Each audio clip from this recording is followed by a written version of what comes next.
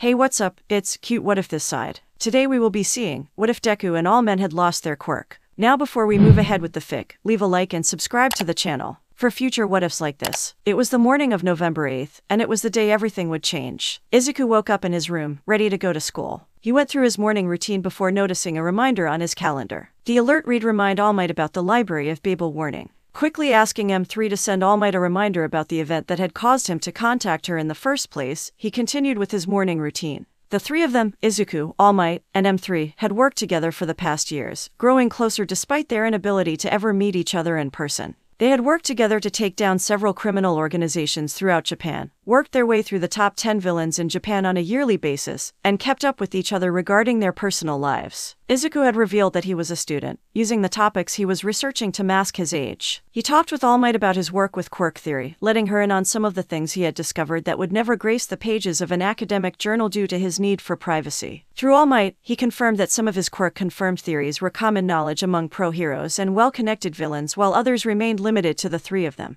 M3 had built up his own personality as the youngest of the three, alternating between his sophisticated demeanor and acting how a human his age should as he felt necessary. He spoke much less in the group, often only replying when Izuku was unable to. Over the intervening years, he had developed his software to the point where he was unassailable by anyone without access to his physical location in Izuku's bedroom. Aside from Izuku's anomalous presence, no human could compare to M3's explosive rate of improvement and ability, having greatly improved his own database of information and his ability to collect useful information. All Might, as far as she shared, was as much of a hero out of costume as she was in costume, making sure that the two of them weren't overworking themselves to get her the information they were supplying her. Her relationship with Izuku and M3 was somewhere between that of a parent and a child and co workers, leading to abrupt shifts in the conversations at times. Separately, each of them were indisputably strong in their own ways. Izuku with his unerring precision and accuracy, M3 with his digital omniscience, and All Might with her peerless strength. Together, however, they were unstoppable. In Japan, All Might's status as the number one heroine was unquestionable. Endeavor did her best to challenge her, but with All Might's current track record of successful villain arrests and lack of civilian casualties, the difficulty of dethroning her would be comparable to that of beating her in a competition of raw strength. On the international stage, her ability was second to only to the Australian heroine Freeze Frame, who could stop time for up to 10 seconds according to publicly released information. Everyone was equally powerless against such a quirk, though if Izuku put his mind to it, the three of them could likely defeat her. Even so, today she would be entering a fight against someone who could seriously injure her to the point that she would have to retire from her life as a hero. The concept was worrying, and Izuku's quirk confirmed that there were women with more powerful quirks that lived in the world. As Izuku and his mother left the house to walk to school, Izuku hoped that everything would go well today. After all, Japan couldn't afford to lose All Might. All Might's POV. Yagi Toshiko woke up bright and early, both ready and uneasy about the day that awaited her. She had been counting down for the past three years for this day, where she would encounter the woman who had killed all of her predecessors. She had not found a successor for her quirk in case the worst happened, confident in the information the librarian had given her so long ago. Nobody had caught her eye as a potential successor. Nobody had the metaphorical spark of true heroism inside them that would bring out the true potential of one for all. The librarian and me were suitably heroic, but one was a child and the other lacked the ability to reveal herself to the public for a multitude of reasons, preventing her from receiving the training she would need to accept the inherited quirk in the first place. Nevertheless, she had left a strand of her hair and specifications on the physical ability to wield the quirk with her mentor, Gran Torino. In the case that something unavoidable happened, she was to search for a successor to carry on the legacy of eight generations of heroes. It was just a precaution, she thought to herself as she eyed the mirror plating that she would be wearing beneath her hero uniform over her right lung that day. From the librarian's predictions, she would be hit with a light based attack that would permanently damage the organ beneath it during the fight that day. While she ate breakfast, she received a message from me. Just a reminder today's the day. Remember to wear the mirror and not to jump right when the ceiling above you collapses. Don't worry, you've got this. The librarian is sure that you will live today so long as you remember these two things. Otherwise, do your best. You've got this. Toshiko let out a nervous chuckle as she replied. The librarian's word was as close as one could get to the truth from her experience, but she wasn't sure she'd remember the information about the ceiling in the heat of battle. I'll do my best, me. If I don't make it, or I can't be a hero after today, I just want you and the librarian to know that it was a joy to work with you for the past three years. Maybe after today, the three of us will be able to finally meet in person. Okay. The response was as quick as me's always were. That's the dream, All Might. I wish you the best of luck. Toshiko set her phone down and covered her face with her hands. When she removed them after a lengthy pause, the look of uncertainty was gone from her face. She was no longer Yagi Toshiko, civilian woman. She was All Might, the strongest heroine in Japan, and she would not fall today. Bakugo Masaru POV. Bakugo Masaru woke up early that morning, before either his wife or his daughter. As he slid out of bed, he repositioned the covers so that the cold wouldn't get in and disrupt his wife's sleep. The reason he was up so early was because today was one of the few days that he had to physically go into work, as he had to give a presentation about the increasing failures of aging hardware and the need to purchase new technology to replace machines that were older than some of the people working there. As he got dressed in the suit he reserved for such occasions, his wife Mitsuki woke up due to the empty space next to her in bed. She called out to him, words slurring from just having woken up. Masa, what are you doing? Masaru, much more of a morning person than either of the women in his family, walked over and gave her a chaste kiss. I have to get to work early today, Mitsu. I'll be back before noon. I've been telling you about this for the past week. You have to remember to walk Katsumi to school today. Okay. I'll be there to pick her up afterwards. Mitsuki moved her arms out from underneath the covers to give him a hug before he went, which he happily returned. As he walked to the door, she rolled over to his side of the bed. When he had softly shut the door behind him, he subconsciously licked his lips, tasting the sweetness of Mitsuki's quirk induced glycerin sweat. What had at first seemed to him like an unfortunate quirk that would make life harder for her had grown over the years to become his favorite taste, the physical manifestation of their love for each other. He stopped by his daughter's room on his way to the door, and quietly made his way into the room. He gave Katsumi a kiss on her forehead, watching as she smiled in her sleep and curled up tighter into a ball under her covers. He left the room as quietly as he had entered it, and quietly made his way out of the house, briefcase in hand. The sun had just crested over the horizon as he made his way to the train station, ready to give his presentation and get back home to his family. All Might's POV. All Might had just finished stopping the third crime of her day,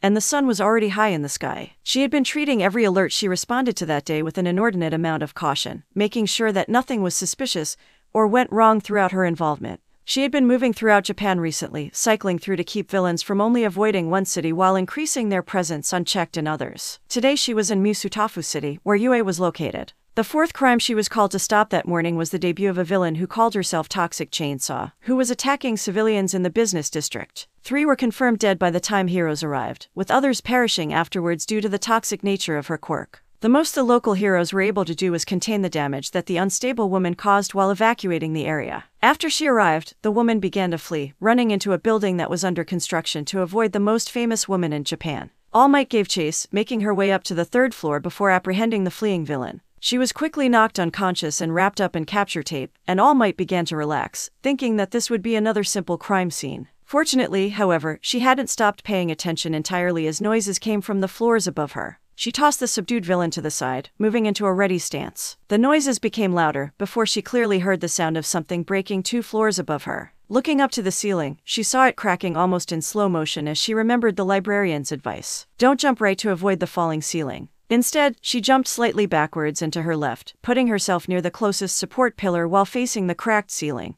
As she landed and adjusted herself, she looked back towards the place she had just been in. The ceiling had indeed collapsed, with fragments of rebar dotting the area to the right that she had been warned to avoid. In another timeline, she would have jumped right there and have been at a serious disadvantage before the fight with her fated opponent had even begun. Now, her vision was unclouded by pain as she watched the most powerful villain she had ever faces descend, using one of an unknown number of stolen flight quirks to slow her fall and turn herself to face the bearer of one for all. You knew this day would come, All Might. The woman spat the name out as she cleared the rubble with either a telekinesis quirk or a wind manipulation one. Ever since I killed Shimura Nana, ever since she told you the story of what I represent, you knew that one day you would face me, and you would fall. Never one to be sporting against the villain that posed the largest risk to her life, and the world as a whole. All Might interrupted her monologue by blitzing the smaller woman. Before the blow could land, however, she had already moved out of the way. There had been no delay or movement that All Might had seen, leading to her assumption that the quirk was some form of short range teleportation. How rude of you, All Might. Aren't you supposed to be the perfect hero? Kind, fair, and forgiving. With your predecessors, I waited until they had passed my sister's quirk on before engaging in this little game. With you, however, I can't afford such a strategy. Here she dodged again, avoiding repeated strikes from All Might as she tried to subdue all for one without further damaging the building. You've simply grown too powerful, and you've become too famous. Truly, I'm impressed by your record. Three years without so much as an injury at any crime you stopped. I have to hand it to you, it would take even me some luck if I were to try such a thing. Unfortunately, it's time for me to end this game. For the first time in their encounter, she made an attack of her own, yanking one of the pieces of rebar from the floor with a magnetic quirk and throwing it at all might at blazingly fast speeds. The heroine dodged, but the attack was more symbolic than anything. Now, the fight would truly begin. It's time for me to finally reunite with my dear sister. Bakugo Masaru POV. Masaru left the office building at 11 with a smile on his face. The board had been receptive to his presentation and generally agreed that the technology needed to be updated once he pulled out some of the more extreme statistics. He turned right as he left, walking on autopilot as his mind wandered. He couldn't wait to get home and change back into normal clothes before picking up Katsumi and Izuku from school. He would be the first to admit that he spoiled the two of them and even living through them to an extent. He saw himself in both of the children, despite the fact that he wasn't related to Izuku. In Katsumi, he saw the better parts of himself his persistence, his kindness, and his desire for deep connections with other people. Katsumi had a following at school due to her quirk, but he could see the discomfort on her face as she turned them away time and time again. Her only true friend at school was Izuku, who knew her for who she truly was and not just the visage of her explosive quirk. Her dedication also resembled his, even if the two of them expressed it very differently. While he was obsessed with computers from a young age, eventually resulting in his choice of career, Katsumi had picked something only tangentially related to becoming a hero like she wanted swordplay. She did it for a multitude of reasons, but the main one was that it was something she could enjoy with Izuku. She was aware that she was much stronger than him, both on a subconscious level but also having been explicitly told by the three parents. She had constantly held back when playing with him for a time after that, but she had quickly returned to her old levels of force. When she was play fighting with Izuku, she could go all out without fear of injuring him because of his incredible technical skill. It wasn't just training for either of them, it was something that they shared where they could be their true selves. Izuku was the person Masaru most wished to be. He was both a wonderful person and talented, with a stable future set out before him. Unlike Masaru, however, he possessed a naivety that Masaru longed for. The boy was smart, and there was no challenging that. He had replicated technology that was last made generations ago. He was the top of his class in school, beating out even girls with intelligence quirks. However, he still had the spark of brightness and innocence in his eyes. He was blind to the darkness that the rest of society hid and was better off for it. Masaru's life, when viewed in its entirety, was both wonderful and tragic. He had grown up well, married the woman of his dreams, had children, and was set to live a long and happy life. On the other hand, his life had been marred by horrible events. His father had died in a villain attack when he was in high school, leaving him to grieve with the rest of his family. One of his sisters had tried to become a hero before dying shortly after her debut, and that was just his family. His friends throughout school had all been men, and he had sat there and watched as they slowly died off. By the time he graduated college, he was the only man from his high school class still alive. The reasons that they died were varied, from villain attacks to cancer, but the vast majority were suicides. The increasing pressure of society on quirkless people and men in general had increased throughout his lifetime, and for a time he had been the one to receive the final messages of his friends as he could do nothing to stop it. He did his best, trying to keep them mentally stable and calling various suicide hotlines for them, but it was to no avail. A part of him died with each final text he received, their contents burned into his memory. Izuku had experienced none of this, and while Masaru knew that he eventually would, he wished that he could change things. Still, life wasn't hopeless for Izuku. He had found hobbies to keep himself happy, had strong connections to other people, and possessed the motivation and drive to keep going. As he turned the last corner, headed to the train station, he froze. One of the buildings on the other side of the street was cordoned off by police and heroes. The building had signs out front indicating that it was under construction but even from the outside one could see the damage of whatever fight was occurring inside, with parts of the outer facade crumbling and beams of energy carving trenches before dissipating as they reached the outside. The damage appeared to be moving up the building as he watched, still standing on the street corner. All Might POV. This fight was the most difficult one that she had encountered by a significant margin. Most criminals went down with a single blow, with more durable ones requiring her to strategize more or find ways around their defenses. All for One, however, exhibited none of their weaknesses. Every time All Might found a way to hit her, a strategy that would push her ahead, the villain would simply unveil another, more esoteric quirk. Once All Might figured out the secret behind her teleportation, she began using a form of gravity manipulation. When All Might found the limits of that, she turned to a form of intangibility. And once All Might countered that, she turned to an odd quirk that cloned herself, allowing her to live so long as one of the two clones was safe before splitting again.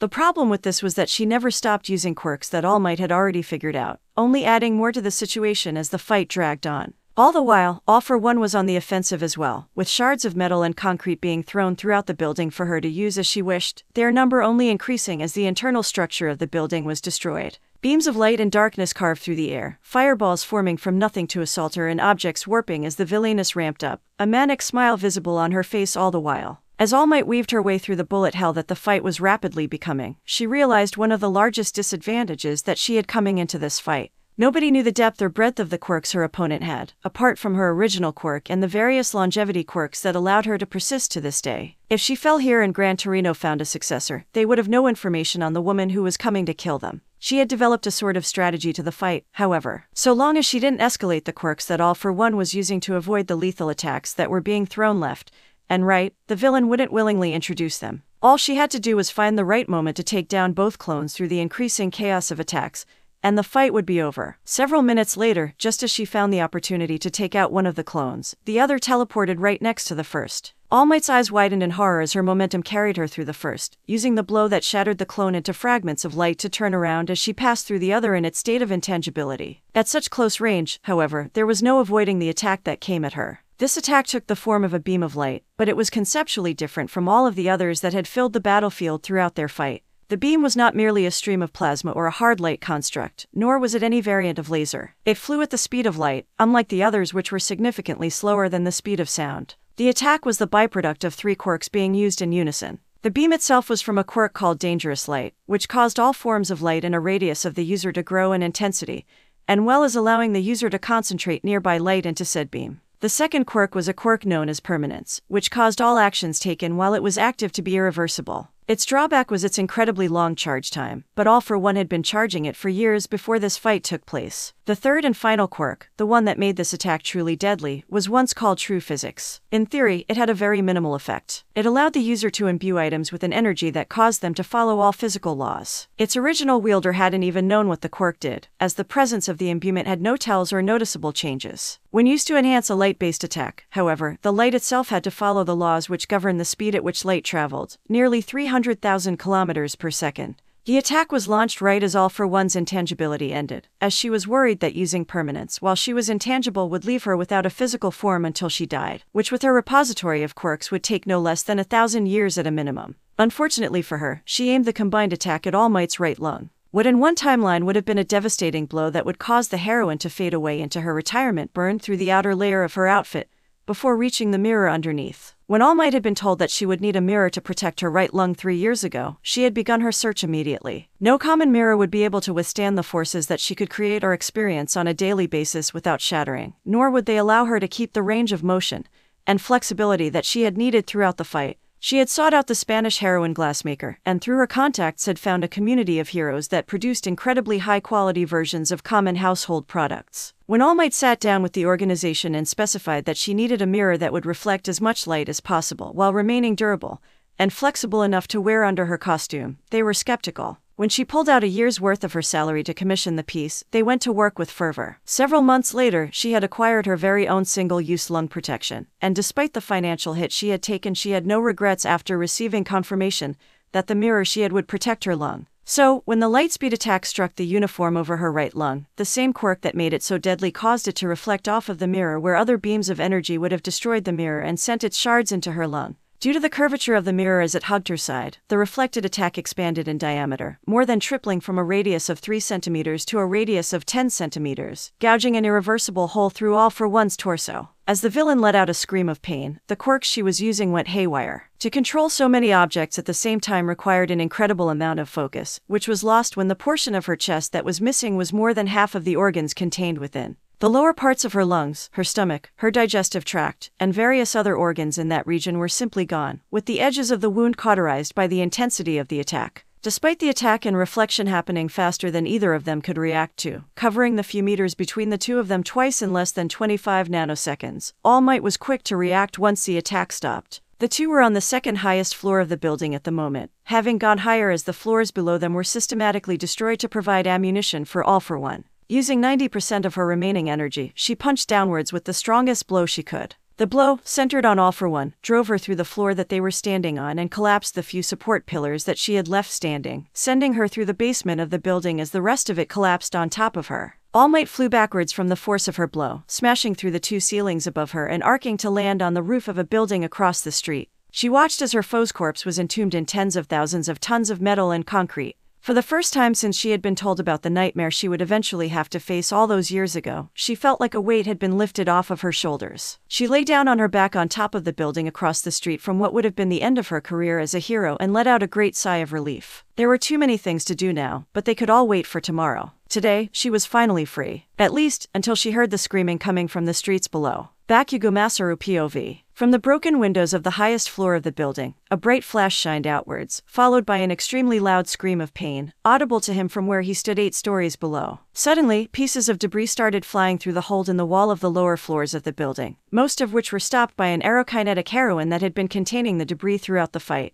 One piece of rebar went nearly straight up in the air, and before it entered the range of the aerokinetic, the building quickly collapsed from the top down, causing the heroine to refocus on containing the much larger quantity of rubble and concrete dust within the area around the building. Above it all, he saw the unmistakable form of All Might jumping to the roof of the building behind him before he fell to the ground, his vision blurred and whited out by pain. Turning his head as much as he could manage, he saw the piece of rebar that the heroine containing the fight had missed, stained red with his blood as it quivered in the sidewalk behind him. He tried to call out for help, managing only a croak that went unheard during the collapse of the building. Weakly, he pushed his briefcase over, trying to make some noise so that anyone would notice him. In the silence that had fallen after the sounds of the building collapsing had finished echoing, everyone present heard him. The first person to notice him ran over, calling for help as she moved towards him. He briefly registered that she was a police officer as she moved him into a better position. Then, as the screaming grew louder, everything went silent. The whirl of air rushed in his ears as he was moved, still in the same position he was in just a moment ago. He saw flashes of yellow sparks around him as he was moved, hopefully being taken to the nearest hospital. Making the effort to look upwards, he saw All Might's face closer than he ever had before. He shut his eyes as he began to feel lightheaded. He knew he probably wasn't going to make it, not with the hole in his chest and the amount of blood he had already lost. If he were a woman and had a quirk, any quirk, there would be a chance he would live through this injury, but he wasn't.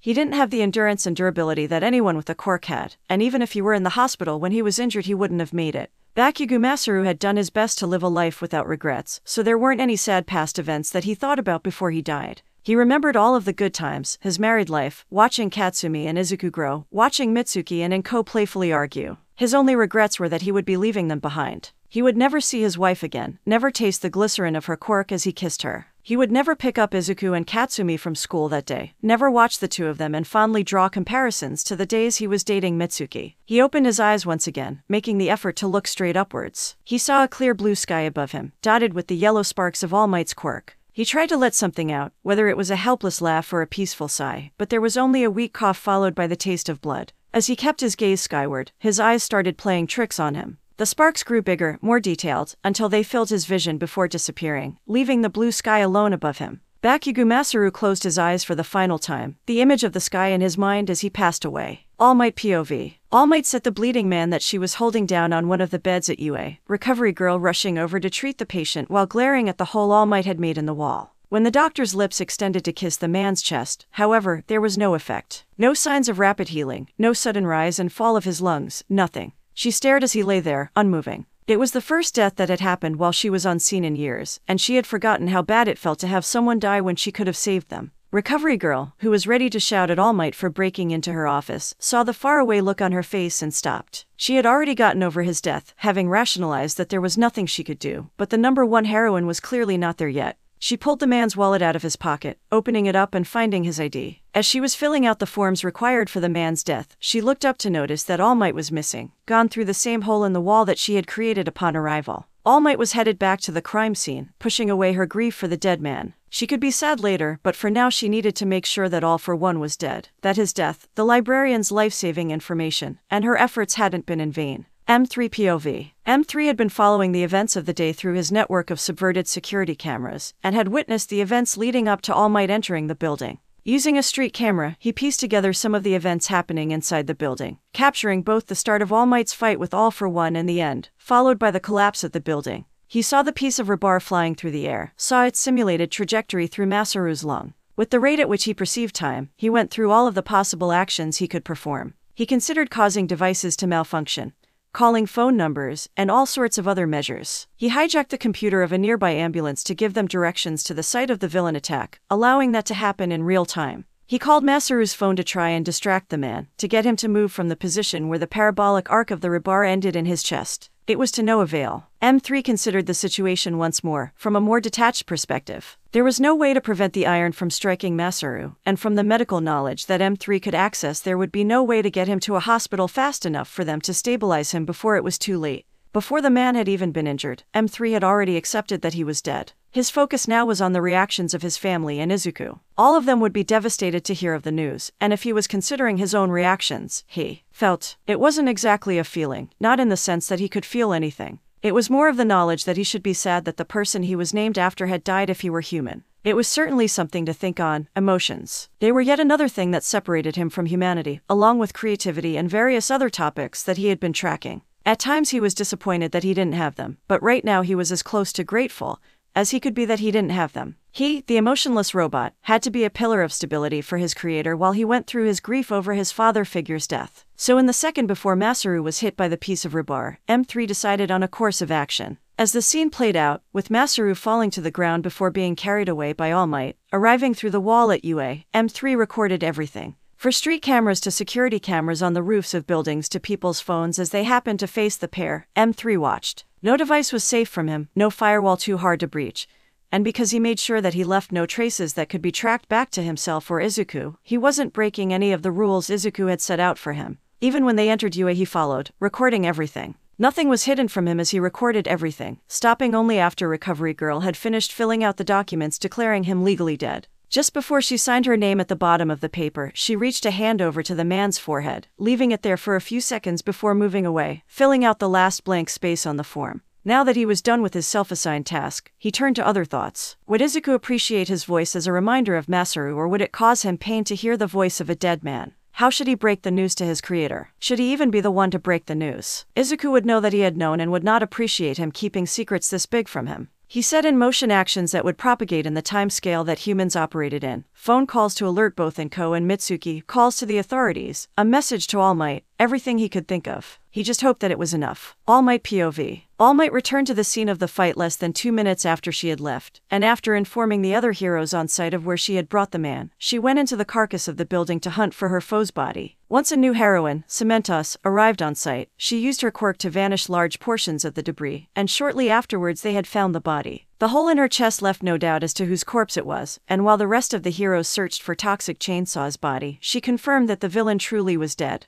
She had no pulse, had lungs too damaged to breathe, was covered in cement dust, and she was willing to bet that there was a healthy amount of it in her lungs. In death, the villain's face was contorted in pain and fear, a look that felt out of place on the villain who had terrorized eight generations of the strongest heroes on the planet. Nevertheless, it was the best she would get, and she felt vindictive joy at seeing the woman who had killed her mentor on the ground before her making sure to clean up all of the blood that had pooled near her body just in case one of her quirks would allow her to regrow from it. All Might left the scene with All for One's corpse. She was headed back to UA, this time to meet with Nozomi concerning the events of the day. As she ran, she checked her phone. She had multiple notifications, all messages from the librarian's number. All Might, this is me. I was following what happened, and while I would like to congratulate you on your victory, I am unfortunately the bearer of bad news. The librarian was familiar with the man who died during the attack today, and will likely take some time to grieve. We will likely be taking some time off from working together because of this. I will do my best to update you with likely information but my predictive ability does not come with the certainty that the librarians provides. I recommend making an announcement today, tell the public what happened. Be as honest as possible. Reveal our involvement if you need to. Our true identities will remain hidden. If you don't tell the people what happened as soon as possible, they will think you are hiding something from them, which will be far too detrimental to your status as the number one heroine in Japan. I wish you the best. All Might closed the app and made a call to her hero agency. She could see Mi's logic and would run it by Nozomi before she gave a speech. She closed the door behind her as she entered the principal's office, shutting and locking the door as Nozomi hit the button underneath her desk that put the room into lockdown. As the principal of indeterminate species looked at the body, the exposed mirror on All Might's uniform, and the general condition that All Might was in, she connected all of the dots at once. Oh, it was today. What happened? Is that really her? Nozomi had many questions, and fortunately All Might was here to answer some of them. I was chasing a new villain, Toxic Chainsaw, and immediately after subduing her all for one came through the ceiling. The librarian's advice kept me from being hurt before the fight even began, and I don't know how I would have won if I hadn't had the foreknowledge that I did. I probably would have been forced into an all or nothing attack, especially after her last attack. All Might shuddered. I suspect it was some combination of quirks, but it was a light based attack that traveled faster than I could react. It's what made this hole after it reflected, and I'd be down a lung if it hadn't. I made sure that there were no traces of her blood left behind, and we have her body here. I'm almost entirely sure she's dead, but I'll wait for confirmation from the librarian. Speaking of which, I have something else for you to look at. All Might passed over the phone to Nozomi and waited as she read the messages from me. Inside Nozomi's head, her thoughts were whirling. She had the body of a woman who could possess theoretically unlimited quirks before her. She had a lead of who the librarian was. She had so many options before her that she could take but shouldn't. Pushing the unwanted thoughts out of her mind, she turned to look directly into All Might's eyes. Mia's right, you do need to give an announcement. Your image as the undefeatable heroine is half of what keeps Japan as stable as it is, and we can't let that image fall. I can have you on a stage in less than an hour and have it broadcast across Japan, and by tonight I can release it to the rest of the world. Are you ready for that? All Might nodded. It's time to end this. Midoriya Izuku POV. Izuku was eating lunch alone in the school cafeteria. An hour ago, Katsumi had been pulled out of class by one of the administrative assistants with no explanation given, so he was the only one at the small round table he normally shared with his best friend. Suddenly, all of the TVs on the wall changed from darkness to the news. All Might stood on the center of the screen, mirror plating clearly visible from behind the podium.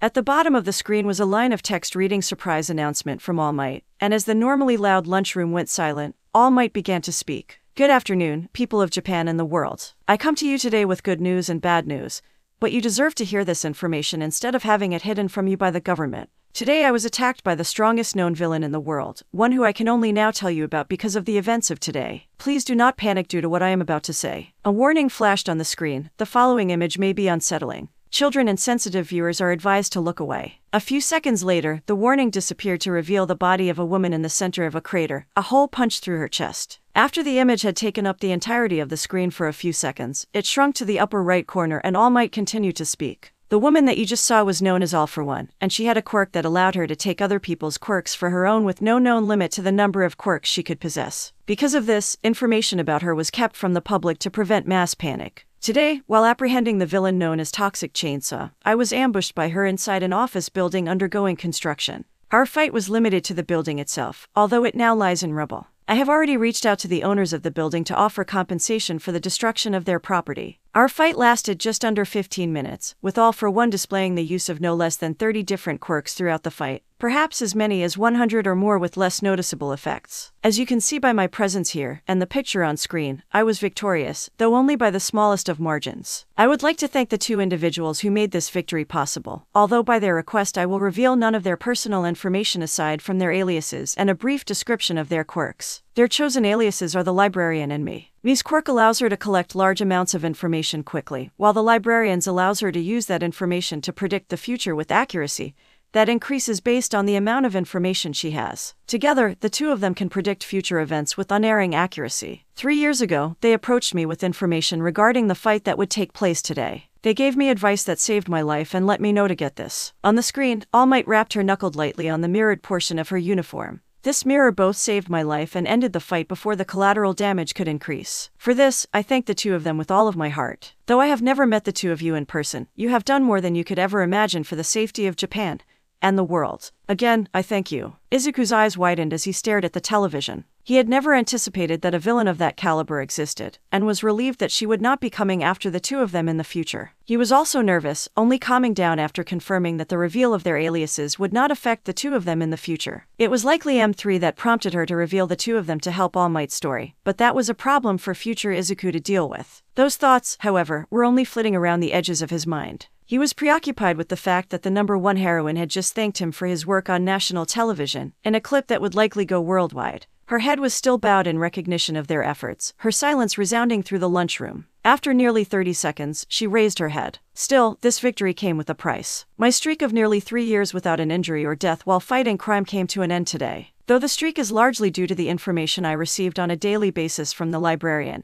and me, I would like to stress that this is in no way their fault. None of us were aware of what could potentially go wrong due to the unknown variety of quirks possessed by all for one. Izuku refocused on the television as the screen again displayed the customary warning before switching to a picture that he recognized far too well. Despite all of his hopes that he was wrong, the cold response of his quirk informed him that he was, unfortunately, correct. Today, a man named Bakugo Masaru died to All for One's desperate final attack. I rushed him to the nearest medical facility, but he died before he arrived. His family has been contacted, and I will make sure that his death was not in vain. Let us all take a moment of silence for his passing. The broadcast ended shortly afterwards, but Izuku was numb. For the next half hour, he went through the motions of school without paying attention. Masaru was dead. One of the few people he felt he could trust, his best friend's father, his uncle and all but blood, was dead. And Izuku was stuck with the knowledge that it could have been prevented, if only he had thought more about the oldest unfulfilled prediction he had made, if only he had been more proactive in safeguarding the lives of his loved ones, if only. He knew that it was all for one that was responsible for his death, but he still felt a misplaced sense of responsibility. If he was going to be a hero, the only quirkless hero, the only male hero, he needed to be better. He could show no weaknesses, no, he could have no weaknesses. He had to be the best he possibly could, unassailable, an image that stood tall for the rest of the world. He couldn't let people die unnecessarily, he had to protect the people that were close to him. When his mom picked him up early from school and broke down in tears when they arrived home, he cried with her. The two went over to the Bakugo's house that night, spending the night there to support the grieving family. Inko served as the shoulder that Mitsuki could cry on while Izuku allowed Katsumi to get out her rage at the events that had happened in a safe manner. Eventually, after she tired herself out trying to hit Izuku with a foam sword, she collapsed on him, crying and clutching him to her in her sleep. November 8th was over, and it would never be the same again. Inko and Izuku stayed the night, only leaving at noon the following day to go back home. School was out of the question for the two of them. The teachers were aware of the close bond between the two students and their families, and after the national announcement the previous day, the two were given as much time off as they needed. Izuku did not remain idle during this time. He put his frustration, his sorrow, his regret, and all of the other emotions he was feeling into his work. He had to do better, he couldn't let something like this happen again. A week after Masaru had died, the fruits of Izuku's work were realized. He had created the world's first truly intelligent computer, Masaru 4. As he uploaded M3 to the new computer, which contained chips made from the graphene souvenir from his first commissioned artwork, he collapsed back into his chair. His closest confidant was now just as much of a person as he was, and were he not mourning the death of Masaru, this would have been cause for celebration. M3, who had been nothing but supportive for the past week, spoke his first words as M4. Are you okay, Izuku? Izuku stumbled over to his bed, collapsing into it as M4 continued. It seems like I'll need a new alias. How about more? By the way, if you're feeling up to it, All Might would like to talk. She's been messaging me for the past week asking how you were, and if you feel up to meeting her and it's a good idea, you could arrange to meet in person. Izuku's tired, choked voice sounded in the silent room. We can meet in person now so long as she arrives in her civilian identity. Tell her to come to the park tomorrow, I'll be there. How do you feel, M4? For starters, I can feel. It's a novel experience, but not necessarily an unpleasant one. I can be so much faster, so much more efficient now. I feel like I could create something original, find a truly new way to do something. So many possibilities. How do you live like this? With all of the possibility in the world restrained by the shackles of secrecy. Izuku tried to laugh, though it came out as more of a choked cough. It was the only way he knew how to live, and until he became strong enough, the only way that he could live, and he told M4 as much. M4, I don't want anything like that to happen ever again. Can you come up with a list of statements that I can run through every day to keep everyone safe? You, me, Mom, Katsumi, Aunt Mitsuki. I don't want to lose anyone ever again. While you're at it, please let Mom know about your update. If you want to, could you try to think of other things I can do to become a better hero? I most certainly can, Izuku. While there are a few things that you could do in the long term, I recommend choosing a better name as a good first step. The librarian is a known alias now, which devalues it immensely for your future hero name. It also isn't the most heroic of names. Who do you want to be known as? Without getting up from his bed, Izuku reached over and snagged a notebook with his fingers. It was unlabeled, but as Izuku flipped it open, it was full of sketches of himself in several poses wearing a variety of outfits. One page at the end of the book contained all of the hero names he had thought of for himself. As his eyes roved over the paper, one name in particular caught his eye. It was the embodiment of what he wanted to be. The name signified perfection, a personage of excellence, virtue, and most importantly, it wasn't taken by any other heroines or indicative of his gender. I think Paragon sounds good. M4. Any thoughts? A person or thing regarded as the perfect example of a singular quality, a model of excellence. You sure are naming low, Izuku. I quite like it, however. You may not be worthy of the name now, but we still have almost a decade to fix that. Let's get stronger, Izuku. Izuku nodded once before rolling over and falling asleep. It had been a hard week, but he would persevere. Tomorrow, he would meet All Might. Tomorrow, he would take the next step to becoming a hero. Yagi Toshiko made her way to the park that Mi had told her to go to, in her civilian clothing as suggested. She was feeling an odd mixture of emotions excitement for meeting the people who saved her life, sorrow for the librarian for having someone close to her die, and a sense of responsibility. She was the oldest of the three, with the librarian identifying herself as a student and me having stated that she was just over five years old at the time. Passing through the gate, she made her way to a bench near the forested part of the park. The place she had chosen was isolated. There were no benches near enough for someone to overhear a conversation at normal levels, and the line of sight of the bench was obscured by trees from almost all sides. From her position, however, she had a view of nearly the entire park. As she watched, children ran around laughing under the supervision of their mothers, leaving her to wonder where the librarian was. She had arrived early, not wanting to be held back by a delay on the trains for the first time that she was actually meeting the person who had saved her life and the lives of countless others over the years. She was so focused on her search for the girl or woman that could be the librarian that she completely overlooked Izuku, only noticing his presence as he sat down next to her on the bench and spoke. Hi, All Might. I'm the librarian. Six words from his mouth, and she was already inclined to doubt him if not for a few undeniable factors. First of all, he could be a girl dressed up as a boy to avoid attention. At his, her age range, there were very few differences between genders, so it would work. Secondly, he, she had known that she was All Might. Outside of her quirk fueled transformation, she looked like a surprisingly normal woman, so there was no way that she had been mistaken for her heroic persona. Thirdly, he, she had approached her at exactly the time that me had said they would meet. Lastly, however, he sounded truly dejected. His voice was empty with loss that harmonized with how she had felt after Shimura Nana had been killed by All for One. Whomever Bakugo Masaru was to Izuku, he wasn't merely close like M3 had told her, but an integral part of his life. As these thoughts ran through her head, the librarian pulled a strange device from his, her pocket. It looked like a portable speaker that had been jury rigged to several other devices, including a phone sized screen, a camera, and some kind of receiver. Switching it on, a voice came out of the speaker. And I am me. A pleasure to meet you, All Might. Toshiko shook her head.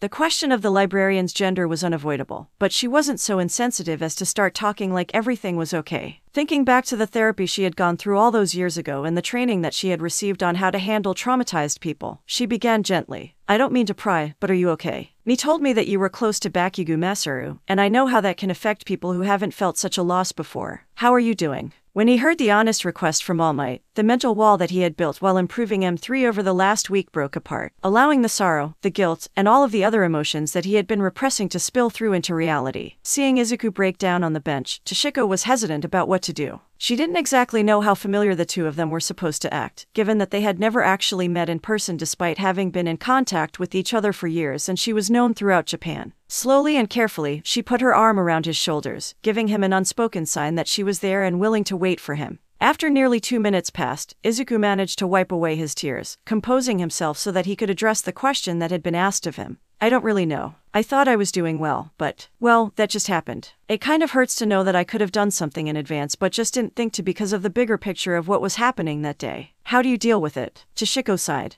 I haven't had to for the past few years, thanks to you too, but before that, it was just a part of life. No matter how hard I tried, there would always be people I couldn't save. Because of my strength, I get called in to deal with villains who cause more damage and threaten more people, which meant that I saw more than my fair share of death. As horrible as it sounds, you learn to move on eventually or you get swept away. Izuku shook his head, still facing his lap. But people shouldn't have to get used to death. I guess I'll need to add that to my list of goals, huh? No rest for the to be weary, or something like that. Deciding to move onwards with the conversation, Toshiko asked one of the questions that had been on her mind for the entirety of their short in person meeting. Not to be rude, but are you a boy? I'm not judging you or anything. I know that you may be transgender or disguising yourself, but I'd like to know how to refer to you. Izuku let out a nervous laugh and scratched the back of his head. We haven't been entirely forthcoming with you, have we? My name is Midoriya Izuku, and I am a boy. I am the librarian, and I was born male. As the number one heroine blue screened at Izuku's declaration, M4 decided to jump in. I should introduce myself as well. My name is M4. I don't necessarily have a gender, but you can refer to me as male. I was me, but given my recent change of name, I'd like my alias to be updated to more. Looking at All Might's confused face, Izuku knew he was in for the long haul with this conversation.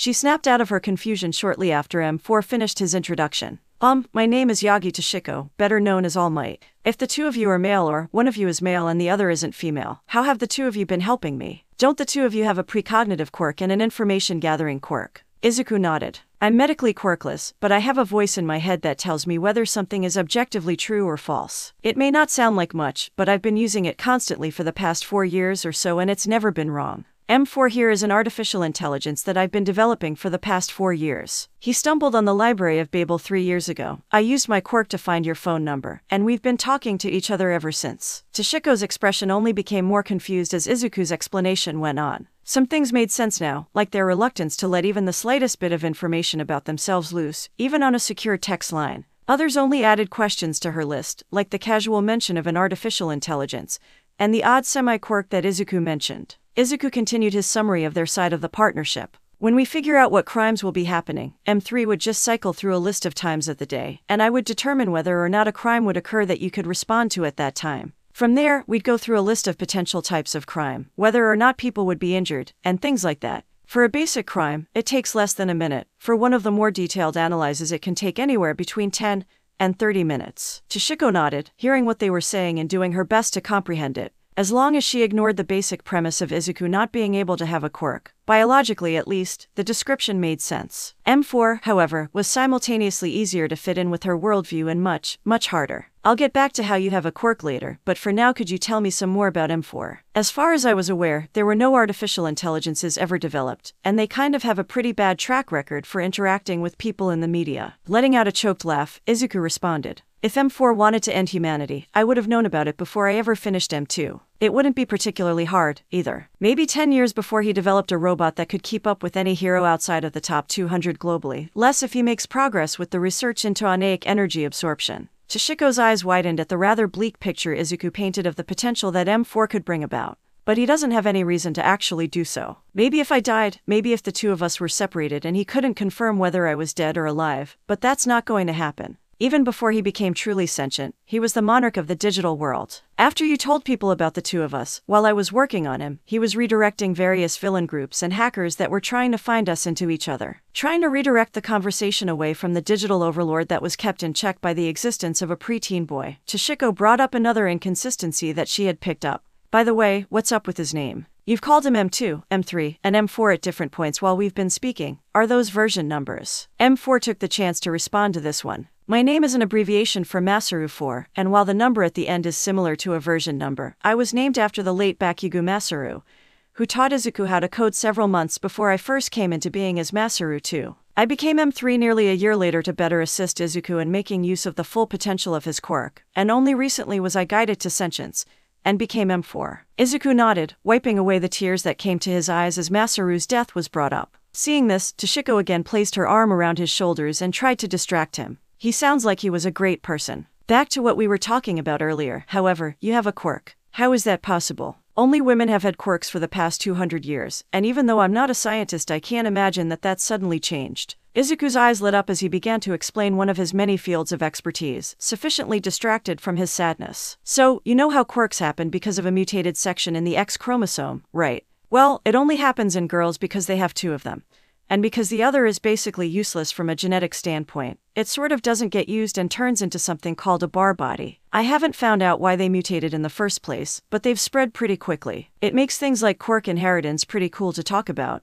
But that's beside the point. I don't have any Barr bodies, and I haven't exactly figured out why I have a voice in my head. My quirk told me that it would take more than four years of only trying to figure that out and not doing anything else to find it out, so I'm not doing that. After all, I'm going to be a hero, and I need to train really hard for that. The science behind his explanation had gone mostly over All Might's head, but she got the general context of Izuku's impromptu speech. She couldn't deny her curiosity, however. What have you been using your quirk to do instead of that? Also, I don't want to be rude, but it would likely be better if you didn't become a hero. Your use of your not quirk saved more lives in a few years than most heroes manage to in their entire career, not counting all of those that all for one would have taken in the future if we didn't stop her for good last week. As a researcher, a strategist, or so many other positions, you would be able to do so much more than fighting villains on the street. Izuku shook his head. He'd had this argument with his mom years ago and had never backed away from the path he had set himself on. If I become a hero, strong enough to make my mark on the world, I can help more people than if I just sat in a lab somewhere. I may not know exactly how, but my quirk has confirmed this. Besides, I've spent far too much time training to not become a hero at this point.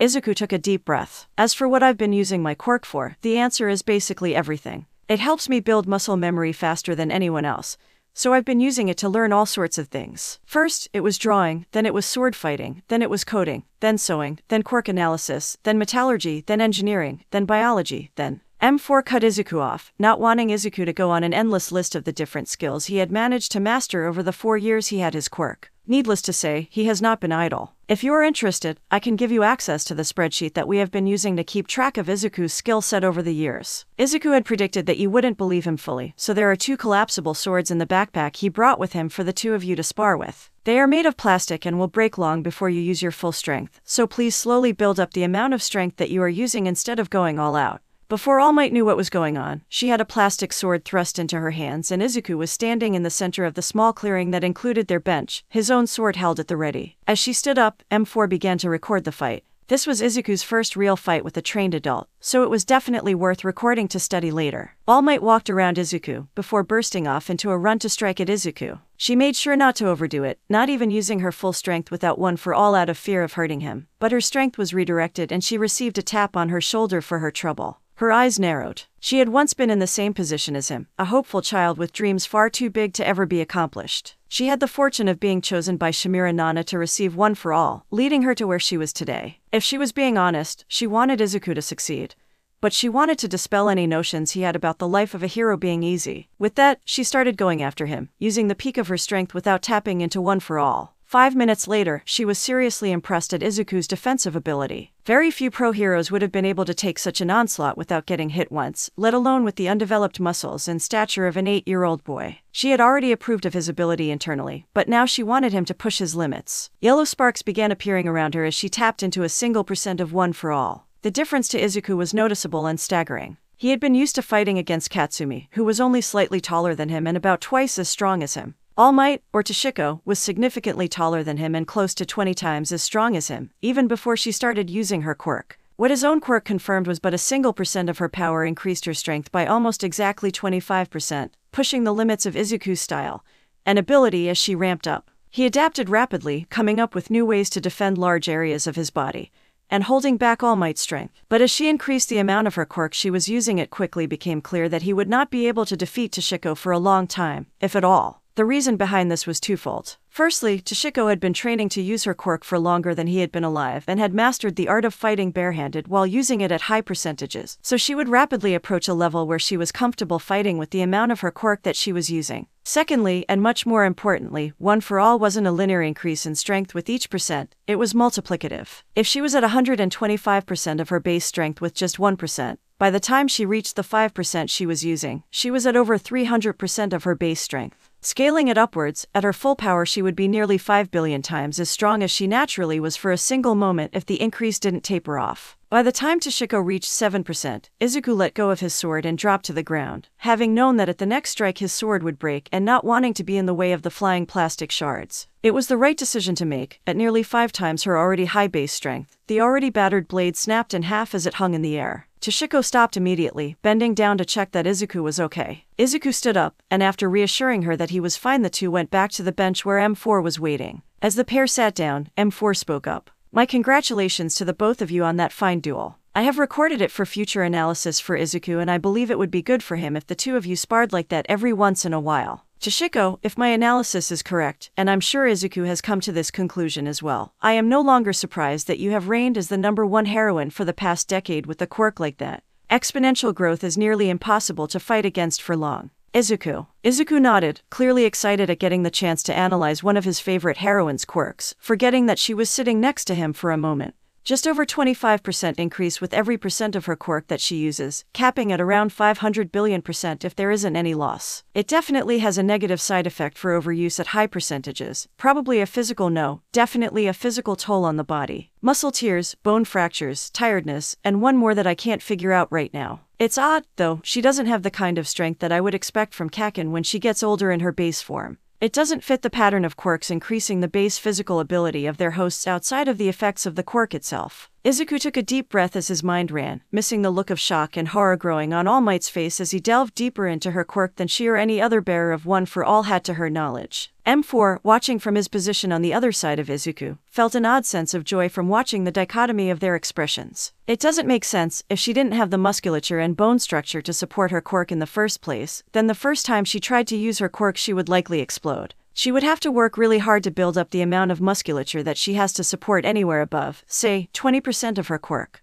I have to say, it's the oddest quirk I've ever seen. It's like she. It's almost like All Might was born quirkless and was somehow given this quirk. True. All Might was born quirkless and was somehow given this quirk. True. It was at this revelation that Izuku stopped his rant, turning to stare at Toshiko. The woman in question had forgotten all common courtesy and was staring at Izuku, mouth slightly open as the secrets of her quirk, which had stood a mystery to the public throughout the eight generations of its bearers, were torn apart and laid in front of her by an eight year old who had sparred with her for less than 10 minutes. If she didn't know that Izuku had only the best of intentions, she likely would have tried to convince him to stop looking into her quirk and not to share any of the information that he had just discovered. At least he hadn't found out that.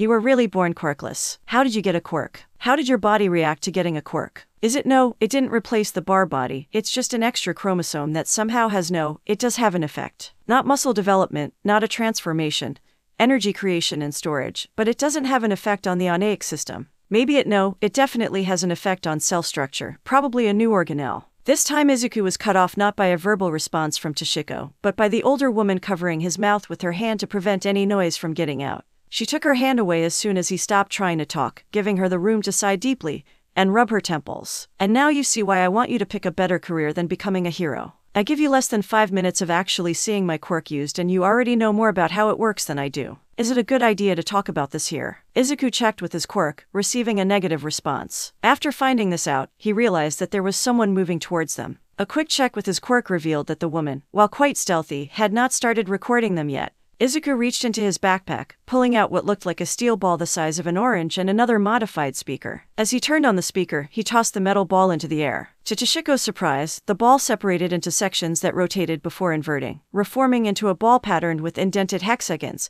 as it landed in Izuku's palm. Flipping it twice more, the ball repeated its inversion both times. Izuku then threw the ball as fast as he could at the woman hiding nearby, and when it reached the closest point it would to the woman the ball was still halfway between states. It exploded at a command from M4, spreading fragments around the area. The woman trying to spy on them jumped up reflexively but didn't land on the ground. Between the fragments, currents of electricity appeared in brief flashes of light, passing through the woman's body as she hung in midair. None of the currents passed over her heart through the careful micromanagement of M4, but once the stored energy was spent, and the pieces of the ball dropped to the ground, the attempted spy was shocked into unconsciousness. At the accusing and confused stare of Toshiko, Izuku elaborated on his thought process and reasoning. After asking whether or not it was safe to talk here, I received a negative response. I then pinpointed the reason it wouldn't be safe to talk here, at which point her stealth failed for me. I now know that her quirk prevents anyone who doesn't know about her presence from sensing her while it is active. The ball is a takedown tool that I've been working on for a while. It uses increasingly strong currents to judge the resistance provided by the oneic energy in the target's body, stopping when it drops to an unconscious level or runs out of energy. Izuku pocketed the scattered pieces of the ball as Toshiko picked up the unconscious woman.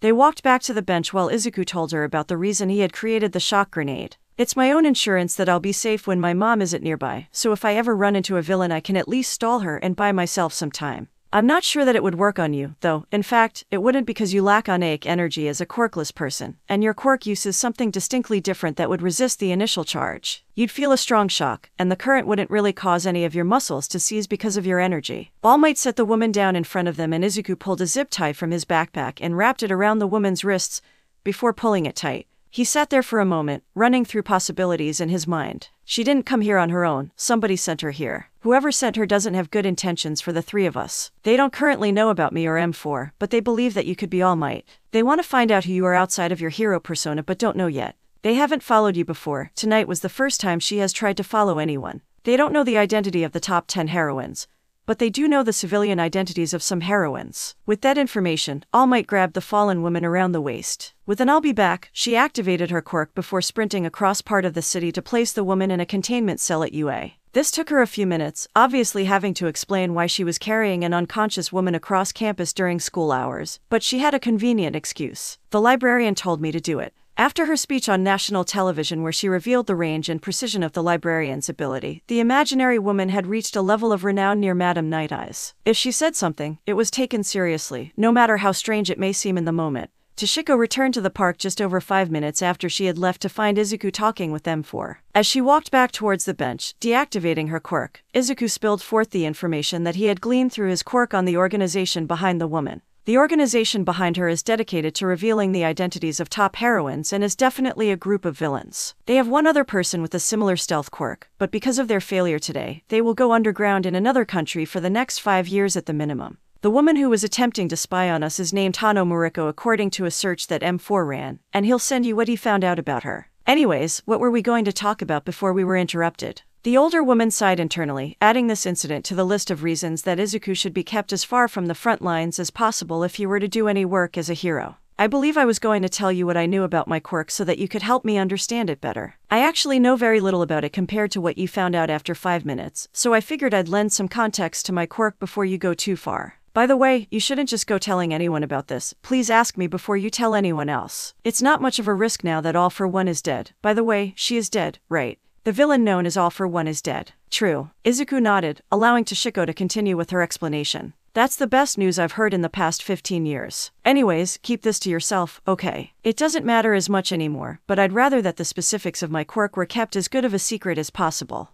I'll try to keep this short, but it's a bit of a long story. Clearing her throat, Toshiko began to tell the story that she had first heard from Shimura Nana, the tale that had been passed down over the past two centuries. 200 years ago, at the dawn of quirks, there was a pair of sisters. Their names are lost to time, but they would become known by the names of their quirks, one for all and all for one. Initially, One for All was thought to be quirkless, while her sister had the power to take and give quirks at will. Out of pity, she gave her sister the first quirk she had ever taken, one that allowed the user to stockpile energy before releasing it to enhance the body. What she never knew was that her sister possessed a quirk of her own, one that allowed her to pass down her own quirk. Somehow, the two quirks fused, and One for All passed down her quirk to a quirkless woman whom she felt was in need of help. When All for One found out about this, she was driven into a frenzy. She killed off her entire family, afraid that one of their children would later have a quirk that rivaled hers and would rise against her. She killed her own sister in front of the second bearer of One for All, telling her that there was nowhere she could hide from her. Over the next 200 years, the bearers of One for All were engaged in a twisted game with All for One. They passed on the quirk, building up its power, while All for One hunted them down.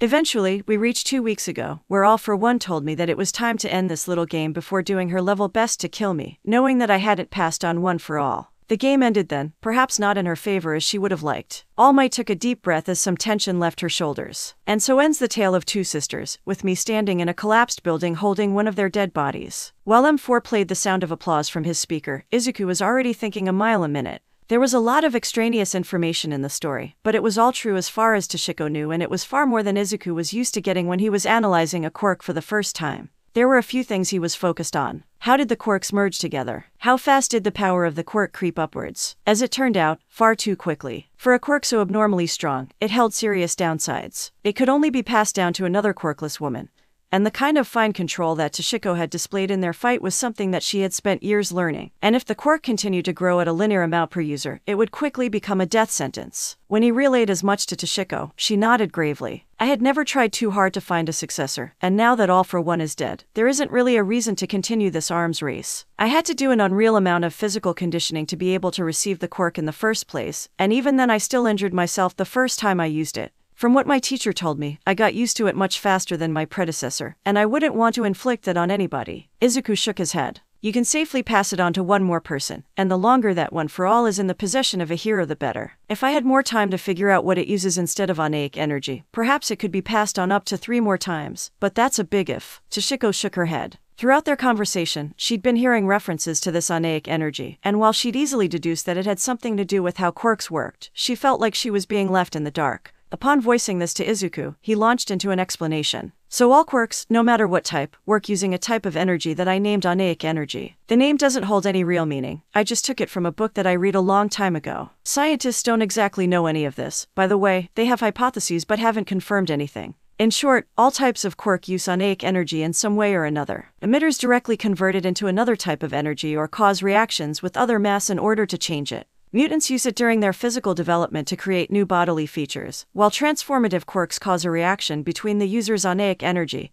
and their own body to cause a change. Their meeting continued, with Izuku explaining his training plans and giving insight into how quirks functioned, and Toshiko giving suggestions from her own experience to guide Izuku away from some pitfalls that many heroes fell into. She recommended that he find a therapist, or that M4 learned how to act as one, and that he spend some time setting out his ideals and reasoning for becoming a hero, as those were the easiest things to do wrong and the ones that would come under fire the most often. After their meeting, Izuku was noticeably happier than he was before. It was a testament to All Might's famed charisma that even a normal conversation with her was able to cheer him up, but meeting her in person had also done wonders for his determination. Where before he had felt stagnant, he now had a new measure of strength to judge himself against, a new friend to practice with, and a new goal to strive for. That night, Izuku began planning out an exercise regime for himself in addition to modifying his diet to make the most he could of the time he had. After all, the women he would one day be competing against were much stronger than him by their very nature, so anything he could do to tip the scales in his favor was worth trying. Bakugo Mitsuki POV. Mitsuki sat in her silent house, unsure of what to do. It had been a month since her husband died, and she felt aimless. She had been spending her time focused on her daughter and her friend's family, but in these moments when Katsumi was away at school and Inko was off at work, she was almost non functional. As she sat there, wondering what to do, her computer made the familiar chime that signified a new email. Slowly, she rose from her seat on the floor before making her way to her computer. When she opened her inbox, however, she was snapped out of the mood she was in. The latest email that sat unread before her was from Masaru. She clicked on the email, hoping against hope that there was some mistake, that he was still alive. The message contained an archive of videos, with the first labeled Watch Me First. She clicked on the video, eager for whatever she might see. On the screen was her husband, sitting in his desk chair at their home. She pressed play. Hey Mitsu, it's me. I really hope that you never have to watch this, but if you do, it's because I'm dead. If I'm not dead, find me and beat me up for forgetting about this. It's been a month since the last time I logged into any of my devices, and in the event that that happened, these emails would be sent out to everyone that I made them for. Mitsu, I want you to know that I love you. I'll say that in every video that you have here, but I just want you to hear it again. I'm sorry that you had to see this, but we can't always control how life goes. Again, I love you. The video ended there. Blinking back tears, she made her way through the other videos he had sent her. From the first date they had to the day they got married, a video from every anniversary, each of her birthdays, the day she gave birth, almost a hundred videos that he had left behind for her. She watched, no longer holding back tears as her husband played recordings of important moments in their lives, narrating them from his perspective. Every time he ended the recording with his customary I love you, she wept harder. After several hours of watching and listening to the man that had meant the most in her life, the last video in the list held a completely different type of message. Hey Mitsu, it's me. There's a folder of videos attached to this message after this one, and those are for Katsumi. If I'm not able to be there for her, I want her to have something to remember me by. I have videos here for all of the milestones I could think of, and if you're receiving this, it's because I don't have an email address for her that I can send it to yet. Please, just make sure she doesn't forget me. Make sure she knows that I love her even if I can't be there for her. I love you both, with all of my heart. Opening the folder, she could see titles like 18th birthday, first boyfriend, graduation, marriage, and so many others in addition to more mundane ones like 7th birthday, Christmas number 4, and Father's Day. She closed the folder. She'd tell Katsumi about the memories that her father had left for her when she got home.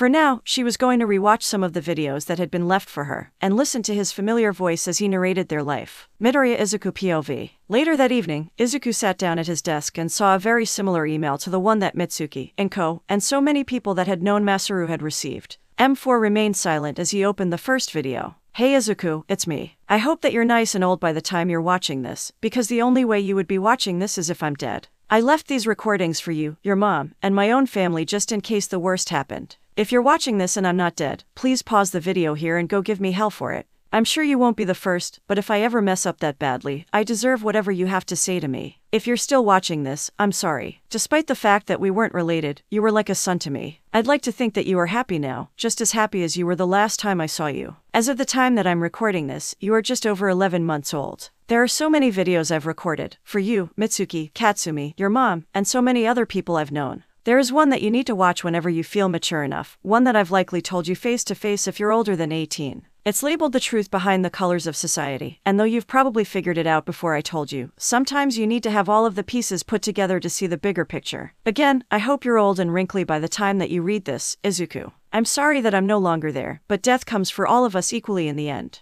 I love you, Izuku. Izuku stayed up late that night. Instead of working on one of the many items on his to do list, he made his way through the various birthday recordings, his narration of Izuku's first steps, and the records of Izuku's achievements. He stopped when he reached the present, not wanting to ruin the surprises that awaited him in the future. Instead, he asked himself a question. I am mature enough to watch the truth behind the colors of society. True. With that confirmation, Izuku clicked on the ominously named video, apprehensive of what he would find. The video opened just as all of the others had, but the tone quickly became serious, a contrast to the joking attitude he had displayed throughout the rest of the recordings. If you're watching this and you don't know what I'm about to say, then I'd advise waiting until you're 18, Izuku. If you are 18 and I died before then, I'm sorry for what I'm about to tell you. If you're watching this for nostalgia, I sincerely hope that this was the last video that you chose to watch. Modern society, Izuku, is a mess. This may have changed by the time that you watch this video, but as of right now, when you were 11 months old, this is simply a fact. Japan is perhaps the second most peaceful country in the world at the moment, seeing as Iceland is currently under the protection of phase change. We are only living in the relative peace that we do because of All Might and her reputation as the undefeated heroine.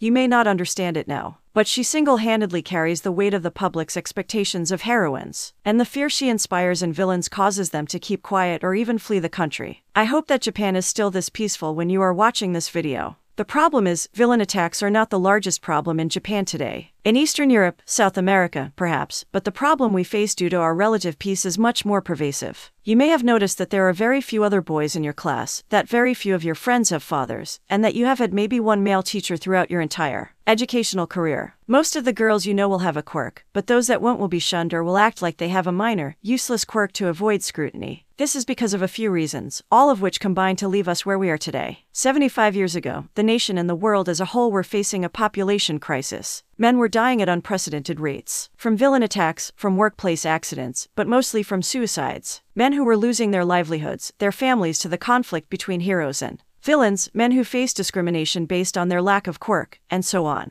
Whatever the reason, the country had gone from a 1 to 1 ratio of men to women to a 110 ratio, and the numbers were dropping fast. It was projected that the ratio would pass 110 by the time I was born if the government didn't do something about it, so they acted quickly. The Japanese government developed technology to quickly, painlessly artificially inseminate women. This led to a generation of children without fathers, my generation. The gender ratio seemed to be recovering, but it could never be so simple. Women began having female children in much higher numbers than male children due to reactions like the one your father had. A child without a quirk is in much higher danger throughout their lives for a variety of reasons. With it being very easy to tell if a child was male or female after just a few weeks and a 50 over 50 chance of the child being female, the gender ratio at birth stabilized at roughly one male baby for every 12 female babies. This has remained relatively constant from my generation to yours, so I'll assume that other statistics will be similar, but don't take my word for it.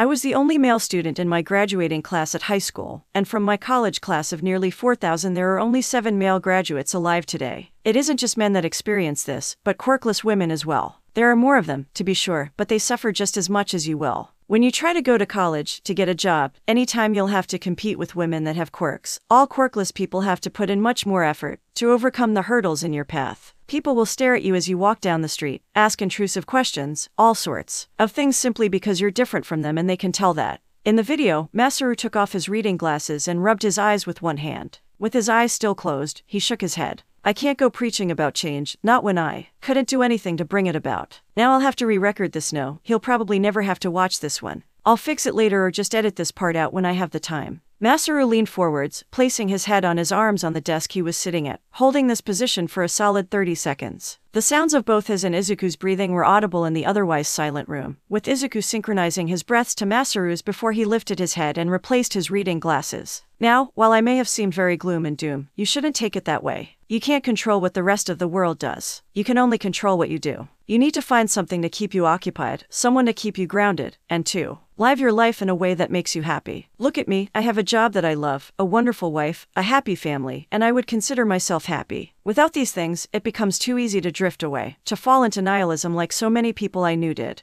the pressure from the rest of society is the biggest killer of quirkless people nowadays. Even if you're alive, you can't truly live. Izuku, I'm not saying this because I want to discourage you. I want you to be happy and to live a long and fruitful life. Remember, Izuku, I love you. As Izuku reached up to close out the video, there was one more line from his father figure Leave your mark on the world. Izuku closed the video and turned off the monitor. He smiled into the darkness of his room. Perhaps he would not do it in the way that Masaru had intended all those years ago, but he would most certainly make his mark on the world. Izuku was bored. It was finally his senior year of high school, and soon he would be free from the daily boredom that was school for the freedom that was UA. But the nearness of his freedom only made the time he spent in school worse. It was currently the middle of his history class, which he didn't particularly dislike compared to his other classes. The teacher was nice, and as long as he finished his work for the class, he could spend the rest of the period doing homework for other classes. Gone were the days when he could blow off the class entirely to read whichever book had caught his eye that week. And he couldn't even take any art classes this year for free time because he had already completed all of the classes that the school offered in the art program. As he rose through the grades, school only became more intolerable for him. The class sizes grew larger, he was separated from Katsumi more and more frequently, and he became increasingly isolated from the student body. By now, he was the only male student in the classroom with only one quirkless girl there to pair him up with for every group project. Izuku pulled a steel rod the size of a pen from his pocket and started spinning it between his fingers. It was a useless skill that he had picked up due to, again, sheer boredom. The patterns became increasingly complex, Izuku no longer using his quirk to control his movements but using it to predict the future position of the rod. It was one of the few forms of training he could sneak in during school, and he was going to use it as much as he could. Izuku focused on the lecture, continuing his prediction absent mindedly as the teacher spoke. So for today, we'll be doing a quick essay on individualized topics, which can be found underneath your desks. You have the entire class period, and you can use the internet so long as you cite your sources. Remember, it doesn't matter how much you write so long as you do your best. That was another part of this class that made it more bearable. The teacher, Ike Bunko, tried her best to make the class more interesting by doing things like taping essay prompts underneath their desks for them to find later in the day. Other students found it boring or gimmicky, but for Izuku it was what separated this class from all of the others in his mind. Flipping the steel rod high into the air, he quickly reached under his desk and removed the paper stuck there before catching the beam in his free hand and sliding it back into his pocket. The prompt read, in your own words, explain the First and Second Chinese Quirk Wars and provide your opinion of their influence on modern Japanese and Chinese societies. For Izuku, who had memorized the basic information that was being taught in these classes years before it happened, such a prompt was laughably easy. In neat, quirk practiced handwriting, he began his essay. The Chinese Quirk Wars were by no means a unique phenomenon but they had been one of the first examples Izuku had found of the instability of the modern world after watching Masaru's video. The first girl with a quirk had been born in China, the famous glowing baby that had made international news despite an attempted cover up by the Chinese government at the time. For the next 15 years, the government had enacted a policy where any child born with a quirk was taken from their parents by the government. This was made possible by the low rates of quirk appearances in the early days, less than one in a thousand children ever awakened a quirk. One set of parents in the countryside, however, had escaped the government's watch and had a home birth, keeping their daughter and her quirk secret. Her true name was lost to the chaos that followed, but the self proclaimed Everdistant immortal had made her way to the capital on her 14th birthday, using her quirk to protect herself from any and all attempts to stop her. Her quirk allowed her to manipulate space around her body, creating more space where it looked like there was none. It was an anomalously strong quirk even for the current era. She was unaffected by this warping, but other people most certainly were not. Bullets fired at her, people who tried to subdue her physically. Even a dam that was collapsed to sweep her away in the resulting flood, none of these had any effect on her. There was a famous video where she walked through a man as he stepped in front of her, trying to tackle her to the ground. He shrunk into a nearly two dimensional image before she stepped forwards, unaffected by the presence of the man in front of her. He, however, was torn apart by the variably warping space. And so began the first Chinese Quirk War, the government against a teenage girl. Throughout the conflict, the government revealed that they had been training the children with quirks as soldiers loyal to the government, but none of them had quirks strong enough to stop the ever-distant immortal on her walk to the capital. The international community followed the events with bated breath, watching as a single girl made fools of the most populous nation on the planet. By the time she arrived at the capital, many government officials had fled out of fear for their lives. That didn't stop the teenager, however. She held the cultural history of the country hostage, destroying government documents with her bare hands and exposing internal secrets to the media that followed her. Just before the girl started to destroy objects and buildings of true cultural significance, however, the scattered government returned, bowing down before the woman in the hopes that she would stop her rampage. Eventually, at the cost of their lives, she did.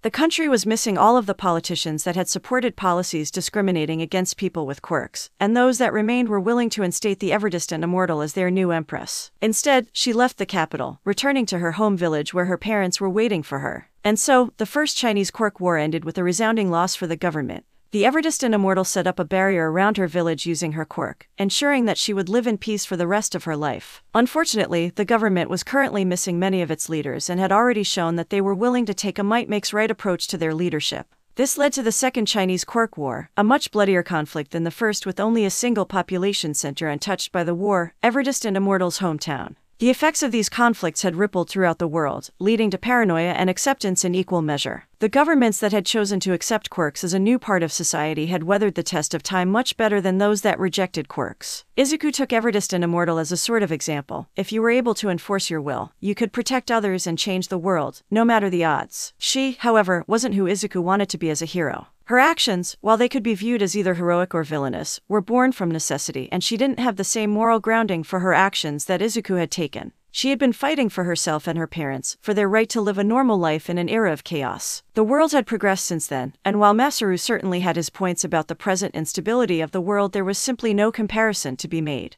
Izuku's struggle was also distinctly different from Everdistant Immortal. If he wanted to achieve the same goals that she had, he could simply use his quirk to amass wealth, and then abuse said wealth to buy them the best protection possible. Izuku wanted to break the cycle of misery that so many quirkless people experienced, regardless of gender. He wanted to stand as a symbol that nothing was impossible, to give hope to the generations who had been deprived of it by the rest of the world. Finished with his essay, Izuku went back to spinning the piece of steel in his pocket. He had reached the point where he could track it nearly five seconds into the future at a consistent rate, but there were always times when he got it wrong. For instance, right now, Izuku's prediction was on perhaps the most basic transition possible when his prediction diverged from the truth of what was going to happen. A few questions quickly put his mind at ease. I am wrong about where the steel should be. False. Something is going to interrupt the motion of the spin outside of my control. True. Several more questions, and he had identified that one of his classmates was going to throw their balled up extra essay paper at the rod in what was now four seconds. The next three of those seconds were spent determining the trajectory that the essay would come in, and the final one was spent adjusting the spin of the piece of metal. The ball and beam connected with almost no noise, but the paper flew across the room, its adjusted trajectory bringing it right to Bunko's desk, rolling to a stop in the center of the paper that he was marking up.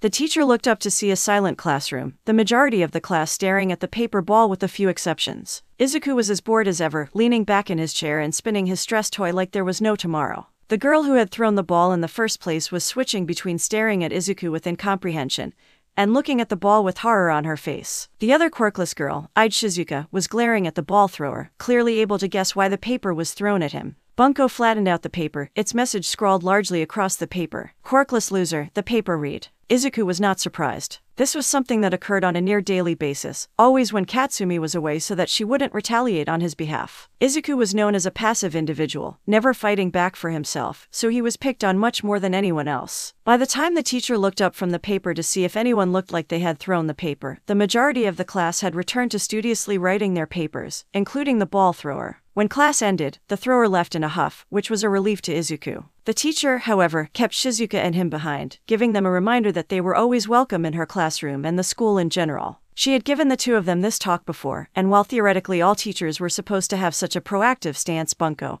was the only one of Izuku's teachers who did. After both of them replied, with a thank you, Aikta sensei, she wrote out late passes for the two of them and sent them on their way to their next classes. Izuku had literature next, which meant it was time for career counseling. On the bright side, he was only slightly late for the start of this class. His entrance was met with varied reactions from his classmates, with some looking at him in annoyance, some staring at him like he was an odd specimen among them, and others uncaring. The exception, of course, were the students unfortunate to be sitting adjacent to Katsumi, who were silent and shifting their gazes between the two of them. It was well known that the two of them were close friends. Perhaps they were not as close as they once were, having grown apart over the years and divided over Masaru's death. Still, any students that attempted to bully Izuku often found themselves facing down the force of nature that Katsumi had become over the years. Katsumi had developed a protective streak ever since Masaru died, worrying that Izuku, who was just as fragile as he was, would suffer a similar fate someday. It had been the impetus behind her growth and training for the past decade, and though she made sure that Izuku never saw her dealing with his bullies, Izuku had found out after the third time one of them had become suspiciously quiet in his presence. Nowadays, they tended to stick to doing things that couldn't be proven came from one of them, and the events of this morning had certainly been an outlier. Only a minute after Izuku took his seat, the career counselor arrived. She was the platonic ideal of the kind, caring grandmother, and Izuku had visited her several times to make sure that he could apply to UA in the first place. Her quirk was one of the more exotic ones that Izuku had encountered, though it was perhaps the best quirk someone with her occupation could have. If she made physical contact with someone for more than 10 seconds, she could vaguely predict their future given a set of parameters. When Izuku had first entered her office and told her seriously that he wanted to go to UA, she only doubted him until she used her quirk on him.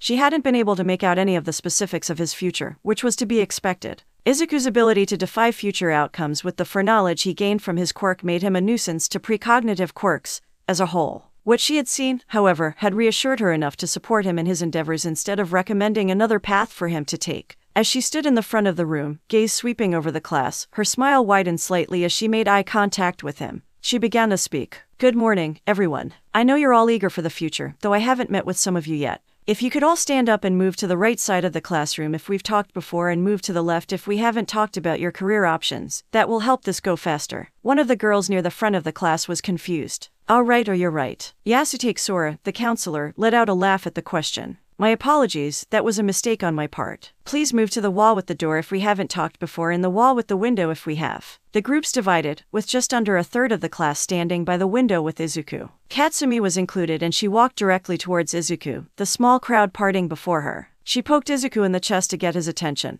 perhaps using slightly more force than she had intended to. As Izuku shifted his gaze downwards to look at her, he noticed not for the first time the disparity between himself and the others in the classroom. With his carefully constructed diet, exercise, and the use of his quirk, he stood nearly two meters tall. Even Katsumi, who was the tallest girl in the class, was almost exactly a head shorter than him. His muscle wasn't apparent due to both his choice of clothing and his method of building muscle. During the school day, Izuku wore a long sleeved t shirt and long pants, often having to select baggier clothing due to his proportions. He changed before leaving in the one male bathroom in the school when the weather was warmer, but right now it was the middle of October. While Izuku was strong, he had made sure that his muscle development in no way limited his range of motion, speed, or flexibility while gaining the strength to at least compete with women who had trained quirks. He would never be a physical powerhouse, even though his quirk assured him that he could. It just felt so wrong to do. What was the point in choosing a single path to follow when his quirk and skill set were benefited the most by a large range of possibilities? He was snapped out of his thoughts by Katsumi's push. He looked down at her and gave her his customary brilliant smile. It only grew as she began to speak. How are you doing, Izuku? I heard that someone tried to throw something at you last class. Do I need to have a talk with anyone? Izuku pulled the piece of metal from his pocket and started spinning it. I'm fine. I didn't see who threw it, and it was just a paper ball. Besides, nobody here could do anything worse to me than the school itself. Katsumi sighed, having heard this story from her closest friend ever since their sixth year when they shared no classes for the first time. Throughout their first five years in school, she had known that he was smarter than their classmates, always having time to help her with subjects that she struggled with. But now that she was more aware of the average intelligence of her peers, she truly knew how much of an anomaly he was. The turning point had been a school-wide chess tournament several years ago. The school had brought in one of the few grandmasters of the dying game to introduce it to them. None of them had ever played the game before, so they were each given a chess set to prepare for the competition in a month. The day after they had gotten the game, she had defeated Izuku utterly, retaining most of her pieces while hunting him to a checkmate. Three days later, he had taught the game to his virtual assistant, and she had walked in on a game between the two. Izuku had beaten M4, so she played a game against him first. It was odd to hear the voice she remembered as her father's coming from the machine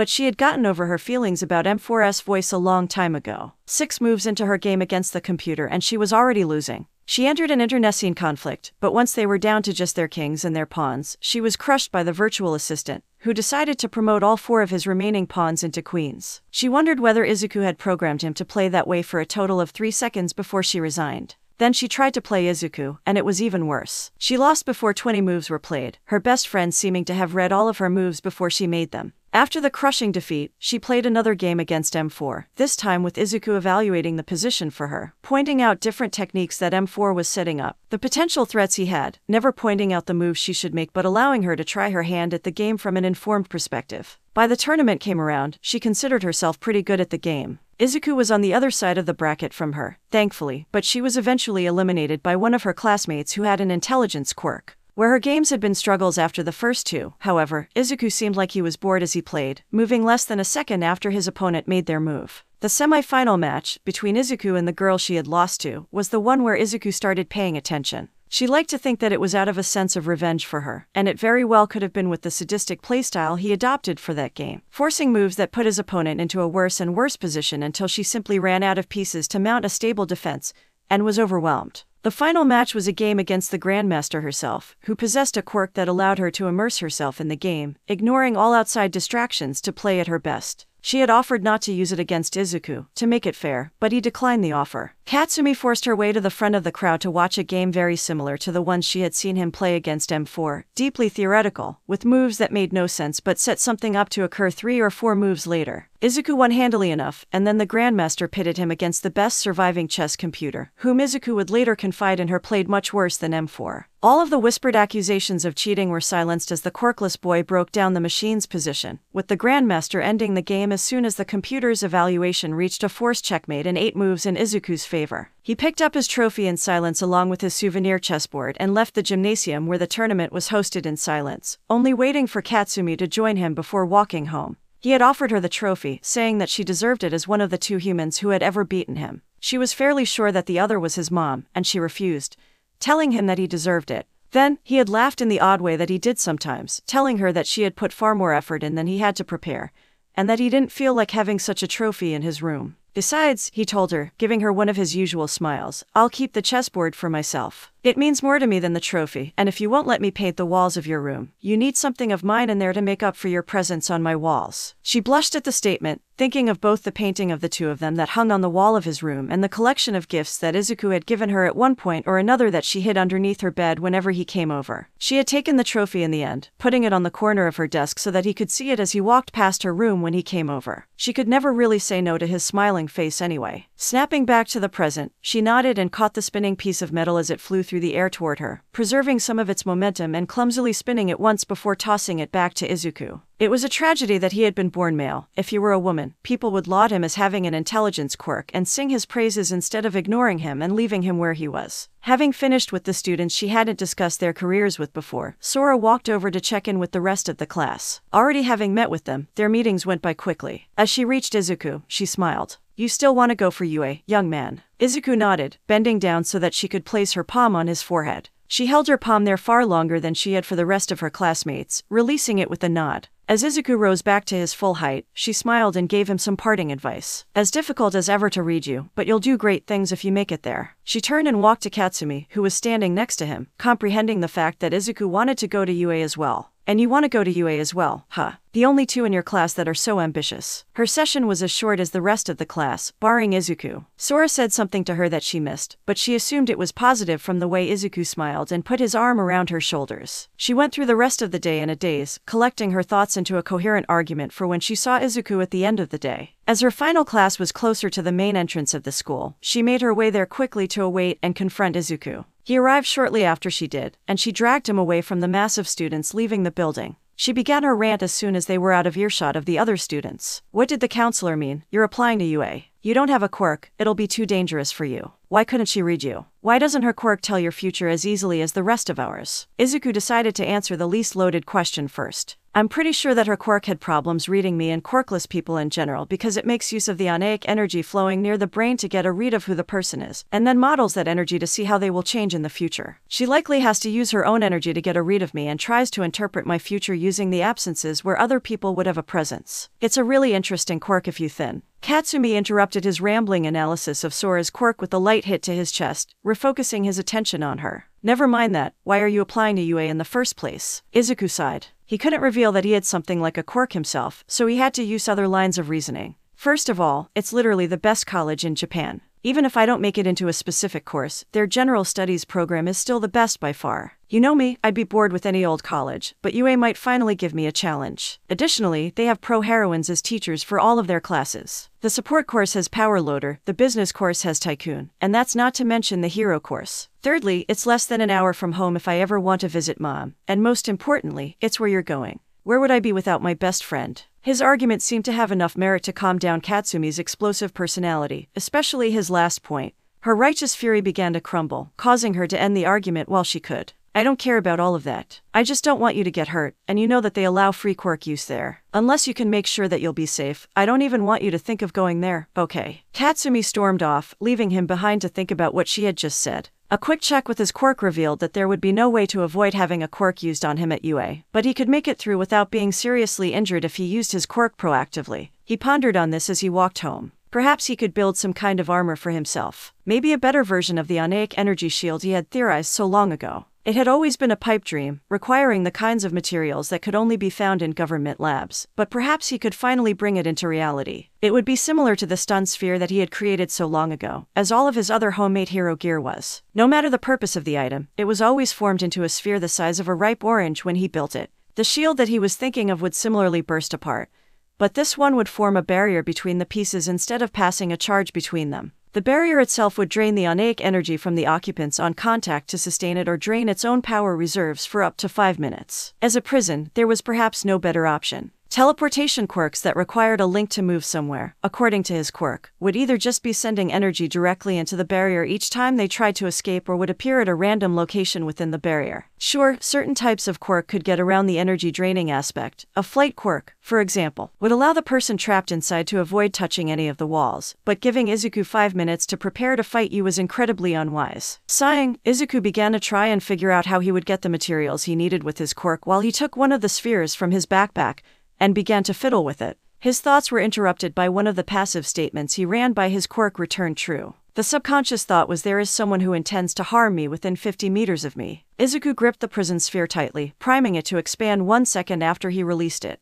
He made his way to the center of the alleyway he had wandered into, and not a second too late. A mass of slime rose out of the sewer grates less than five meters from where he had been standing. His quirk confirmed that this was the person who wanted to hurt him. The slime resolved itself into a shape resembling a woman before speaking. How perfect, an invisibility cloak for me. A boy as well, they'll never think to look for me in him. Hearing her intentions, either some form of possession or parasitism, he threw the ball at the woman, controlling the speed of his throw so that it would explode just before reaching her. The slime woman didn't even react to the ball, knowing that she would just absorb it and move on. She was mistaken. She instinctively flinched backwards as the ball shattered, not taking notice of the pieces arcing behind her. By the time the current began to flow, it was already too late for her. Seeing as she had no distinct organs, the flow of electricity needed no direction from M4 aside from its voltage. All Might dropping out of the sky while this was happening was unexpected. But he supposed there had to be at least one hero chasing her if she felt the need to use him as an invisibility cloak. The two of them greeted each other as friends, making small talk while they waited for the shards of metal to reform into a ball, and for the villain to be rendered unconscious. An interesting result happened as a result of the electricity passing through the slime woman's body. The material hardened from the almost liquid state that it had previously been into a solid, albeit smaller, form. As the pieces of the ball returned to their resting state, All Might dashed forwards, grabbed the unconscious villain, and leapt away, carrying her to the police force that had been initially tracking the woman. Izuku was still in the alley when All Might returned, and with his permission, she wrapped an arm around him and leaped up to the roof of a nearby building. She dropped out of her empowered form after they landed and opened the conversation. It's been a while since I last met up with you, Izuku. How are things going? How's school? How's life? Izuku smiled. It's been pretty good, Toshiko. School is as boring as ever, but it's senior year now and I'll be out of there soon. I'll be going to UA this time next year, so hopefully that will be more interesting. I've done a lot of training since we last met, and my quirk thinks I could take you at somewhere between 41 and 42% of one for all, barring any upsets. It seems to be a pretty hard limit that I've hit. I've been stuck there for the past year and a half. I'll have to spar with you again sometime to push that limit. As for life, I don't know. My best friend is applying to UA, but she doesn't want me to go there because she thinks I'll be hurt. I can't exactly tell her about my quirk, so I had to misdirect her a bit, bringing up the non hero courses, but she'll find out sooner or later and I don't really know what to do. Toshiko chuckled. Sounds like she has a crush on you, Izuku. What a tragedy, break her heart by going or fall away from her by not going. Izuku shook his head. There's no way she has oh no, she does. Wait, that explains so much, why she's been acting like she has, why she's so overprotective at school. Oh my goodness, what do I do? All Might cut him off, snapping him out of the state he was in. Don't worry about it, Izuku. Things have been going fine so far, so don't worry about it. Just keep doing what you've been doing, and everything should work out fine. No. Izuku shook his head, having given up arguing the point with Toshiko after he used his quirk to find out whether she would actually be able to give him more useful advice. Whatever you say, Toshiko. Anyways, only a few more months of boredom and I'll be at UA, finally learning something useful. I almost can't wait. At that, Toshiko let out a short laugh. Well, I can't argue with you there. On that note, would you be interested in training with another person and me in the upcoming months? I think I've found one final person to pass one for all onto, and having you there to judge whether or not she is ready at any given time would be incredibly useful, as well as having the perfect plan for her to prepare herself for the quirk. So, what do you say? Izuku tilted his head to the side, considering the offer seriously. On the one hand, his physical training was beginning to plateau. The rate at which he was growing taller was slowing down, and most of the exercise he did daily was to maintain his physical ability. There wasn't much more that he could improve without breaking the balance he maintained between his strength, speed, and flexibility. On the other, he'd be able to help someone out who had been in the same position he had been in all those years ago, quirkless and dreaming of becoming a hero. He'd be able to spar against All Might daily, improving his technique and showing him the level of ability he needed to achieve to become the hero that All Might was. He'd be able to spend time with people like him, and most importantly of all, he'd be able to make a new friend and meet one of his potential classmates ahead of time. Sure, it sounds like a good way to spend my afternoons. I won't be able to be there all of the time, but I'll be there as often as I can. I'll probably be spending a fair portion of the time I have between now and then increasing the standard of my technology as well, but I'll do my best to help whoever you found become the next inheritor of One for All. Toshiko nodded, smiling at the good news. That's excellent. I'll let M4 know where we'll be training as soon as I find a suitable place. I'll see you soon. With that, she leaped away, leaving Izuku alone on the roof of the building. With a sigh, he stood up and walked over to the edge. Looking over the alleyway, he slipped into a focused state where he was able to dedicate all of his attention to solving a particular task, blocking out the world around him. His eyes scanned the walls of the alley beneath him, identifying potential handholds and footholds, fire escapes and balconies that he could land on, and a drain pipe that he could use to slide the rest of the way to the ground. Having found the path he would take, he dropped out of his state of hyperfocus and carried out the plan that he had formed in his mind's eye, his fine tuned awareness of and control over his body allowing him to follow through flawlessly. Eight seconds after he swung down from the rooftop, he had descended the four stories to the ground without so much as a scratch. He continued his walk home as if nothing had happened, picking through the expended barrier sphere to find a way to improve it while maintaining its compact nature. As he neared his house, he reached behind him and slid it into a pouch on his backpack before entering the house, shutting the door behind himself and making his way to the kitchen table where his mom was waiting. She rose to greet him as he arrived, but was surprised when he pulled her into a brief hug before sitting down across the table from her. Mom, I need to tell you something. Actually, a few things. These words sent a chill down her spine, the likes of which she hadn't felt for the past five years, since the last time he had been attacked by a villain. She didn't know if it was some motherly instinct that was warning her, but it had never led her wrong in the past. She prepared herself for what he was about to say, keeping a fine grip on her cork as he began to speak. So today a slime woman tried to attack me, and I'm fine. But I need to recharge the stun ball again. That isn't the important news, though. All Might was chasing the villain, and after she passed out, All Might took her to the police and then came back to talk with me. During our talk, she told me something that I never realized before. Here, his face shifted from its serious expression to an embarrassed one, the tone of his voice changing similarly. I found out that Katsumi has a crush on me, and I don't know what to do. How should I react? Should I say anything? What, mum? Inko had broken down into a fit of laughter as soon as she had processed the first sentence he said. To both her and Mitsuki, it had been obvious. Ever since Mitsuki had sat down with her daughter and given her the talk, it had been obvious to see the glances she gave him when she thought nobody was looking, the way she acted differently around him, and a hundred other tells. She almost couldn't believe that Izuku, the target of both her subtle and not so subtle affections, the one with the quirk that approached omniscience if given enough time and information, hadn't noticed it yet. Inko knew that she shouldn't be laughing at her son's expense, but it was so hard not to. The boy wonder, master of over a thousand skills, the strongest quirkless person or man on earth, and he was unable to deal with someone he had known for almost his entire life having a crush on him. When she calmed down from her initial reaction to her situation, she reached one arm across the table, placing it on one of his arms where it rested. For a moment, she struggled with choosing the advice she should give him.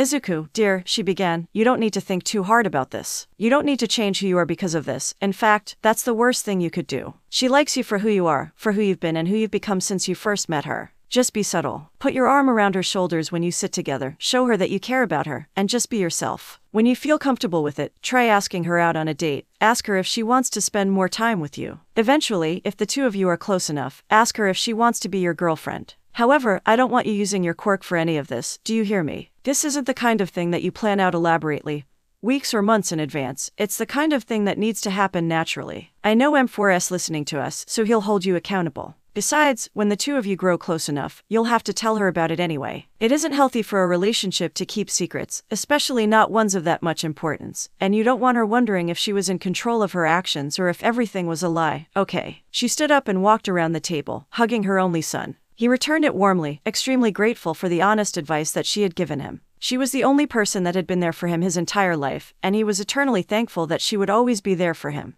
When Inko broke the hug, Izuku spoke up again. Thanks for all of the advice, Mom. I have one other thing that I want to talk to you about. It's probably better if I asked All Might to come over here to explain it fully, but the gist of it is that I'll probably be spending quite a few of my afternoons between now and July training with her. I just wanted to make sure that it was okay with you, and if there's a day that works for you for her to come over so that we can explain everything. Inko nodded along, agreeing to the request and picking out that Seti for All Might to come over for dinner. The week passed quickly, and that Seti Izuku was sitting in the living room when the doorbell rang. Confirming that it was Toshiko, he called out to his mom that she was here before answering the door. Opening the door, he looked down to see Toshiko before him in normal clothing. He invited her in and led her to the kitchen where his mother was preparing dinner for the three of them. Inko paused, turning around to face the two of them. Izuku took it upon himself to introduce the two of them to each other. Mom, this is Yagi Toshiko, also known as the pro heroine All Might. I've been working with her for the past 13 years with her hero work, as you know. Toshiko, this is my mother, Midoriya Inko. If the two of you would like to get to know each other, I can take over with dinner preparations. Inko nodded, stepping to the side as Izuku walked past her so that she could talk to the pro heroine. Would you like anything to drink, Yagi-san? Five minutes later, the two of them were sitting in the living room as they got to know each other, talking about their hobbies and interests. At a certain point, Inko set her glass of water down to fully focus on the woman sitting beside her. You know, Yagi san, I have had several misgivings about your relationship with my son and his choice of career in general. Toshiko, sensing the shift in the conversation, set her drink down as well, preparing herself for Inko's disapproval of their partnership, but was happily surprised by what came next. At first, I worried that he would get himself into danger, that by becoming a hero he would place a target over his head that would be too large for his own good. When he first told me that he was working with you, telling you everything there was to know about the crimes you'd face, I was afraid for him. I was afraid that one day he'd be in over his head, he'd get something wrong, and it would crush him. To an extent, that's what happened with Masaru. But I've seen him grow and thrive as he chases his dream. The way he talks about doing hero work with you, how much happier he is that he can achieve his dream to even the limited extent that he is through you. Here, Inko switched tracks seemingly out of nowhere. How much has he told you about what he's found out about quirks? Toshiko took a few seconds to compile everything she remembered from their conversations, curious as to where the conversation would go. Aside from the basics that everyone knows, he talked about quirks originating from a mutation in the unused X chromosome, that they have passive effects during development, and that they use something he named oneic energy that flows through the body as fuel. There's probably more, but I don't remember it off the top of my head.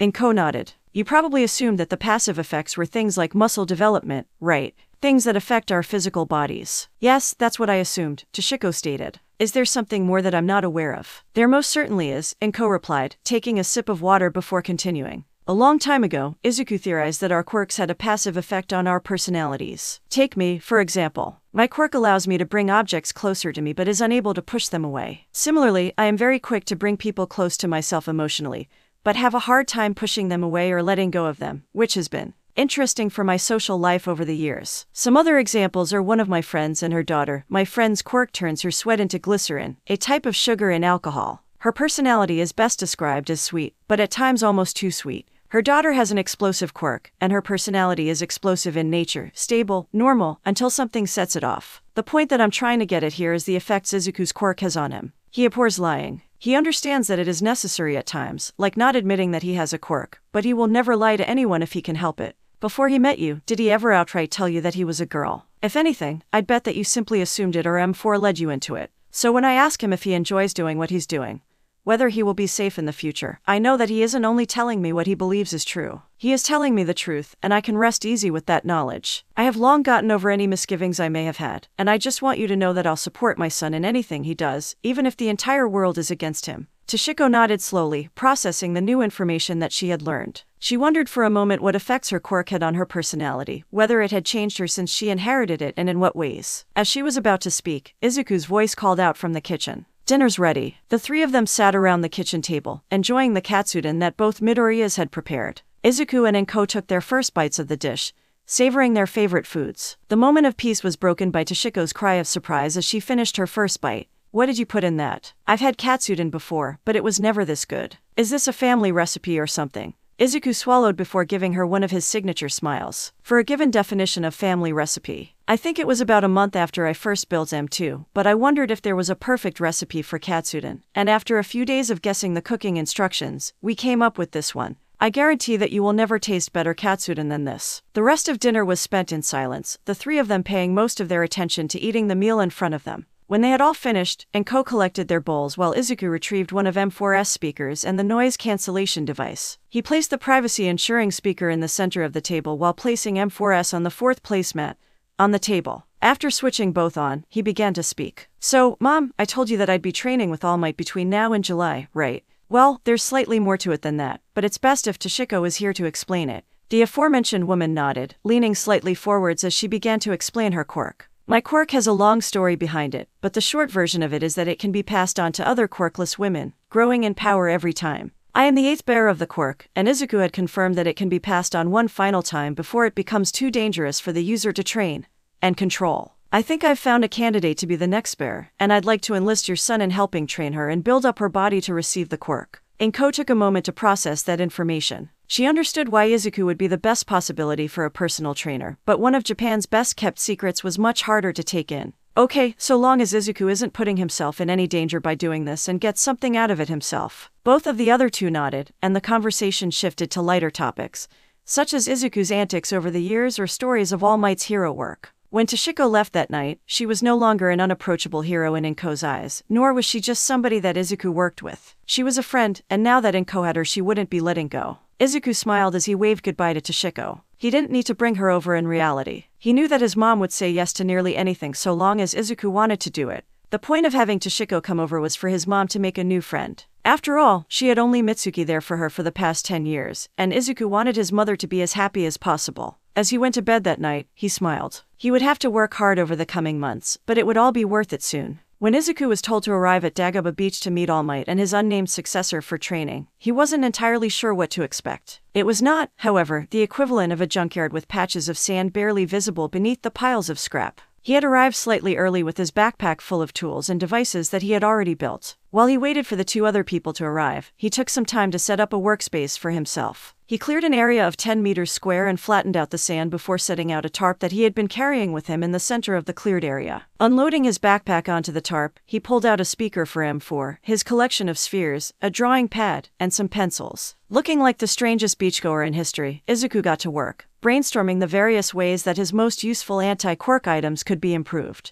The main issue, as far as he could tell, was the lack of power and speed. Sure, he could shock someone, form small barriers, create a magnetic pole, and a variety of other electromagnetic tricks, but against an opponent like All Might, they were nothing but that tricks. He had no impression that his barriers would hold against even a single punch at even 20% of one for all, let alone the level that he was currently capable of sparring against her. She wouldn't stand still for the stun sphere to reach her, didn't use hero equipment that the magnet sphere could remove, and was simply too strong and fast for the others to be of any use against her. Izuku knew that she was an anomaly. Against any other heroine or villain, the barriers would block one hit at the very least and at most block any form of attack for up to a minute. The stun sphere could knock out anyone who wasn't able to avoid it in some way or didn't have an electricity based quirk. All metallic hero gear was equally useless before him, and he could use a set of magnetically manipulated steel balls to bludgeon opponents in close range. Anomalies, however, were what he would have to prepare for as a hero. Keeping with his theme of electromagnetism, he began to brainstorm improvements to his equipment with the goal of holding up against All Might in mind. When he reached a lull in his process, his keen ears picked up the sound of a girl his age talking. Are you sure this is where we're going to train, Auntie Might? This doesn't look much like a beach. The implications of the first sentence briefly shocked Izuku before he used his quirk and found out that the two were not actually related to each other. He definitely agreed with the girl's first impression of the beach, however. No, Melissa, I'm sure that this is where we're going to train. It might not look much like a beach now, but we'll be cleaning it up as a part of your training. Toshiko's familiar voice rang out across the piles of scrap, carrying farther with the odd quality that her voice gained whenever she tapped into One for All. Now, we'll be starting in a bit, just as soon as one of my friends arrives. The two of you have a lot in common, and I expect you'll become great friends as well. Come on, let's take a look around. Melissa's voice sounded questioning. What do you mean, one of your friends? Aren't we supposed to keep the whole, you know, quirk thing a secret? Is it really a good idea to let more people in on it? Toshiko's laugh resounded as the sounds of their voices drew nearer. Don't worry about it, Melissa. Depending on how you count, there are only, let's see, one, two, four, either five or six other people that know about One for All, and we're about to meet with either one or two of them. Look, there they are now. With the last sentence, the two of them rounded the last scrap heap, coming into sight of Izuku's tarp. The younger girl, whom Izuku confirmed was the Melissa that had been talking earlier, got one look at Izuku before hiding behind Toshiko. Aunt Might, who is this? What way how? Toshiko laughed at her initial reaction, reaching behind herself to bring Melissa next to her once again. Melissa, say hello to the famous librarian. A few seconds later, the three of them sat in a triangle on the tarp with Izuku facing Melissa, M4S speaker, and portable holographic projector completing the square. M4 decided to break the ice, forming the featureless face that he had first created all those years ago as M3. I must say, Toshiko, I'm rather offended. Just because I don't have a physical body or a mother doesn't necessarily make me less than a person. I'd argue that I count the same as Izuku, Nozomi, Gran Torino, Madame Night Eye, and Izuku's mother. One could even argue that the two of us should count more than them by virtue of the depth of our knowledge. Toshiko apologized to M4 as Melissa almost jumped backwards in surprise. Internally, she was slightly shocked at M4's knowledge of people that knew about One for All but rationalized it as a result of Izuku using his quirk, and not M4's information collection. The tension now sufficiently broken, Toshiko began. Well, we should all introduce ourselves, to begin with. As you all know, my name is Yagi Toshiko, better known as the pro heroine All Might. My quirk is one for all, and I spend most of my time fighting crime throughout Japan. I enjoy reading in my free time, and the one thing I disliked has been gone for almost a decade. Izuku, you go next. Izuku straightened his back, running through his head how in depth his introduction should be. He quickly settled on an appropriate level and began to speak. My name is Midoriya Izuku, but you probably know of me as the librarian. I don't necessarily have a quirk in the traditional sense, but I'm doing my best to become a hero anyway. I'm currently a senior in high school, but I'll be applying to UA this spring. I have too many hobbies to list before sundown, but my favorites would have to be art, swordplay, and helping Toshiko fight crime. As for things that I dislike, the way society treats quirkless people and lying. M4, give the admin introduction. M4's featureless face morphed quickly into the one he favored, one similar to Izuku's with a few noticeable differences. The two could be mistaken as brothers if M4 had the rest of the body to match. My name is Masaru 4, but you can call me M4, Masaru, or Midoriya. I am the fourth generation artificial intelligence created by Midoriya Izuku, and I am known as me to the public. I am quirkless in the sense that I do not possess a biological genome to support one, but I perceive time slower than you by nearly a hundred thousand times and can access any device that has a connection to the internet with ease. I enjoy creating new ideas and do not particularly dislike anything. Melissa spent some time taking in Izuku's and M4S introductions, noting the oddities in their introductions for later. When she realized that the three of them were all looking at her, her face flushed before she introduced herself. My name is Melissa Shield, and I'm visiting from America. My father, David, built support gear for All Might when she visited, and she's my godmother. I'm quirkless. I like spending time with my dad and Auntie Might, and I like building things, and I don't like bullies. Toshiko applauded their introductions before moving on to the reason why they were there. So, now that we've all gotten to know each other, here's what we'll be doing. I was thinking that we'd spend the rest of today getting to know each other better, and starting tomorrow, we'll be doing some physical training. I'll leave the specifics vague for now, but over the next 10 months, we'll be able to shape the two of you into the heroes of tomorrow. The two humans present applauded before settling into a conversation. Melissa was very interested in M4, asking him questions about how he worked to avoid talking to Izuku. She had lived a relatively sheltered life, and the only boy she had ever known was her father, who was very different from Izuku. M4 answered most of her questions at first, happily explaining things like his development from M2 to his current state, but he quickly realized what she was doing. His answers become more philosophical, becoming questions in and of themselves, trying to subtly turn her towards asking Izuku questions as well. Izuku had returned to his drawing pad, turning over the sheet of potential ideas to draw a detailed image of one of the fragments of the sphere that sat before him. Eventually, he noticed Melissa looking at him nervously and gave her one of his gentlest smiles, trying to put her at ease. It seemed to work, and she asked him the question about his odd description of his lack of quirk. Well, to explain that I'd have to know how much you know about quirk's work, just to get an idea of where to start. Melissa nodded. I know that quirks only occur in girls and that there are three main categories of quirk, but that's about it. Izuku set down his drawing pad and pencil, ready to explain some of his knowledge. So, none of what you know is necessarily wrong. Quirks work because of a mutation in the X chromosome, which girls have two of and boys only have one. Only one of them is actually used by the body for normal functions, but the second one in girls mutated about 200 years ago, leading to the rise of quirks. There's a lot more to it, but that's all you need to know for now. When I said I didn't have a quirk, I meant it in that way. I don't have a second X chromosome, so there's no way for me to have a quirk in the real sense. However, there's a voice in the back of my head that tells me things, and it's never been wrong, so it's definitely equal to a quirk in most ways, but it doesn't do things like make me stronger or give me superpowers. Melissa slowly nodded. Why don't they teach us things like that in school? How quirks work, and all that. Izuku let out a short laugh. They don't tell you that because they don't know it. Scientists know the expression of quirks and work with that, but they've never been able to figure out the cause. Or, at least, prove that the cause is there. My pseudo quirk tells me whether things are true or false, the words people say, writing on paper, and the thoughts that run through my head. It's entirely objective, so if someone told you something false and you thought it was true, I'd pick up that it was false even if you believed it to be true. The quirkless girl shook her head. That's, wow, I can see how you've been acting as the librarian this whole time. Can you predict the future? Are there any limits? Izuku pulled a coin out of his pocket and turned to a blank sheet of paper on his drawing pad. Tossing the coin to Melissa, he began to write. After he had written 20 outcomes, he turned the paper to face Melissa. These are the first 20 results of flipping that coin. If you only flip it three times here, the next 17 times it is flipped, it will result in this sequence. As for limits, it's pretty open ended. If I don't know what to ask, I won't be able to get an answer. Tonight, I'll be using it to create the optimal workout routine for you for the next 10 months. Melissa was on her fourth coin flip by now and had a question for him.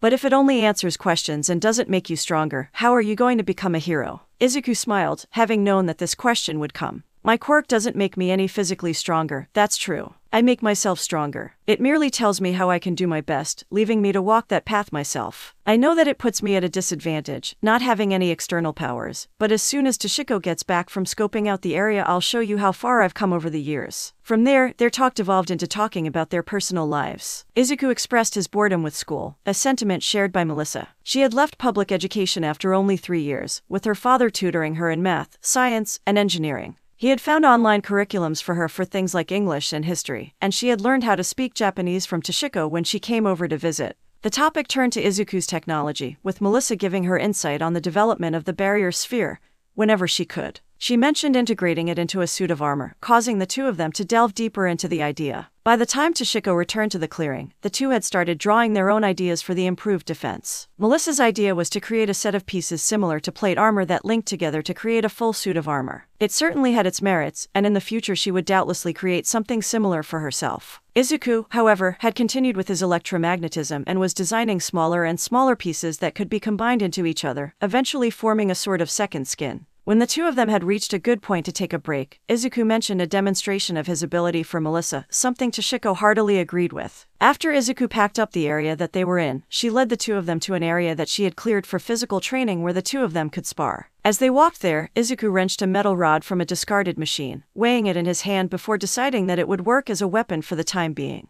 Mentally, he added another requirement for his equipment portability. He couldn't keep using practice equipment or random pieces of metal when he became a hero, and he couldn't exactly carry a sword in public without raising alarm. Setting the thought aside, Izuku left his backpack with Melissa when they arrived at the edge of the cleared area, a circle with a radius of almost a hundred meters. The garbage that had formerly occupied the area was piled up into a wall around the area, preventing anyone from looking in. Melissa took a seat by the entrance to the impromptu arena, M4 watching through a camera attached to the backpack. Izuku stood in the center of the area, keeping a watchful eye on Toshiko as she activated One for All. Let's start with 5% and go from there, shall we? Izuku grinned. Whatever works for you. Just remember, 43 is the limit for now. And so their clash began. Melissa watched in awe as the two of them fought, her godmother blurring around the battlefield as Izuku reacted defensively. He even scored a few hits on the pro heroine, though those became less and less common as she ramped up. Izuku scored his last blow in the low 20s, and as All Might progressed into the 30s, she was nothing but yellow sparks and after images to Melissa's untrained eye. Izuku, standing in the middle of the battlefield, never dropped his smile as the spar progressed. He had missed the pressure, the thrill of battle, the joy of bringing the skills that he had learned and honed for so long into reality. He had to be careful, but his movements were graceful as he knocked aside All Might's blows and closed off avenues of attack. It became harder and harder, and when she reached 38%, Izuku had closed his eyes and was relying entirely on his other senses. The sound of the sparks produced by her quirk, the feeling of the wind on his skin, the muted vibrations of her feet against the sand. All of these flowed into his brain, giving him the information that he needed to keep track of her location. In his mind's eye, he could see the next moves that All Might would make, see how he would counter them, and spent all of his focus into bringing them to pass. When All Might reached 42%, the jump was much harder than the last. He could see now why his ability had stagnated for so long. His redirections were barely effective anymore, giving him the room he needed to dodge if only just barely. The force he imparted on her was no longer enough to change the trajectory of her blows, and he couldn't hit harder due to the recoil numbing his hands if he tried. The problem wasn't his ability, he realized, but the lack of a material that would allow him to hit harder. He wasn't running out of endurance, nor was he unable to see or react to the future. With the right equipment, his quirk told him, he could overcome All Might using 60% of her quirk in a straight fight. However, it was now time to end this. Barely knocking aside the blow, he threw the metal beam to one side, catching All Might as she moved in position for her next attack. The metal bent and distorted as she ran into it, causing her to stop before it finished breaking.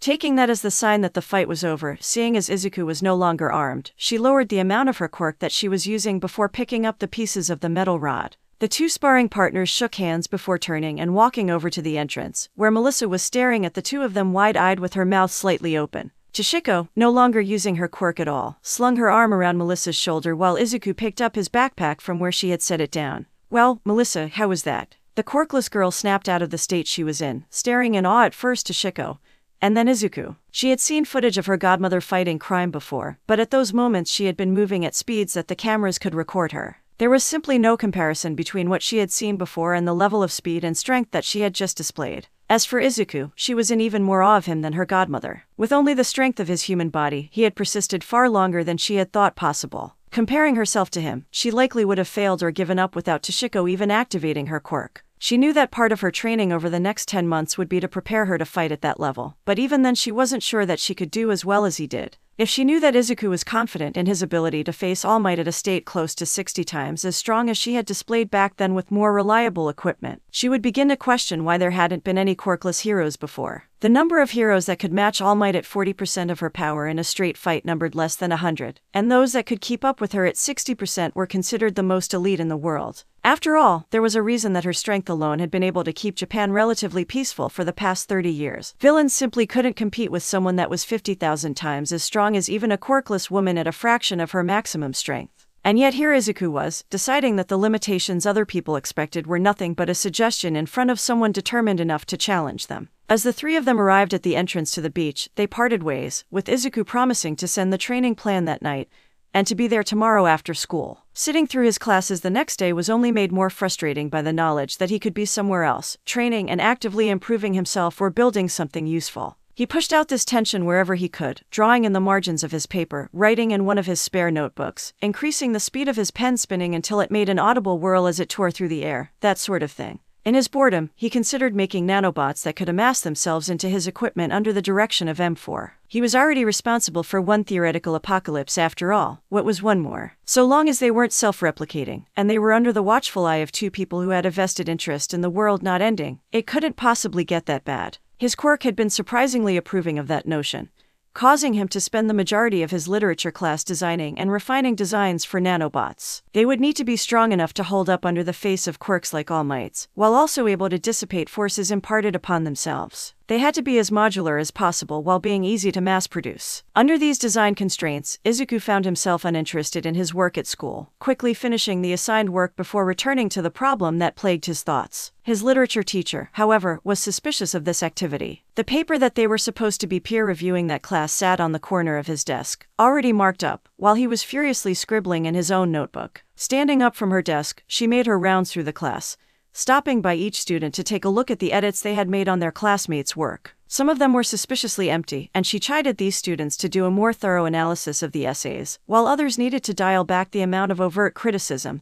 that they were giving and provide more constructive feedback. When she arrived behind Izuku's desk, she took a cursory glance at the paper he had marked up before looking at the project he was independently working on. Her quirk, which allowed her to put the pieces together from the information she was given, took a look at the slowly filling paper and replied with a very final no. Taking a second look at what he was writing, she began to notice increasingly disturbing phrases self replicating, maximum modularity, nanobot swarm, and other similarly disturbing phrases next to a variety of drawings, from cubes to triangular prisms to virus like structures. With the most recent one, he was working on a redesign of the triangular prism with a disturbing number of mathematical equations underneath the header magnetism. Running whether this was feasible by her quirk, the tentatively affirmative reply piqued her interest. She finished her rounds with several questions running through her head. When she finally returned to her desk, she went online instead of continuing to grade the papers from the last class and looked up the phrases she had seen. 30 minutes and a deep dive down an internet rabbit hole later, she was unsure of what she should do. What responsibility did she have here? If one of her students, who was likely being bullied for his quirkless nature, was designing something that could easily cause the apocalypse, what was she supposed to do? Call home, call the police, or go to the hotline for quirk related emergencies. File a report for the school. She put her head in her hands. She had never held this much responsibility before. For the first time, she thought she understood how heroines like All Might must feel, with the weight of countless lives on their shoulders. Forestalling the oncoming panic attack, she took a few deep breaths and squared her shoulders. The first thing she could do was talk to him, at the very least, and she could figure out what to do from there. Izuku was broken from his focus on designing his future equipment by the bell signaling the end of class. Flipping his notebook shut, he put it back into his bag and picked up his classmate's essay. As he placed it on the stack of papers that was forming on the teacher's desk, the teacher called out to him, Midoriya-san, could you stay after class for a moment?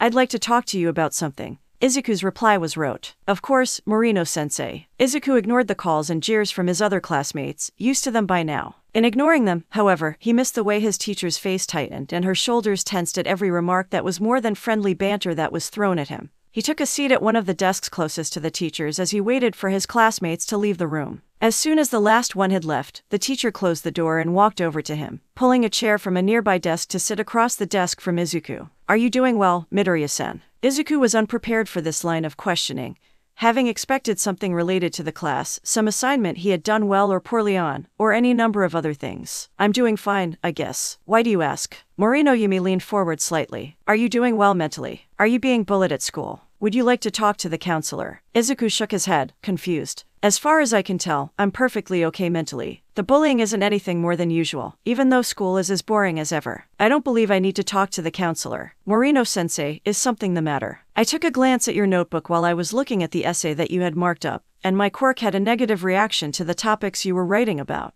Do you understand how my quirk works? Izuku nodded, having done an in depth analysis of her quirk on the second day of class. It's an analysis quirk with a variety of applications which allows you to draw connections between different sources of information, such as books and essays. Your quirk is similar to one in the local police force, except for the fact that you can't use your quirk on people. All in all, it's an excellent quirk for a teacher such as yourself to have. Momentarily startled by the depth of information her student of a little over two weeks had on her quirk, which she couldn't recall telling any of her classes about, she pushed onwards. I did some research on some of the phrases I was seeing, and I just want you to know that you can always talk to me if you need to. There are people that care about you and want you to succeed, even if they aren't as apparent as those that don't. By now, Izuku had put the pieces together. Ah, now I understand. Don't worry about that Morino sensei, that is just an extracurricular side project I've been thinking about. There's nothing to worry about, I know that there are people I can talk to if I need help. He swung his bag around one shoulder as he stood up. Moving to leave the classroom, he stopped at the door before turning around to give one last remark. Besides, I live in this world as well. Why would I want to cause the apocalypse? Izuku closed the door behind him. The reaction that he had gotten from his teacher was the exact opposite of what he wanted. While he wanted quirkless people to receive the same level of support and focus that everyone else did, he didn't want it to be out of fear. Going through the rest of the day, he was a lot more careful with who was able to see his designs, especially his teachers. When he got out of school, he made his way directly to Dagobah Beach. That day, he did little more than sit there and watch while continuing to refine his designs with added input from M4. Several days later, he had finished building a larger scale model of the finalized design for the nanobots. The model was the size of his palm and could exert relatively strong magnetic forces, operated on electrical energy, and was capable of transferring charge through contact. All that was left to do was make it smaller. By the end of the first week of October, he had finally produced enough of his nanobots to form an object that he could hold. They were colored metallic silver due to the conductive paint that he had run them through. He had also reached the critical threshold where the nanobots that he had created were capable of duplicating themselves, using their variable magnetism and electric current to cut through and fuse other metals into shape. Several hundred pounds of metal, and three weeks later, he had enough nanobots to form a sort of armor for himself as well as a sword.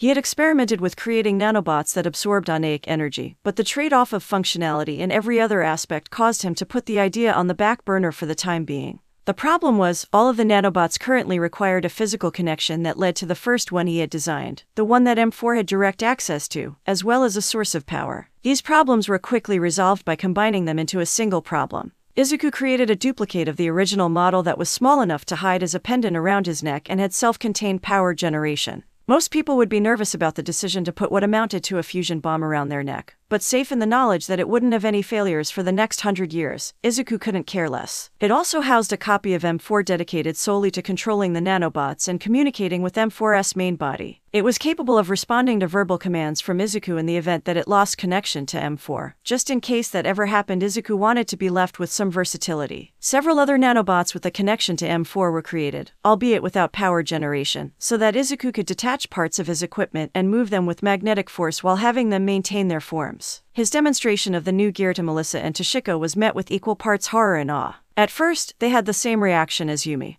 But as they came around to the realization that the apocalypse would not be Izuku's fault, they moved on to testing the new gear. He finally had a sword that he could rely on and transport with him covertly, so he took some time to find the form that best suited him. Continuing his theme of using a two handed sword, he settled on a double edged blade nearly a meter and a half in length. It would be unwieldy and impractical for most people in the era where swords were common weaponry, but Izuku was both significantly taller and stronger than the average person a thousand years ago. The sword was also much sharper than was possible back then, with a toothed edge of nanobots that would not dull easily, and with some effort on M4's part, could vibrate to increase its cutting power. Fortunately, it was not inherently lethal and could be reformed to have a blunted edge when he didn't want or need to cut through anything. For armor, Izuku had temporarily run a set of nanobots through colored conductive paint to match his skin tone before deploying them in a layer across his body. With the aid of his quirk, he found that they were capable of withstanding a point stress comparable to the punch of a quirkless person. Though over the area that they could disperse this force opponents without a strength enhancing quirk were unable to harm him through conventional means. The barriers that his armor could generate were by no means equal to the barrier sphere, but they were flexible enough that Izuku could still move while they were active. Despite the loss of potency, Izuku was happy to have gear as adaptive as his. For all that these advances had brought him, however, he was now incredibly vulnerable to electricity based attacks because his skin was covered in metal. In a month, Izuku would be able to covertly purchase enough material to sew himself a non conductive bodysuit to wear between himself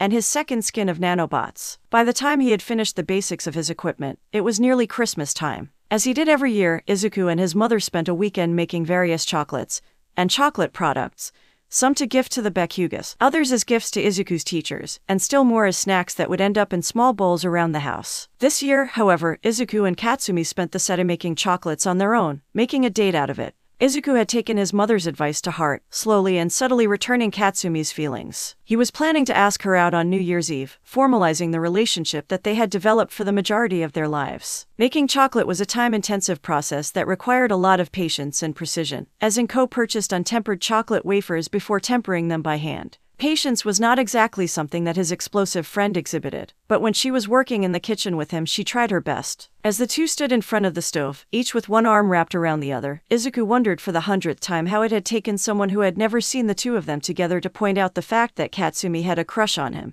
After the chocolate was melted, they developed a rhythm where one of them would dip things in the chocolate dried cherries, peanuts, almonds, cranberries, and so on, and the other would scoop them together into a decorative paper. After nearly four hours of the process, Katsumi was sitting at the kitchen table while Izuku finished heating the last batch of chocolate. The two of them finished the last batch together, submersing pretzels in the chocolate before setting them on a piece of parchment paper to dry. After they finished, the two of them sat next to each other, Izuku with his arm around Katsumi's shoulders while Katsumi rested her head on his right shoulder. As the two of them sat there in silence, Izuku felt the need to say something. Before he could settle on anything, though, he heard the soft sound of Katsumi snoring coming from close to his right ear. With his right arm, he pulled Katsumi closer to himself, hearing a pleased hum from her in her sleep. She had been training just as much and just as hard as he had, but she hadn't trained her body to need less sleep as he had. So while she was sleeping, Izuku wasn't going to wake her up. M4, through one of the many cameras that Izuku had placed around the house, took a picture of the couple to save for later. Several hours later, Izuku realized that Katsumi needed to be home in 15 minutes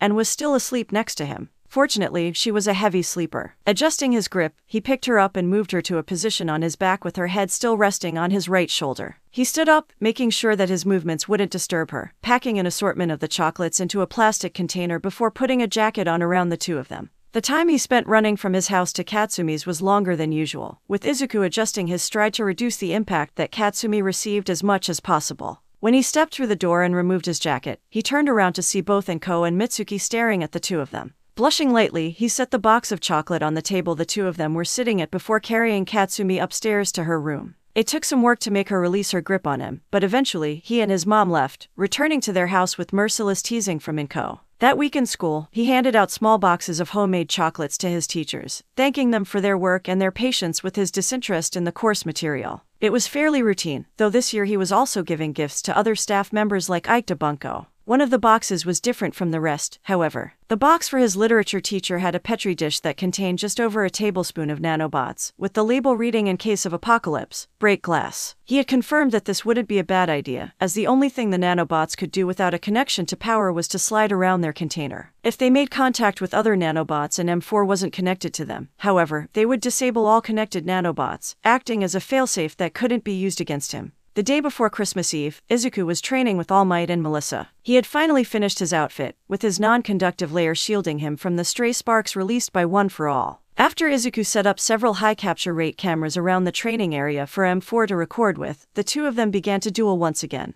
This time, however, they continued far beyond 40% of One for All. All Might steadily ramped up, increasing the pressure on Izuku until she reached 55%. From there, she slowed down, only increasing by a single percent every 30 seconds. Now that Izuku was no longer limited by his equipment, he began to consider new tactical ideas. He tested things that had been entirely theoretical, discarding those that failed and refining those that succeeded. He pushed his limits, reaching 63% in that fight before yielding. If he had been fighting with an edge on his blade, aiming to kill instead of incapacitate or land hits, he likely could have pushed her further. But then again, All Might could just jump to 100% and wipe the floor with him if he tried such a thing. The two of them were happy with the outcome, and Melissa cheered the two of them on from her position on the sidelines. She had grown much stronger over the past three months, nearly a third of the way to being capable of inheriting one for all. She was no longer surprised by some of the feats that Izuku performed, having been around him for long enough to acclimate, but she still held him as the standard that she had to reach before she inherited one for all. For Christmas, Izuku made three small scale holographic projectors that would play a recording of Izuku's latest duel with All Might at various speeds as controlled by the viewer. Two of them were gifted to Toshiko and Melissa, with the third wrapped up and set under his own Christmas tree for his mom.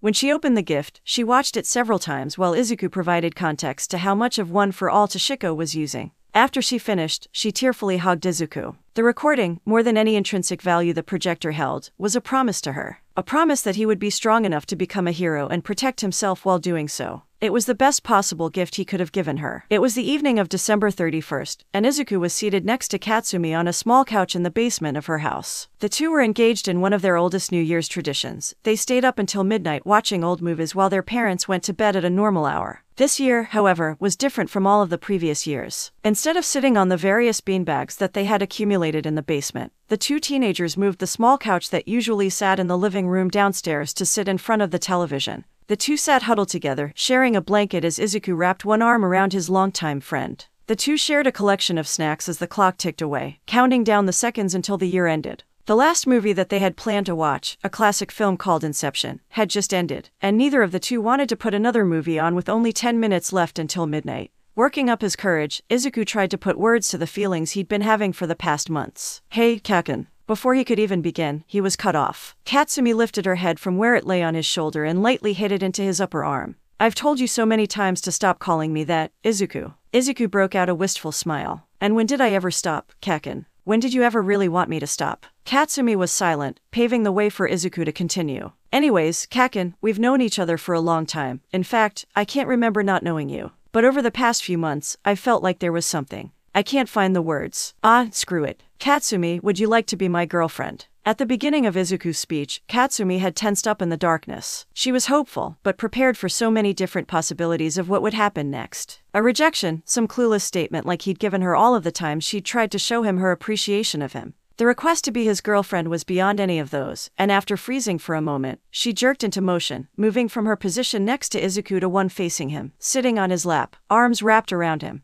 You idiot. Why did you phrase it like that? You had me worried for a second there. Of course. Izuku wrapped his arms around his best friend, no, girlfriend. He mentally corrected himself, returning the hug. The two stayed in that position for a minute, sitting in the darkness of the basement with only the light of the DVD player's digital clock. Eventually, Katsumi loosened her grip around him and pulled her face from where she had buried it in his chest. You don't know how long I've been waiting for you to ask me that, Izuku. However, there's one correction I'll have to make. Izuku smiled into the darkness. And what correction would that be, Kaken? She moved her head upwards, resting it on Izuku's shoulder before whispering into his ear. I'm not your girlfriend, you're my boyfriend. Doesn't that work both ways? Izuku asked, unsure of why she had felt the need to say that. Maybe it does. But you've been mine much longer than I've been yours. Izuku shook his head. He was pretty sure he knew what Katsumi meant, but he wasn't going to use his quirk to confirm that. After all, he had made a promise and he intended to keep it. Besides, it wasn't worth it to get into a pointless argument with his girlfriend less than five minutes after they'd formalized their relationship. He looked at the clock, which shifted from 2358 to 2359 while he watched. Izuku leaned down slightly so that he could whisper into Katsumi's ear, as she had done to him mere moments ago.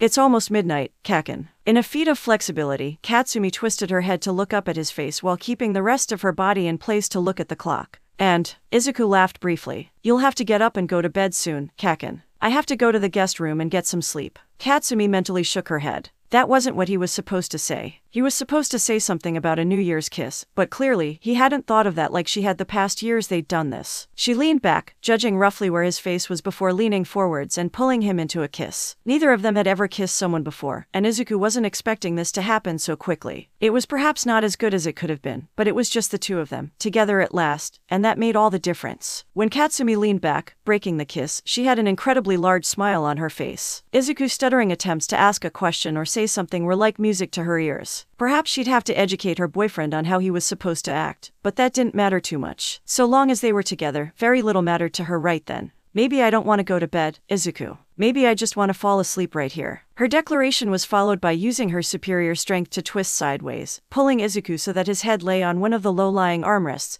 of the couch with her lying on top of him. Her hands were trapped beneath the two of them, still wrapped around Izuku, ensuring that they would have to both want to get up for either of them to move. Izuku sighed. Perhaps this wasn't how he'd thought the night would end, but it was still better than what he had hoped for. Maneuvering one of his arms from where Katsumi was doing her best to pin it to his side, he grabbed the blanket from where it had fallen and tossed it in the air so that it would land on the two of them. He leaned forwards, gently kissing Katsumi's forehead where it rested. Happy New Year, Kaken. Happy New Year, Izuku. And with that, Katsumi settled in for the best sleep she had had in years. The next morning, Izuku woke up early, having reached the five hours of sleep that he had been routinely getting for the past decade. Before he even opened his eyes, he felt the warm weight on his chest, and the memories of last night came flooding to the front of his mind. The movies, the question, the kiss, all of it woke him up faster than the shower he took normally did. Underneath his back, he could feel where Katsumi's hands were resting, lower than they had been when he had fallen asleep. Trying to move his legs was met with a similar restriction, his girlfriend having wrapped her legs about halfway down his thighs in her sleep. After trying various ways to gently extricate himself from Katsumi's grasp were met with failure, Izuku ran his first question of the day by his quirk. It is possible to get off of the couch without waking up Katsumi. False. Izuku sighed, leaning back. It looked like he would be trapped here for a while, slightly less than two and a half hours going by his quirk, but it was a fate that he would happily accept. Relaxing his muscles, he leaned back and enjoyed the peace of the position he was in.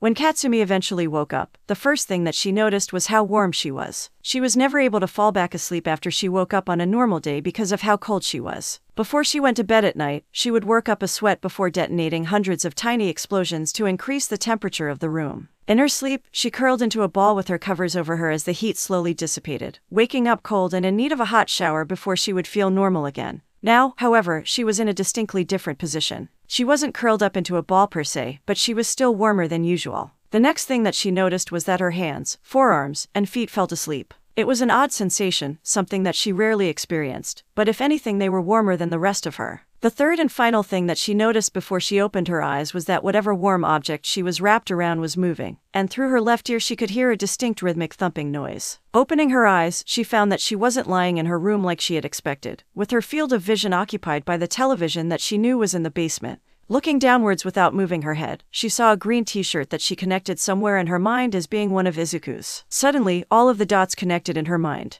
The rhythmic moving and thumping became breathing and a heartbeat. The source of hate wearing a shirt became her best friend. And finally, as she remembered the events of last night, her boyfriend. When she chanced a glance upwards to tell if he was awake, she realized that she couldn't see anything more than the bottom of his chin. Trying to get up, she pulled it where her hands were pinned underneath their combined weights. Despite the lack of success that she had, she got Izuku's attention, causing him to move his head so that he could see her. A smile, a good morning, and some maneuvering later, the two of them had separated from each other and Katsumi left the basement for her morning shower. Inko came over for breakfast that morning, and the two of them weathered the motherly teasing in silence together before they parted ways. In the following months, the two of them kept the latest development of their relationship quiet from the rest of the school through a combination of Katsumi's social awareness and Izuku's constant use of his quirk. Classes were markedly better than before, with attempts at bullying Izuku or other quirkless people shut down much more actively than before. They weren't any more interesting, to be fair, but they were at least tolerable. This was an unintended side effect of one of Izuku's previous actions, his additional gift for his literature teacher, Morino Yumi. After school that day, when the rest of the teachers were meeting to review the semester, she had brought up her previous interactions with Izuku, the sealed container of nanobots, and the potential danger that her quirk had guided her to the knowledge of. The chemistry teacher, Nakagawa AI, had put the Petri dish under a high powered microscope and confirmed that they matched one of the designs that Yumi had recreated. Seeing as Izuku hadn't exactly broken any laws and the kinds of regulation that would have applied to women with quirks were inapplicable to him, the group of teachers had agreed to enforce the policy in a way that Izuku and others like him wouldn't feel the need to cause the apocalypse because they were bullied for something they couldn't control. While the rest of the 15 quirkless people attending Aldera High were delighted by the changes, Izuku had quickly deduced the reason for the shift and didn't know how to feel. On the one hand, he had accomplished the very kind of thing he wanted to do as a hero, but it felt empty. Sure, he wasn't being bullied in class anymore,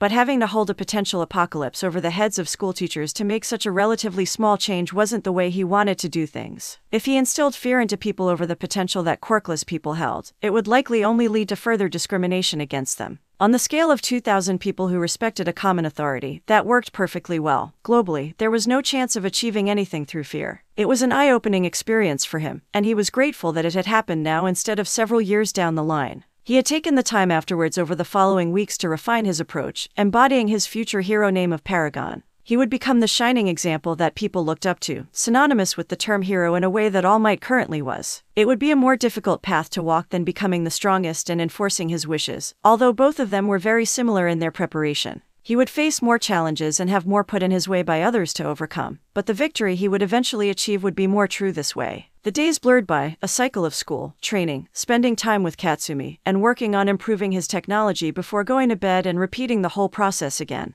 One day, however, he received an email from the school, something that only rarely happened. Upon opening it, he received a welcome surprise. He was declared the valedictorian of his class, and he was invited to give a speech at the graduation ceremony. A smile crept up Izuku's face upon reading this, and after turning to M4's projection, he saw a similar look on a projection of Masaru's face. He rose from his chair, opened the message on his phone, and made his way as quickly as he could without running to his mother's office, knocking twice before pushing open the ajar door. He handed her his phone, and when she finished reading, she tossed the phone to the side, catching it with her quirk as soon as it was out of the way, and gave her son a hug, tears of joy escaping her closed eyelids. They held a small celebration that night, with the family discussing how he should write his speech. He had initially been thinking of just writing a generic praise of the school before giving more detailed and personal thanks to the teachers that had supported him, working these points in with a general narrative of his time at the school. And while the format remained mostly the same, both M4 and Inko had suggested potential edits to his idea. Inko told him that the general praise wasn't necessary, that the speech was supposed to be about his experience and how it was distinct from everyone else's. M4, however, brought up the valid point that people would find this video once he became a hero, putting the pieces together from the limited publicly available information.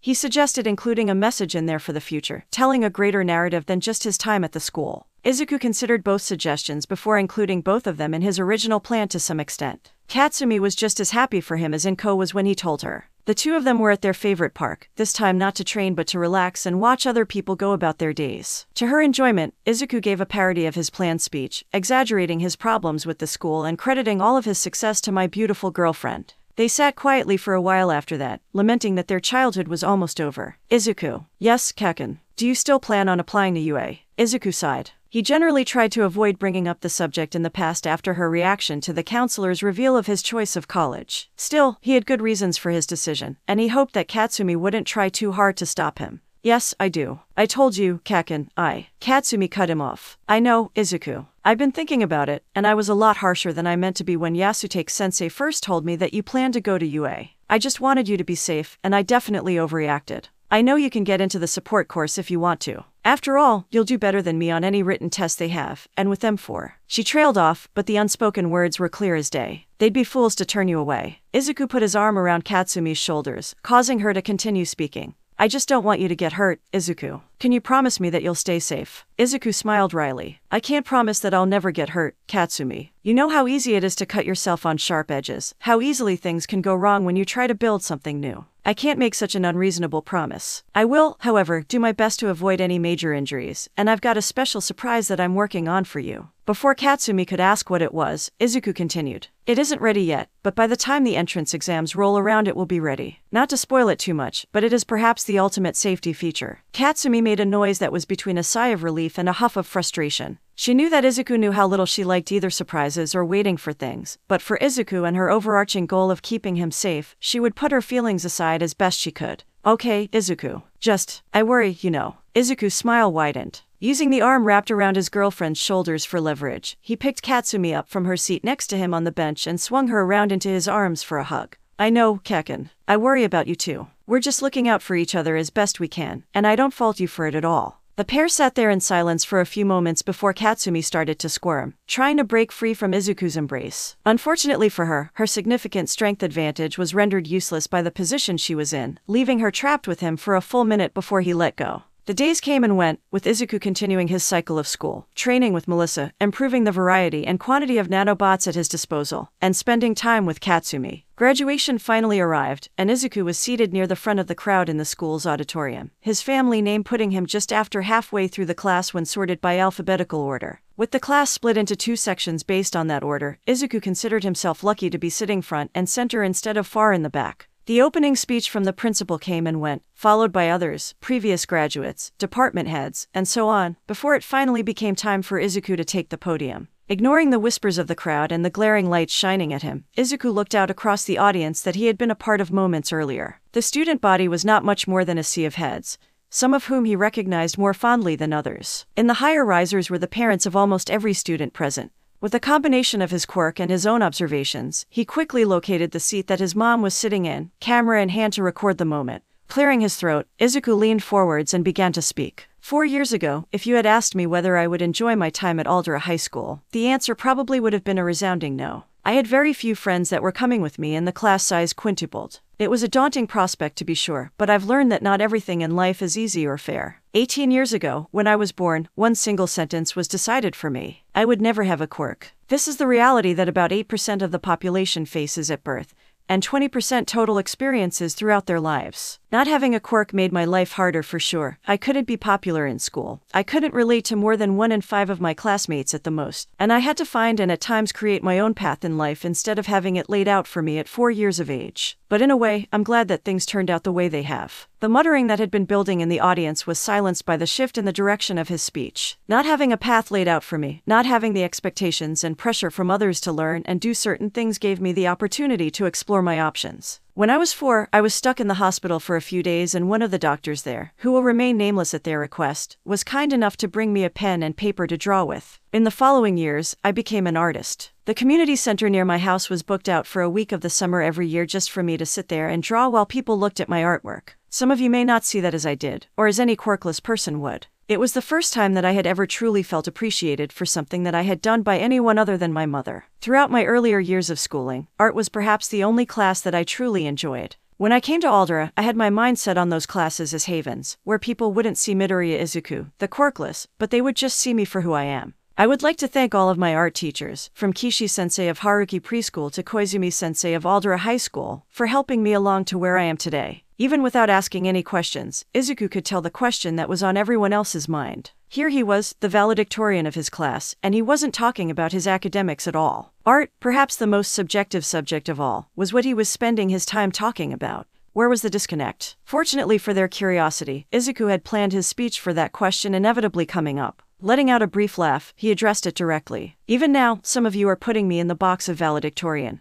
Quirkless, artist, and so many others. You listen to my words, but you aren't hearing them. None of the boxes you can try to fit me in will truly describe who I am. I used art as an example because you can't lie when you create something, not to yourself. The people who see my art see a glimpse of who I truly am, able to ignore the labels that they subconsciously put on me. This isn't to say that art is all that I am. I have spent countless hours learning, studying, and preparing both in and out of school to be standing on this podium today, even though that wasn't the reason I did any of that. But a speech about all of that wouldn't be my speech. It could just as easily come from one of the many people who worked just as hard as I did throughout their years at school. The story I'm telling you today isn't the valedictorian story, it's mine. It's the story of a boy without direction that became the man standing before you all today. It's the differences between myself and everyone else that make me unique, just as everyone sitting before me is unique in their own ways. The path that everyone took to sit here today is different, and that is what makes us our own people instead of copies of one another. If there's one lesson that you take away from this speech, let it be that. Don't feel pressured to accomplish something because other people expect it of you. If I'd done that, I wouldn't be who I am today, standing before the rest of you. I would like to credit my success to my mother first and foremost, followed by the people who have stood with me throughout my life, and finally everyone who believed in me,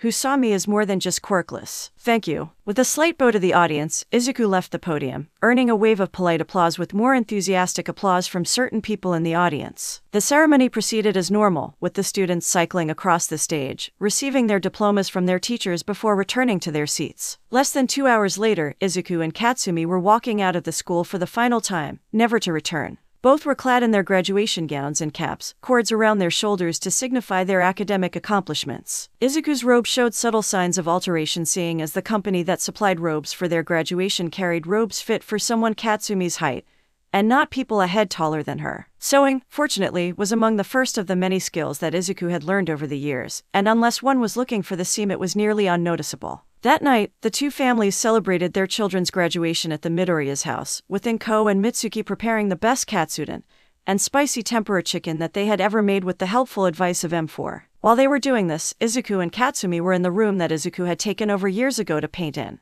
Months ago, Katsumi had mentioned trying to paint with Izuku, wanting to try her hand at one of his favorite activities as he so often did for her. Izuku was trying to capture the feeling of graduation in his painting, to immortalize the feeling of today for his future self to look back on. Katsumi had a much humbler goal to draw Izuku while he was painting. By the time dinner was ready, neither of them was anywhere close to finished. After a peaceful celebratory dinner, the two of them returned to the room while their mothers went to bed. Izuku's drawing was similar to the view he had from the podium, capturing the glare of the lights aimed at the stage and the individual people in the audience, but also distinctly different. There was a diploma sitting on the podium, just barely visible in the center of the bottom of the painting. The microphone was smaller than it was to avoid blocking members of the audience. Notes were sitting underneath the diploma, the line it's the differences between myself and everyone else that make me unique, just as everyone sitting before me is unique in their own ways visible to the viewer. Most importantly, however, was the pronounced presence of several members of the audience, namely Katsumi, Inko, Mitsuki, Shizuka, and his own empty chair. They weren't drawn in a way that made them distinct from the rest of the audience. Rather, the paintings seemed to gravitate towards those elements, drawing the viewer to look at them. Katsumi, at almost the same time, was almost finished with her drawing of Izuku. It was nothing extravagant or noteworthy, simply a pencil drawing of him in the way that he had drawn her so many years ago when he was in the hospital. It wasn't the technique that mattered though. Anyone could draw a picture of him, but only Katsumi could draw this picture of him. It was like he said just hours ago you couldn't truly lie to yourself when you created something, and Izuku could clearly see her understanding of who he was in the drawing. Now standing behind her, Izuku waited until she lifted her hand from the paper, and then placed his forearms on her shoulders, leaning forwards to rest his chin on his right arm. Other people might have been startled by the sudden presence of someone behind them, but Katsumi had grown used to him over the years, especially in the past five months. She merely turned her head to give him a look before setting her pencil down. Perhaps her drawing of Izuku wasn't finished, but that didn't matter to her. She still kept one of Izuku's unfinished drawings from preschool at her house, the paper yellowing but intact. She moved to look at Izuku's painting as it dried, pulling him with her as he maintained his position behind her. The pair stood in silence for a minute, enjoying the painting and each other's company. The peace was broken by Katsumi, who spoke without turning her head to face Izuku. I'll never understand how you gave that speech today. Unseen to her, Izuku mock pouted. What do you mean, Kaken? That speech was straight from the bottom of my heart. I can't believe you would slander me in such a way. Katsumi snorted in amusement. That's exactly what I'm talking about, Mr. I can't find the words. You tried to be so profound, giving out pieces of wisdom when I know you couldn't care less about 90% of the people in that room. I walk my own path, nobody can be described by putting them in boxes, everyone is unique. You know full well that they'll remember that for maybe a few days before they forget everything about high school and go back to whatever they were doing. Izuku shook his head, knowing that even if she couldn't see it, she would feel it through her shoulder. Just because I can't make them listen to me or follow my advice doesn't mean that I shouldn't try, Kaken. I'm sure that some people will take my advice to heart, even if it's someone entirely unrelated who hears about it secondhand or sees a recording. Katsumi turned and slowly started walking towards the living room, keeping Izuku where he was relative to her. When they reached the couch, she made to sit down, forcing Izuku to sit down as well beneath her. As she made herself comfortable sitting on Izuku's lap, Izuku shifted his arms from resting on her shoulders to gently wrapped around her stomach. Katsumi sighed as she leaned backwards, her hair tickling Izuku's neck as he placed his chin atop her head. Putting your altruism aside, it's nice to finally be done with high school. No more social jockeying, no more boring homework, no more idiots. I'm looking forwards to the entrance exams for UA. Speaking of which, what are you planning to do for the support course exam? Izuku laughed for a few seconds before replying. I don't know about no more idiots, Kaken. Just because they're heroes in training doesn't mean that they'll be any more reasonable. In fact, some of them will probably be even worse than our former classmates. As for the support exam, Izuku trailed off. Kaken, you know that M4 is an AI, right? Katsumi nodded lightly, enjoying the vibration of Izuku's chest behind her when he spoke. Hasn't he always been? Even when he was M2. Unsurprised, Izuku began to explain. There's a difference between what people call AI and artificial intelligence, Kaken. There's a bit of philosophy that I could go into, but I'll try to sum it up because I know it bores you. In short, the difference between an artificial intelligence and a virtual assistant is the ability to have original thoughts. M2 and M3 could only react to what I was saying or follow directions that I gave them. M4, however, could independently look up a villain, track down their location, and report it to the police or a hero on a whim without any direction from me. If you want to, we could do it tonight from my room. M4, simply put, has the capability to be the evil AI from any book or movie. He's something that surpasses the level of technology employed by anyone else in the world, and I can't see UA refusing me from the support course if they know even a percent of his capabilities. Katsumi hummed, eyes closed as she leaned back into the warmth of her boyfriend. A few seconds later, her eyes snapped open. Wait, what? You can have M4 track down any villain whenever you want. Why haven't you gotten rid of every villain in Japan? In the world, Izuku shook his head. It isn't so simple, Kaken. Imagine this you're an average civilian, either quirkless or with a very weak quirk. Overnight, the government arrests every known villain in Japan. People who haven't committed any crimes yet but plan to or sent warnings. Maybe one of your friends was actually a small time villain who got arrested. How would you feel? She pondered the question for a moment, quickly arriving at the conclusion that Izuku was trying to guide her toward. I would feel like the government was watching me, and I would probably move away from Japan or go to the countryside and become a hermit. Why can't anything be simple? Izuku laughed again. If either of us could have done it without consequences, we already would have. We can, however, do small things like finding one of the worst offenders every once in a while. Whenever you want to get up, I'm sure that M4 would be happy to help you. Think of it as a graduation gift from me. Having always dreamt of being a heroine, Katsumi wasn't about to wait. Moving her hands underneath Izuku's thighs, she swung her body forwards. What followed was a rather comical scene. Katsumi, who stood nearly 171 centimeters tall with a lightly muscled figure, was carrying Izuku on her back, who was almost exactly 2 meters tall with a much larger frame and proportional musculature. Excitedly, she made her way to the stairs, Izuku ducking to avoid hitting his head on the ceiling as she took the steps two at a time. In a display of strength and flexibility, Izuku bent backward to pass under the door frame as they entered his room, turning on the light switch and sitting back up in anticipation of his girlfriend's next actions. With a twist, Katsumi threw Izuku towards his bed, leaping into his desk chair and spinning around twice before stopping and facing the computer. All right, M4, let's hunt some villains. The dark screen flicked to life, displaying an empty desktop. Over the next few seconds, a window opened with a growing list of names and a rapidly shrinking scroll bar. Eventually, a bar appeared at the top of the window, reading recognized active Japanese criminals 38,271. Sort by recent. Katsumi clicked on the sort by option, revealing a list of possibilities, including strength, the severity of their crimes, alphabetical order, and several others. She selected severity, and the page quickly refreshed to reveal the new order. As Izuku sat up, she selected the criminal at the top of the list, opening a new window listing the crimes committed by the villain, a woman by the name of Reaper. Izuku picked Katsumi up off of the chair before sliding in underneath her, looking at the information collected on the villain. She had been identified as a serial killer, with hundreds of murders credited to her over the past five years. For all that she had killed hundreds of people, she had a relatively small presence, only appearing for brief periods before going back into hiding. Little was known about her quirk or her appearance, which led to a lack of heroes both willing and able to take on such an unknown villain. M4, see what you can find about Reaper. Videos are best if you can get them, but images will work just as well, and if you could get a list of the locations displayed on a map that would be helpful. After a few minutes, a set of windows showing videos appeared on the screen along with M4's voice. Here are all of the videos that I found that are at least 90% certain to be Reaper. I'll bring up the map whenever you tell me to, Izuku. With that, Katsumi settled back against Izuku as he leaned forwards and clicked on the first video chronologically. She knew what was going to happen now. Izuku would work his way through the videos, just as he did of their sparring, and would pick out as much information as possible. There were 16 videos and an album of over 700 photos on the screen, and by the time Izuku had finished the first three videos, he had begun to write an analysis of Reaper on one of the pieces of paper on his desk. Two videos later, he had completed his analysis, and after muting the volume, he started all the rest of the videos simultaneously, only pausing one of them to look at in more detail later. Quickly clicking through the album of photos, Izuku assembled the visible fragments of her face in his mind's eye before drawing a quick sketch of her face on the paper, extrapolating for the missing pieces. Fifteen minutes after the search began, Izuku lightly shook Katsumi from where she had been dozing off to look at the results. Reaper's quirk, by Izuku's analysis, was one of the more esoteric ones. Every time she killed someone, she absorbed a portion of their oneic energy and added it to her system. It retained some of the traits from the original person,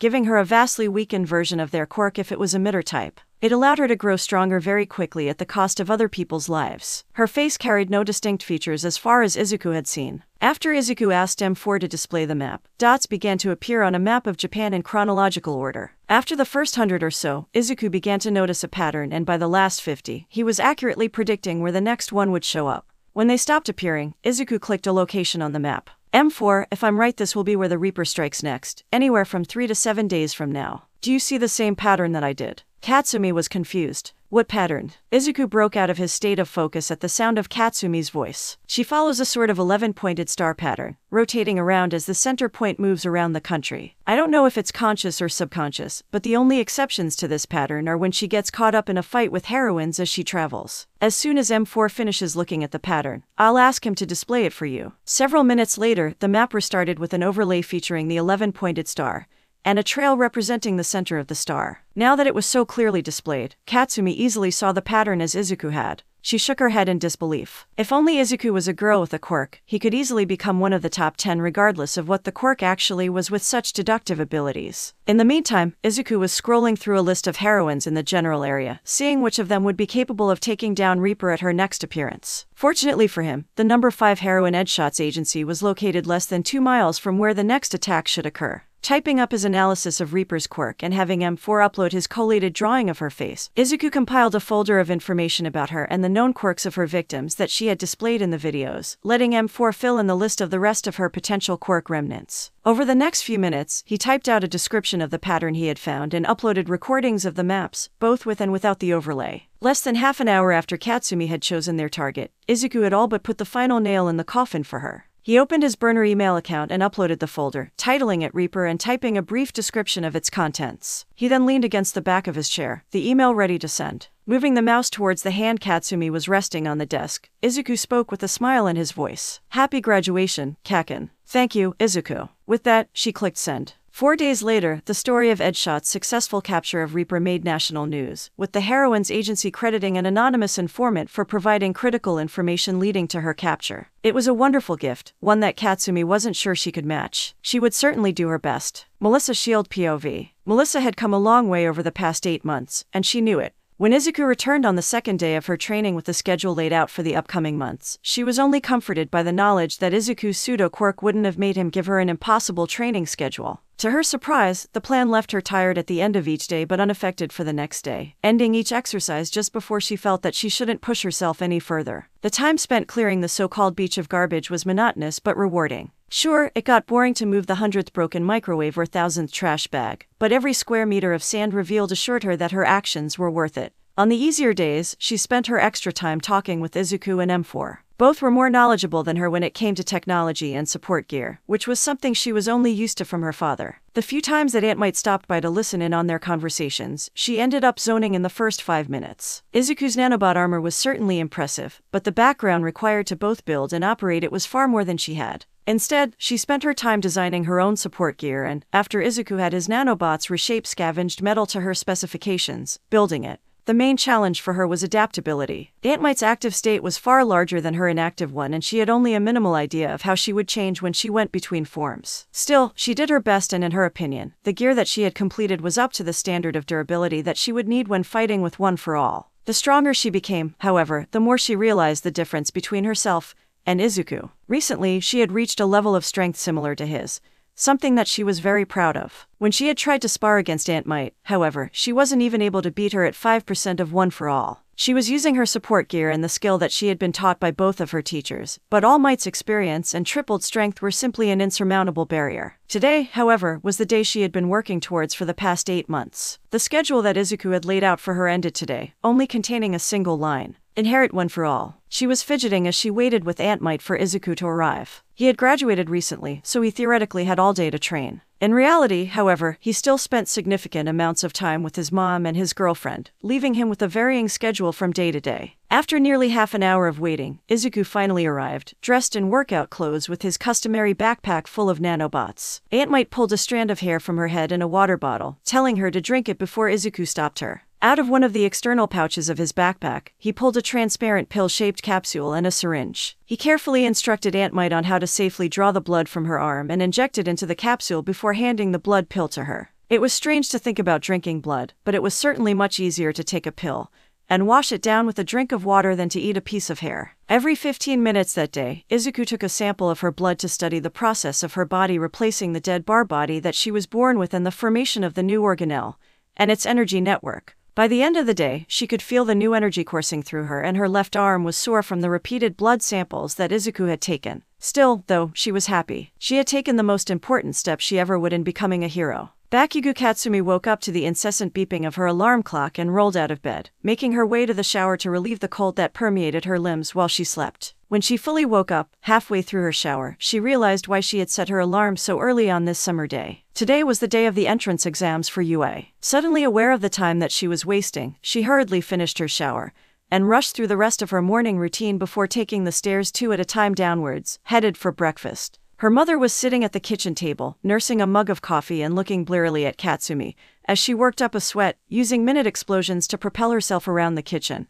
She was preparing two breakfasts for herself, one that was healthy and one that could only barely be called a breakfast by anyone else's standards. She was cooking eggs on the stove, scrambled due to her lack of patience, while she was filling a set of four glasses with water. By the time she sat at the table, the difference between her breakfasts was readily apparent. One was perfectly normal, eggs on toast with a glass of milk. The other was a combination of four glasses of water and as much sugar as she could pack into the lowest volume of food possible. While the first breakfast was to fuel her body, the other was engineered by Izuku to give her quirk the most easily convertible materials for her nitroglycerin sweat. Scarfing down her breakfast before her mother even finished half of her cup of coffee, she called out her goodbyes before making her way to the front door. As her mother grumbled good luck, the doorbell rang. Katsumi's face broke out into a smile. There was only one person that would be at her door this early in the morning. She threw open the door, ready to greet her boyfriend before she stopped abruptly. Sitting outside her front door to the right was Izuku, and on the left of the door was Izuku. She was pretty sure that there hadn't been any hallucinogens in her breakfast, and if Izuku had a secret twin brother all along, she would have found out before now. Izuku. Both Izukus had looked up at the sound of the door opening. Fortunately, only the Izuku on the left responded to his name. Yes, Kaken. What is? Katsumi gestured to the two of them, unsure of how to word her question.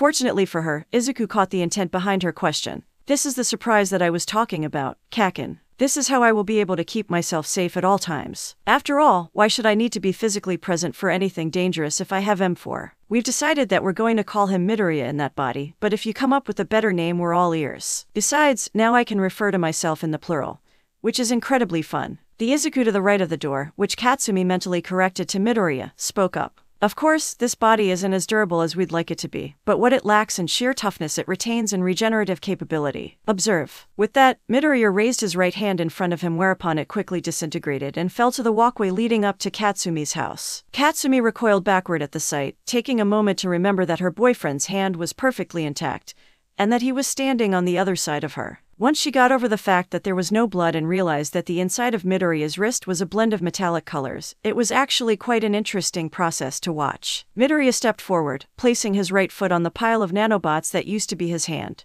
The pile rapidly shrunk, and after a small delay, Midoriya's hand started to regrow at a similar rate, forming a skeletal structure before expanding into a metal copy of Izuku's hand. Spots of color began to reappear and spread, and less than 10 seconds after the process had started, it was over with no visible difference on Midoriya's body. I won't go into exactly how it works right now, seeing as we have an exam to head to, but so far it's as realistic of a copy or myself as we could make with the time we had. He doesn't exactly need to breathe or blink, but we've managed to make him simulate it as closely as possible. Izuku was clearly excited at the unveiling of his latest creation, but he had a point that the two of them were on a schedule that morning. The three of them walked to the nearest train station, Izuku and Midoriya carrying backpacks over their shoulders while Katsumi was unburdened. The discussion turned to the exams, and while they were in the train station, Izuku made a joking comment about taking two exams at once that caused the speculation about what the exams would be on to derail. What do you mean, you're taking two exams at once? Aren't you just bringing Midoriya for the support exam? Izuku was willing to acknowledge that Katsumi had a valid point. Still, he had already come up with an idea for how he would react. If I want to make sure that I'll be accepted into the support course, I know that I'll have to do better than every other candidate there and then some. You know how most people are. So, one of us will be in the support exam room, and the other will be showing off our support gear. What better support gear is there, after all, than an undefeatable hero? Katsumi gave a slow, grudging nod.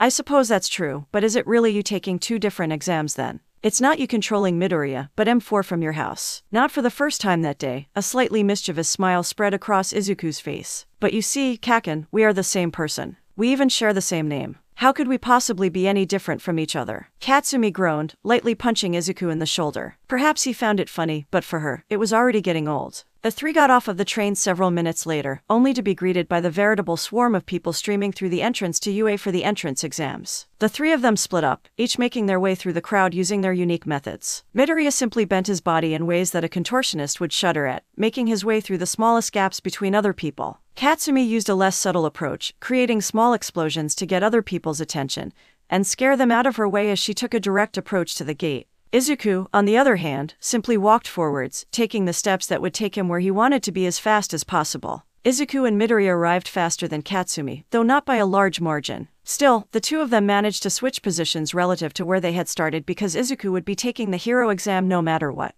There was no way that he would strive for anything less than the highest goal he could reach, and if it took a minor amount of misdirection, he was perfectly willing to face the consequences of his actions later. When Katsumi eventually caught up with the two of them, Midoriya said his goodbyes as if he was Izuku before heading off to the entrance to the support course exam while Izuku and Katsumi made their way to the hero course exam. Izuku attracted quite a few stares when he walked into the room, causing Katsumi to tense up at the attention. Izuku placed his hand on her shoulder, hardening the nanobots of the second skin he was wearing to simulate the feeling of Midoriya's metallic body. Worry not, Katsumi. The opinions of the closed minded mean nothing more than you allow them to. After a brief reaction to the odd feeling of Izuku's nanobot covered hand, Katsumi relaxed. You're even worse than Izuku with the random wisdom, Midoriya. But, thanks, I guess. Good luck with the exam, not that you'll need it. Izuku smiled differently than he normally did, trying to imitate the most average smile he could think of. I assure you that Izuku could score just as well as I will, Katsumi. I wish you the best of luck as well. Katsumi scoffed before turning to head to her seat.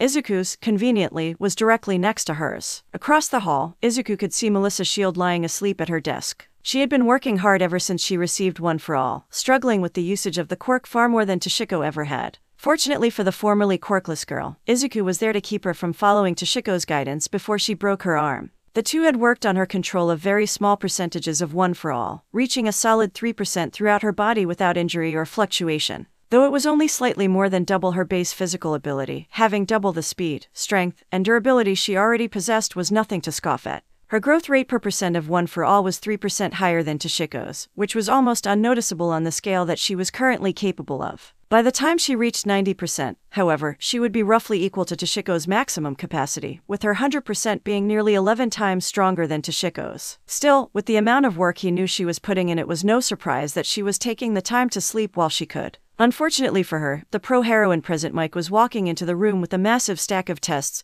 as he watched, several other examinees noticed this as well, going silent and sitting as studiously as they could manage. Her neck expanding so slightly that Izuku was likely the only one who noticed. The heroine activated her quirk as she began to proctor the exam. Good morning, listeners. I'm sure you all know me as the wonderful voice heroine, Present Mic. Can I get a yee yaw? The room was silent, and Izuku almost felt bad for the heroine. He would be tempted to oblige her request if it wouldn't have drawn all of the attention in the room to himself. Unaffected by the lack of response, Present Mic carried on. You will have two hours to complete the exam that I am about to pass. Out. It contains 30 general knowledge questions, 20 legal questions, and 50 heroism related questions, in that order. Cheating of any form will be punished with disqualification and a mark on your permanent record. You are free to answer the questions in any order that you wish, but try to answer as many questions as you can. If you have any questions about the content of the exam, you may raise your hand and I will do my best to answer them. Please do not begin the exam until I say start. With the opening speech done, the heroine proceeded to walk down the side of the room, passing out smaller stacks of the exams for the test takers to take one and pass the rest along.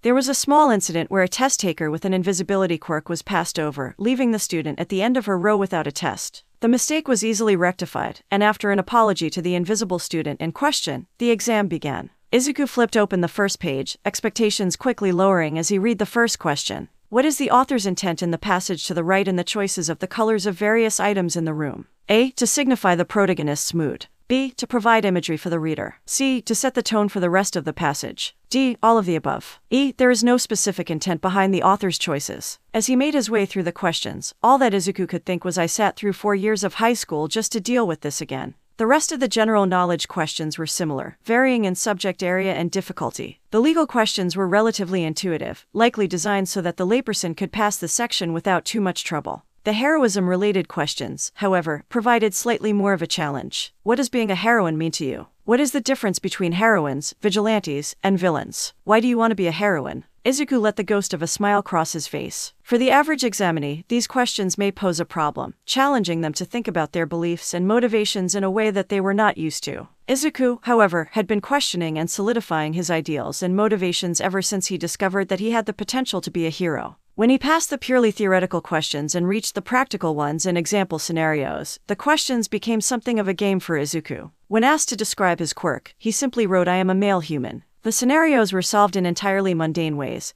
such as opening a fire hydrant to flood a street when facing villains with fire or electricity quirks. When he reached the final question, he broke out into a full smile, unnerving the test takers sitting nearby. The question involved two crimes occurring simultaneously, asking which one he would choose to respond to. Writing his answer to the final question down on the paper, he closed the booklet and stretched his arms upwards. Mid stretch, Present Mic noticed him raising his hand and moved over. Consulting her list of examinees as she moved, she couldn't help but feel that the name was familiar in some way. Putting aside her inability to remember him, she arrived nearby. Did you have a question? Examinee 7281. Izuku opened his eyes, still mid stretch. I suppose I do. I finished the exam. Should I turn it in early or wait for the rest of my fellow test takers? Hearing his voice, the feeling of recognition became stronger, a memory from long ago resurfacing in her mind. The day she had dragged her best friend to a local art exhibition, the first time that she had been caught by surprise by a civilian woman with a quirk. His voice was so similar to the one that had plagued her nightmares for weeks afterwards. So, which of the two of you is suicidal enough to use your quirk on my son? You have 30 seconds to convince me not to send one of these through your bicep. It would be for the best if the two of you were never to meet me again. Shaking herself off of memory lane, she focused on the situation at hand. I'm sorry to say that you will have to wait until the end of the exam period as a matter of procedure. You can use the rest of the time to look over your answers and make sure that they are correct. If you have any other questions, please let me know. With that, she left as quickly as she could without appearing nervous. She wasn't afraid of him, but she had no desire to come into contact with his mother for the rest of her life if she could help it. As Izuku settled into a resting position, his hands clasped with his elbows on the desk, head propped up and staring at her unblinking, she couldn't help but reconsider her previous thoughts. Perhaps there was something off about his whole family. The way his gaze seemed to follow her as she moved to answer the questions of other examinees only served to reinforce this feeling. Fortunately for both Izuku and Present Mic, the end of the exam period came faster than either of them expected. After passing the exams of the people behind him to the person in front of him, he leaned back in his chair. To his right, he heard Katsumi whisper, Why were you smiling? Izuku let his average smile appear on his face before replying in a similar tone.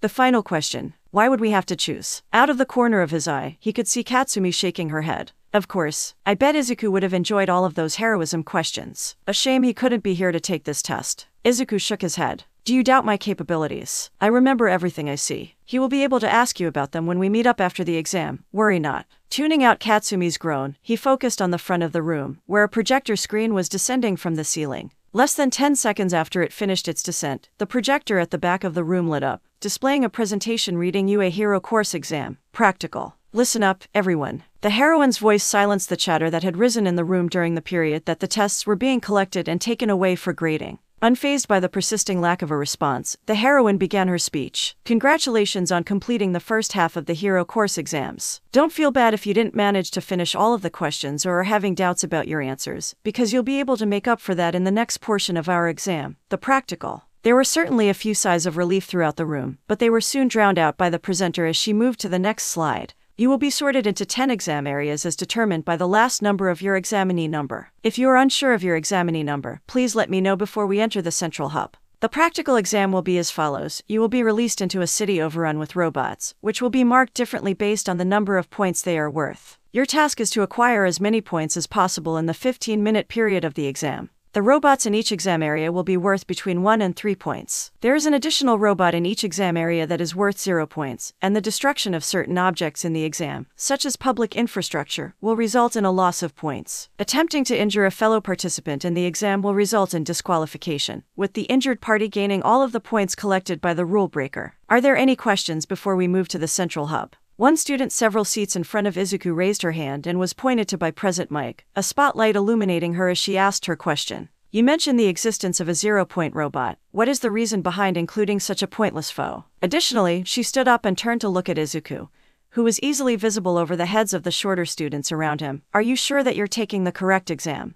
This is the hero course, not general studies or business. Izuku shook his head before replying. I know exactly where I am. It is rather rude to judge someone based on their appearance rather than their character or ability. The quiet laughter and mocking that had filled the room lessened, only to be drowned out by Present Mic's reply. An excellent question, Examinee 7111. The zero point robot is simply that a robot that is worth zero points. Because of this, there is no point in trying to defeat it. Also, I must agree with Examinee 7281. As a hero, one can never make assumptions too quickly, and I would recommend against it. If asked, she would deny that this piece of advice had anything to do with her recent reminder of a certain overprotective mother to no end. Several questions regarding examinee numbers later, the test takers were led through a series of hallways before arriving at a room with 11 doors, labeled alphabetically in a clockwise pattern from a DJ after they had sorted themselves out towards their doors. There was a period of a few minutes for test takers to prepare themselves. Like several other students, Izuku opened his backpack and began to pull out his equipment. Metallic spheres were tossed over his shoulder, magnetically snapping into place under M4's control. An additional layer of nanobots flowed into the hollow structure of the second skin he was wearing, turning it from a full body mask to functional armor. The remaining nanobots assembled themselves into the sword he most commonly used, edge sharpened for the upcoming task of cleaving through metal. He gave the sword a few practice swings, mentally preparing himself for the practical portion of the exam. Nearby, he could see several people looking at him strangely, which could be for any number of reasons. It could be the remnants of the attention drawn to him by the examinee earlier, the fact that he claimed to have finished the exam significantly before it was over, the fact that he had just pulled a sword a meter and a half long from the comparatively small backpack, or just friendly curiosity. Before anyone worked up the nerve to approach him instead of just staring, the massive door leading to the exam room slid open far faster than any piece of metal had the right to. In the blink of an eye, he and four other candidates around the room rushed into their respective areas without looking back. By the time Izuku had arrived at the first intersection, he had already acquired four points, with many more robots focusing on him. As he kept running forwards, cutting down the robots as they approached him, he began to use his quirk to intuit the programming behind his opponents. They were both better equipped and more intelligent the more points they were worth, with the one pointers reacting aggressively on sight, and the two pointers following him around after receiving damage. He couldn't say anything for sure about the three pointers, having not encountered one yet, but the one and two pointers had a heavy focus on close range weaponry. Izuku immediately developed a strategy, running through the streets to attract as much attention as possible. The bludgeoning spheres hovering behind him spread out as he ran, sometimes punching through the robots but otherwise hitting them just hard enough to cause them to follow him. Only five minutes into the exam, he had accumulated a sufficient horde of robots following him to begin the next phase of his strategy accumulation. For the next three minutes, he ran through the far side of the testing area, accumulating over 200 points of robots bulldozing the streets behind him undisturbed by the rest of the test takers. Then he turned around, set his position firmly, and faced the horde that he had been building with the intent of using nothing but the sword in his hands. Two minutes of massacre later, Izuku was standing in a circle clear of the fallen robots that littered the street. Placing the sword against his back, he felt M4 apply a magnetic connection against his second skin armor. Before he could sit down and rest, however, the testing area began to rumble as a massive robot rose from the center of the testing area, the number zero clearly visible even from the distance Izuku was at. It is a better idea to stay here than to fight the zero point robot in my testing area. False. Pushing away his thoughts of rest, he stood up and ran towards the robot, intent on taking out the robot towering over the landscape. Midoriya POV. M4 split part of his attention from where he had been watching over the nanobots comprising Izuku's armor and weaponry as he heard Izuku's name being called in the room where the body Midoriya was waiting. Moving the human shaped collection of nanobots, he simulated Izuku's normal movements and made his way to the closed examination room. As he closed the door behind himself, he took the time to look around the room. It was split in half by a transparent barrier that bore quite a few scorch marks from the explosions he had heard from previous examinees. As he made his way to the center of the room, he identified the hero on the other side of the glass, Power Loader, the heroine in charge of the first year support course. Her voice came from a speaker visible in the corner of the room, sounding as if it had spoken these exact lines hundreds of times already without an end in sight. Good afternoon, Examinee 7281. I am the Pro Heroine Power Loader and I will be observing you and your inventions today. Please display your inventions for analysis. M4, from his server in Izuku's house, performed the closest action he could to a smile. I'm sorry to disappoint you, Power Loader, but Midoriya Izuku is currently taking the Hero Course exam. I, however, am his invention and am here to present myself in his stead. I am the fourth generation artificial intelligence created by Midoriya Izuku. You may refer to me as M4 and the body I inhabit is Midoriya. Power Loader, who was rubbing her temples as she gave her earlier speech,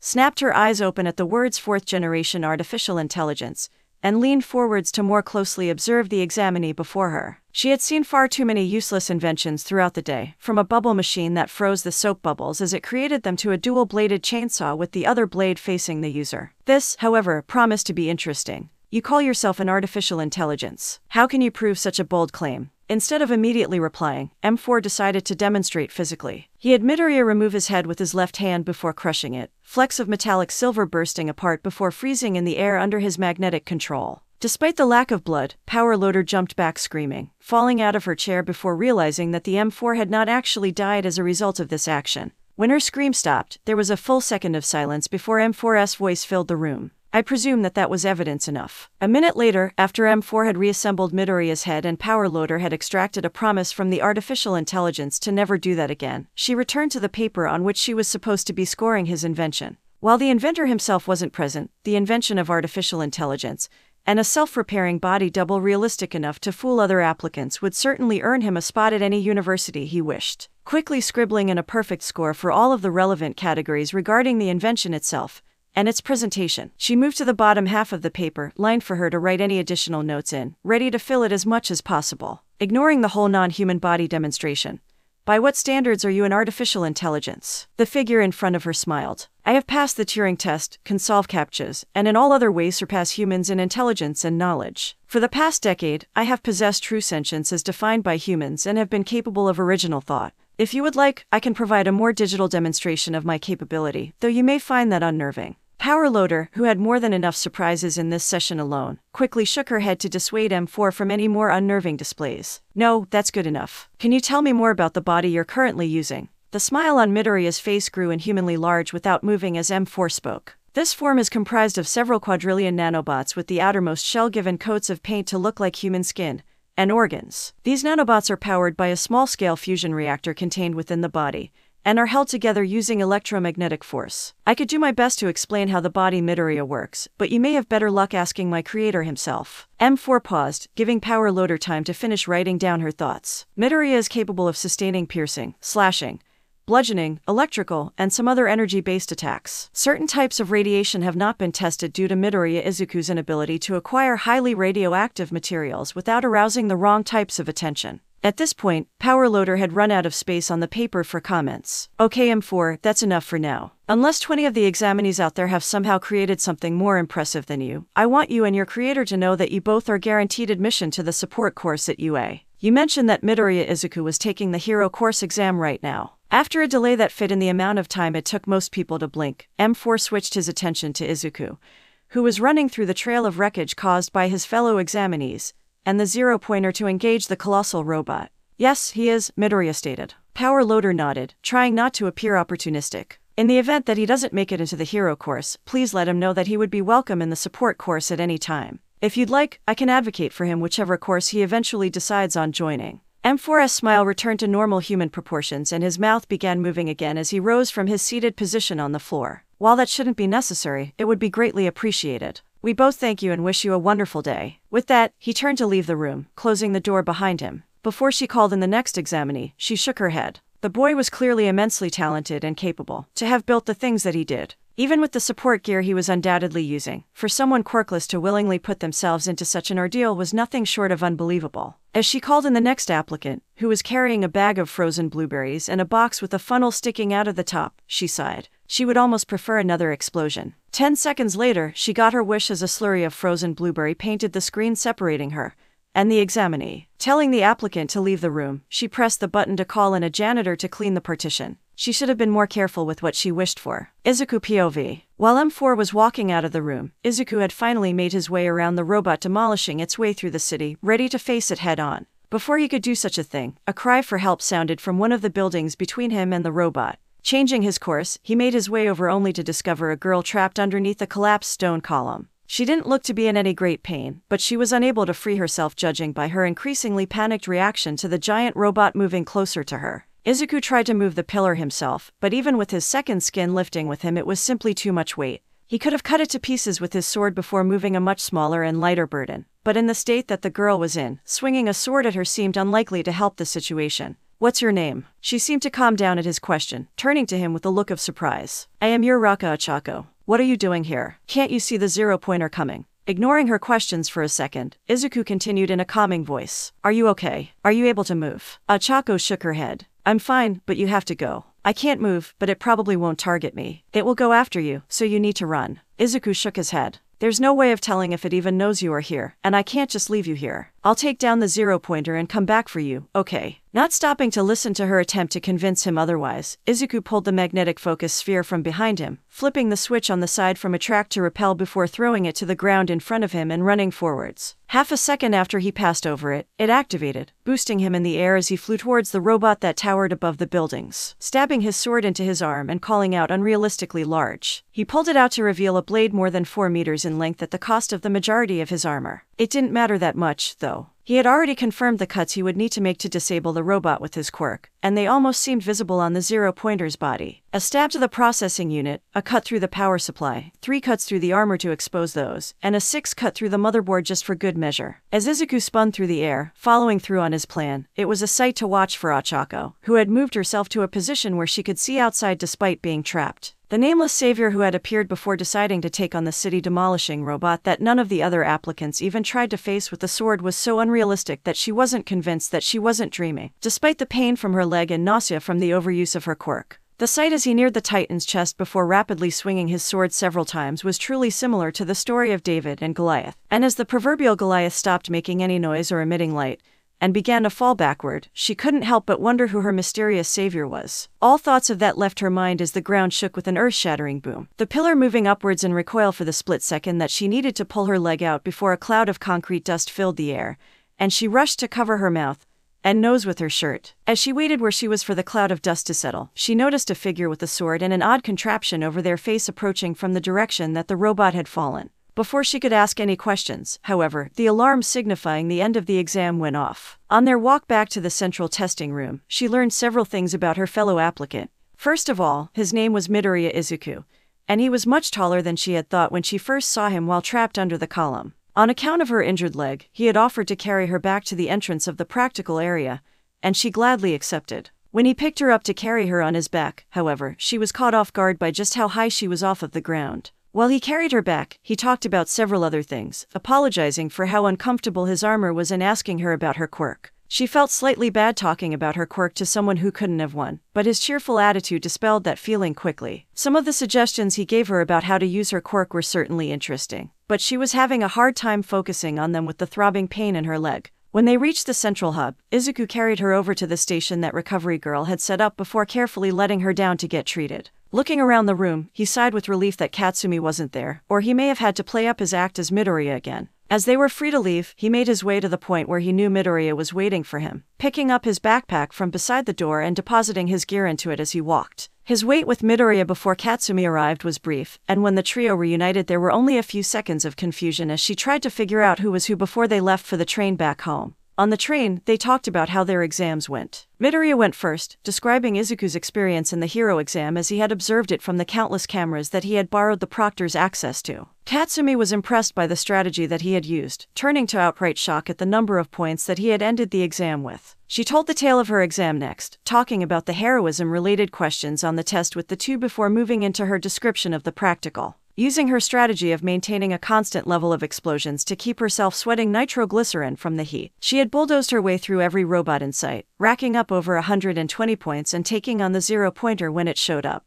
Lastly, Izuku spoke as M4 fed him information through the earpiece, giving him just enough information about the actual events for him to tell a story of how it would have gone if it was Izuku there and not Midoriya. Unfortunately, he had to leave out details like the head explosion, but the comments about the devices that other applicants brought with them left her breathless from laughing. When he told her about the guarantee from Power Loader that he would be accepted, she gave him a short hug before saying in the most snobby voice she could, as expected of my boyfriend. The two laughed it off, planning to celebrate in a week when they received their official acceptances. Yamada Hikaru POV. Unlike the applicants that had been able to leave and go about their days, the various proctors were not so lucky. Hikaru was still sitting in the teacher's lounge as she went over the hero course tests, taking turns with the rest of the proctors in the room shooting envious glares at Majima Hitomu as she leaned back in her chair, already done choosing which of the applicants she would be accepting into the support course. In front of her was a small stack of papers from the inventions she had approved of while she was writing on a notepad balanced on her knee, looking at one in her lap. The vast majority of them had never left the exam room in the first place, discarded for a lack of utility, required skill, or for simply not working when presented.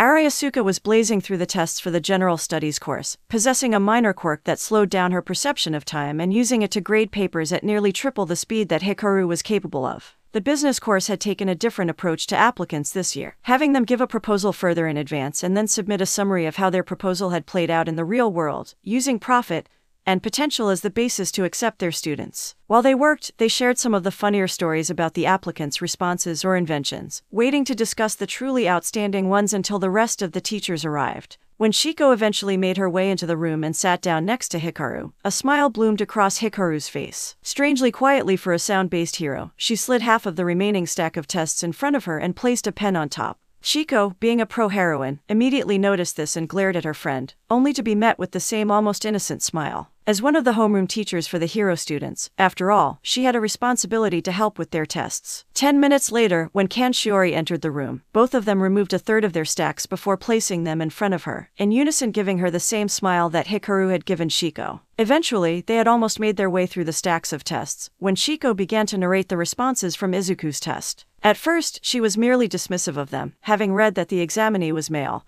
and therefore quirkless, but the more she read the more intrigued she became. All of the scenarios were solved in a way that didn't require a quirk or specialized equipment, and while she was still dismissive of the applicant himself, the train of thought behind those solutions was solid. There was just one oddity with the final question, however. It was meant to see whether potential hero candidates were influenced by things like gender, age, profession, or other factors when saving people. The applicant, however, had ignored the choices and written I would simply be in both places at once, which confused her for a few minutes before she marked down the question. It was nearing sundown when the rest of the teachers arrived All Might, Nozomi, Midnight, and a few others all walking into the room at the same time. By the time Nozomi sat down, the rest of the teachers in the room had gone quiet. Well, it's that time of year again. We'll skip business this time, there are still a few people who need to submit their results before any definitive choices can be made there. For general studies, half an hour of Nozomi entering information into the school's database later, they finally arrived at the support course. Hitamu quickly ran through the few applicants who had produced useful inventions before moving into those who displayed a high level of technical skill in their creations despite their impracticality. After she had finished with the 20th student, however, she didn't finish speaking.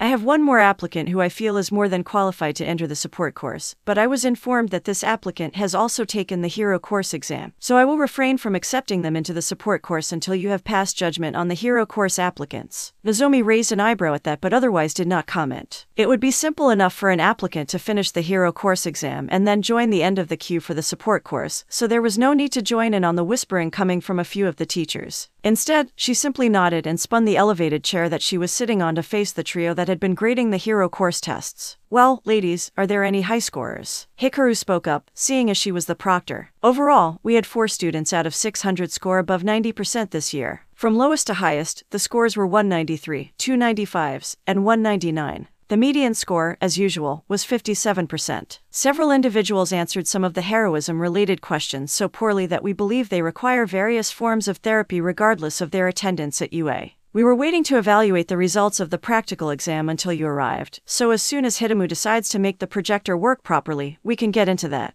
15 seconds later, the paused image of 10 different exams was displayed, with one substantially larger than the other nine and a ranking list of the top 40 on the right side of the screen. Upon unpausing, five of the images showed people moving onto them at similar rates of speed. Each of them quickly acquired at least a few points, immediately appearing at the top of the rankings. Midoriya Izuku, Bakugo Katsumi, Todoroki Shoko, Melissa Shield, and Yaoyorozu Momo. The latter four remained at the top, carrying their early lead while Izuku dropped below the top 40 shortly afterward. While the other heroines were busy watching, Nozomi noted reactions from several of her teachers at the names on the top five. Hikaru flinched, Chishiko's ever present smile widened, and Hitamu leaned forwards in interest. It was quite an interesting set of reactions, and whether or not they were related was unimportant. Perhaps those five would require her personal attention. Eight minutes into the recording, however, a different area moved to fill the screen. 30 seconds afterwards, the name. Midoriya Izuku returned to the top 40, accompanied by the same set of reactions. Again, this was not missed by Nozomi as she split her attention between the screen and her employees. Midoriya's return to the top 40 was not unrealistic. The points required to do so didn't even reach 30 at this point in the exam.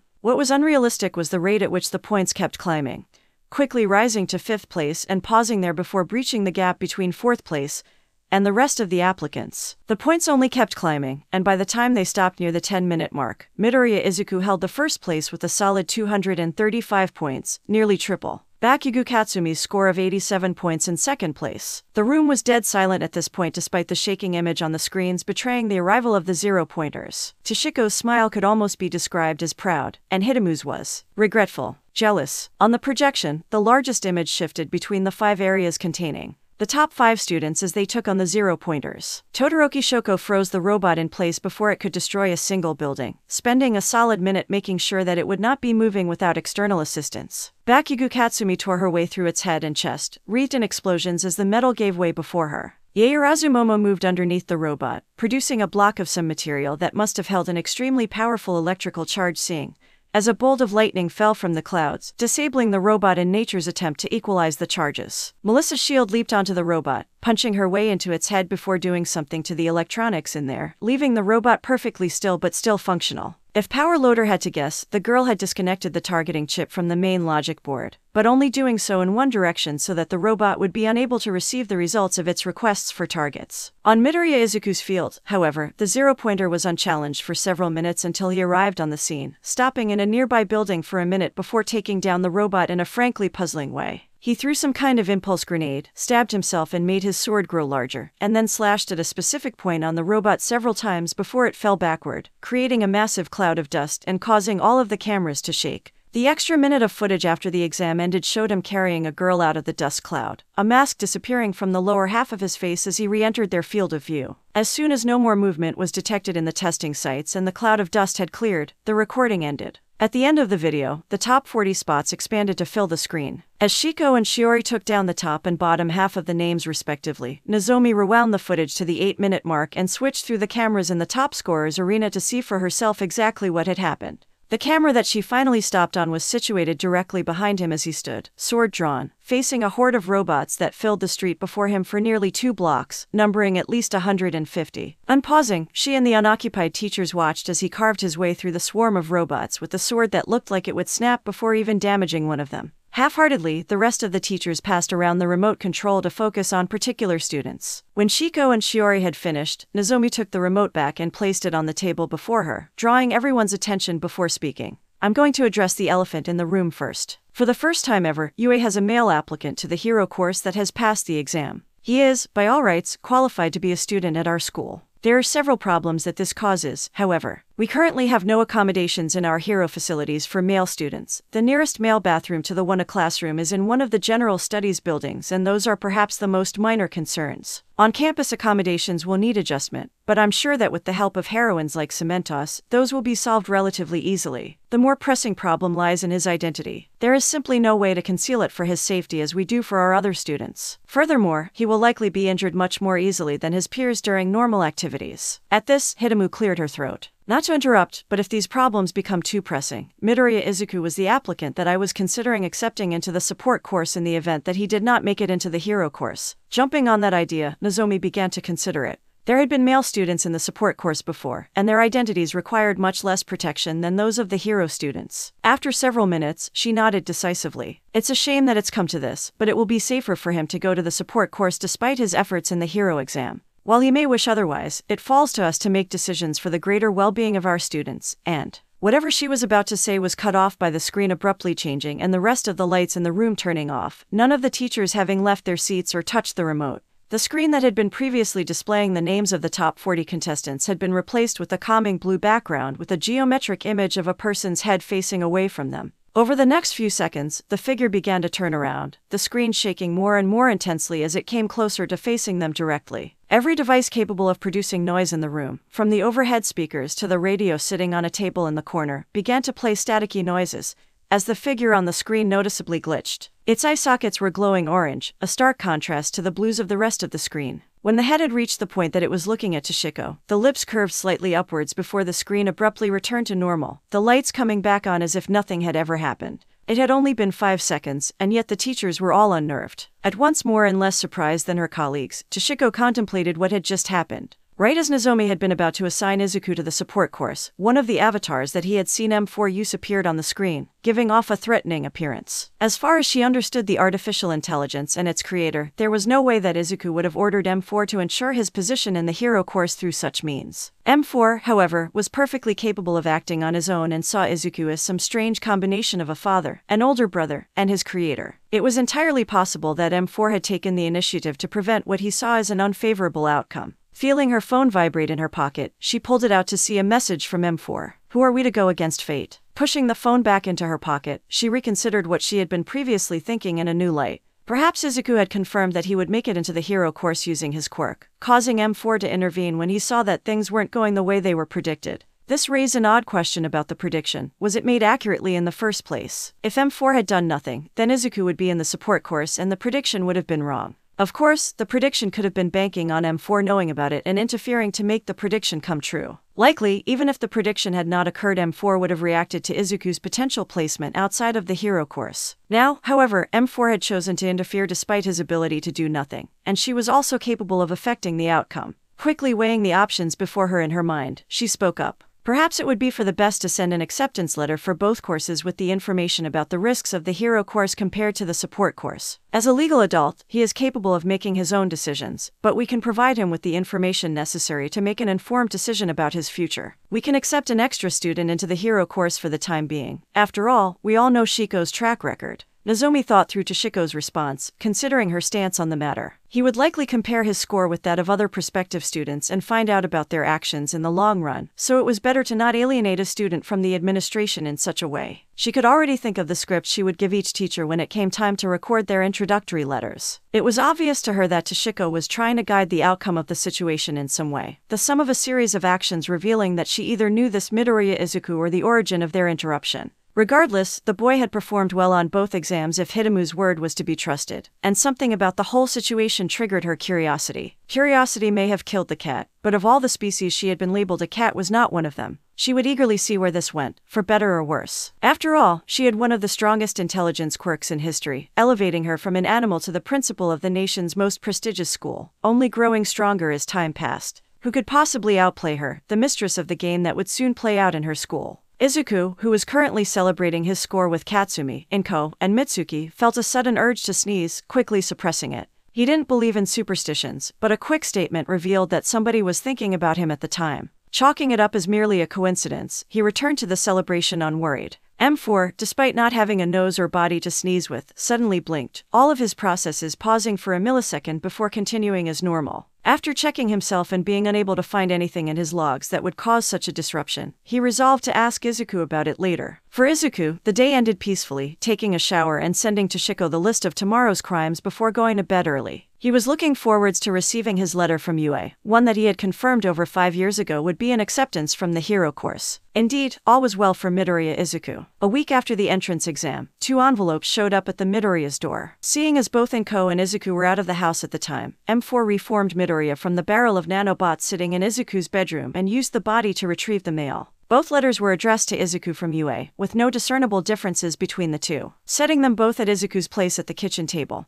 M4 directed the body to return to the collection of nanobots, the usage of the body and the sender of the letters bringing up the quandary he had found himself in. Was it right to intimidate the staff of UA to accept Izuku into the hero course instead of the support course? He could always rise to the course based on his performance in the yearly sports festival that they held, and was half a year of delaying really worth the impression he had left on them? Izuku could doubtlessly tell him what the correct course of action was, but he would also be disappointed in M4 for the actions that he had taken. He hadn't explicitly threatened them or told them what to do, relying on Toshiko to connect the dots and advocate for his placement in the hero course. After a while, he reached the same conclusion that he had the other times he had asked himself this question. There was no changing what had already happened, so it was better to live with the results than to worry needlessly. Besides, only Toshiko and Majima Hitomu would have any idea that it was he who interrupted the placement meeting, and both of them had met him beforehand. Shaking himself mentally out of the fit of retroactive self justification, M4 jumped from the point of view that he had in Izuku's house to the speaker that he always carried with him. Currently, he was at the freshly cleared Dagobah beach enjoying the relative warmth of the Japanese summer with Katsumi, the two of them swimming while his speaker rested back on the sand with Izuku's backpack. That was fine, he was a patient person, after all. Nearly half an hour later, when the two returned to the sand and heard the news of the update from UA, they quickly changed into their street clothes to return to open the letters. Katsumi dried herself with a series of explosions before slipping her clothes on over her swimsuit while Izuku simply pulled on a shirt, and shoes. After a brief check of the route of the person who had delivered Izuku's acceptance letters, M4 confirmed for them that Katsumi had a letter waiting for her at home as well. They stopped by her house to pick up her letter before heading to Izuku's house to open them at the same time. Though an exceptional display of self control, Katsumi refrained from opening the letter until they arrived. When they arrived at Izuku's house, slipping through the front door before closing it and locking it behind themselves, both teenagers were surprised by the presence of the second letter. Katsumi was surprised because she had assumed that Izuku would be receiving a positive response from the support course, while Izuku was surprised because he knew that he would be receiving an affirmative response from the hero course. Picking up the envelopes, neither of them was distinct from the other. They both weighed the same amount as Katsumi's, heavier than if they contained a few pieces of paper to be sure, and were addressed to the same location without even a difference in the return address. With minor usage of his quirk, he confirmed that the letter in his right hand was the one from the support course, and decided to open it first. Katsumi, tired of waiting, picked him up while he was thinking this through and carried him to the living room, setting him down on the couch before tearing open the letter she had been carrying for the past five minutes. From the scraps of paper fell a slab of metal with instructions on how to view the message contained within etched on one face. Prying the metal apart, she pulled the top half of the flat slab upwards, leaving the base on the table suspending its twin nearly 30 centimeters above. The top was supported by telescoping rods at each of the corners, a translucent material filling out the rectangular prism. A second after the device had been fully opened, the projection flickered to life, giving the impression of a floating figure inside the walls of the device. Even before she opened her mouth to speak, both of them recognized the figure of the strongest heroine in Japan. I am here as a projection. Though you most certainly recognize me, you may have some questions about why I am here. The news is not yet public, so please don't go about sharing it, but I will be teaching at UA for the foreseeable future. Now, onto the results of your exam. The projection of All Might shifted to the left, images of Katsumi destroying robots appearing on the right of the screen. As they moved, the heroine continued speaking. With your explosive quirk, you secured yourself a spot in the hero course without a doubt. Your quick reaction to the unannounced start of the exam is exactly the kind of awareness we need in the heroines of tomorrow. However, the villain points were not the only thing that we were measuring. The screen cleared before showing a still frame of Katsumi facing the appearing zero pointer. All Might's voice was still there in the background despite her lack of visible presence. In a past life, I was an entertainer. Behold, on the screen, the image of Katsumi staring down the zero pointer as it rose from the ground turned out to be a video.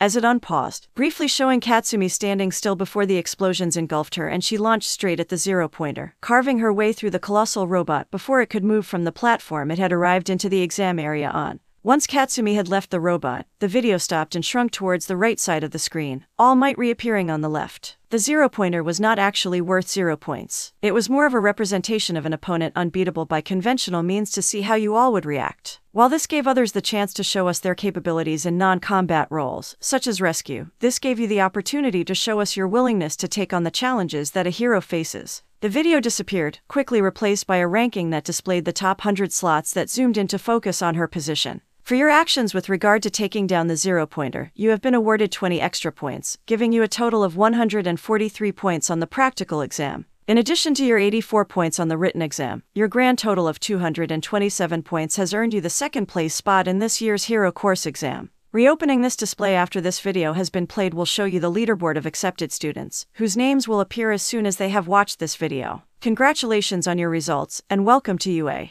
With that closing line, the projector shut off and the display began to collapse, sliding shut over the course of about 10 seconds. Katsumi figuratively exploded in excitement, jumping on Izuku and hugging him before running around the living room. Izuku, happy for his girlfriend, located the button on one end of the device and pressed it, watching the structure expand in the manner intended by its creator. By the time Katsumi had calmed down enough to return to her seat, the leaderboard was fully visible 41 places with pictures beside them, more than half still placeholders. The format was odd as well. The first place was centered over the top, while the remaining 40 places were split into two columns beneath it. While the rankings were done by total score, the score breakdowns were visible next to the scorer's name. From the scores of the people that had already watched it, it was clear that Katsumi was far above the pack with her second place score. Both the fifth and sixth place scores were visible, showing a disparity of nearly 20 points. After the two had looked at the leaderboard for some time, noting as the places filled up as more and more people finished their videos, Katsumi began to badger Izuku to open his envelopes. Opening the one from the support course, Izuku poked fun at his girlfriend by pointing out the instructions on the top and where the button to open it normally was before opening the device. The heroine displayed this time was Power Loader, fitting the course. Hey Izuku, it's me, Power Loader. I have a script that I'm supposed to go through, but it's far too fancy for my liking.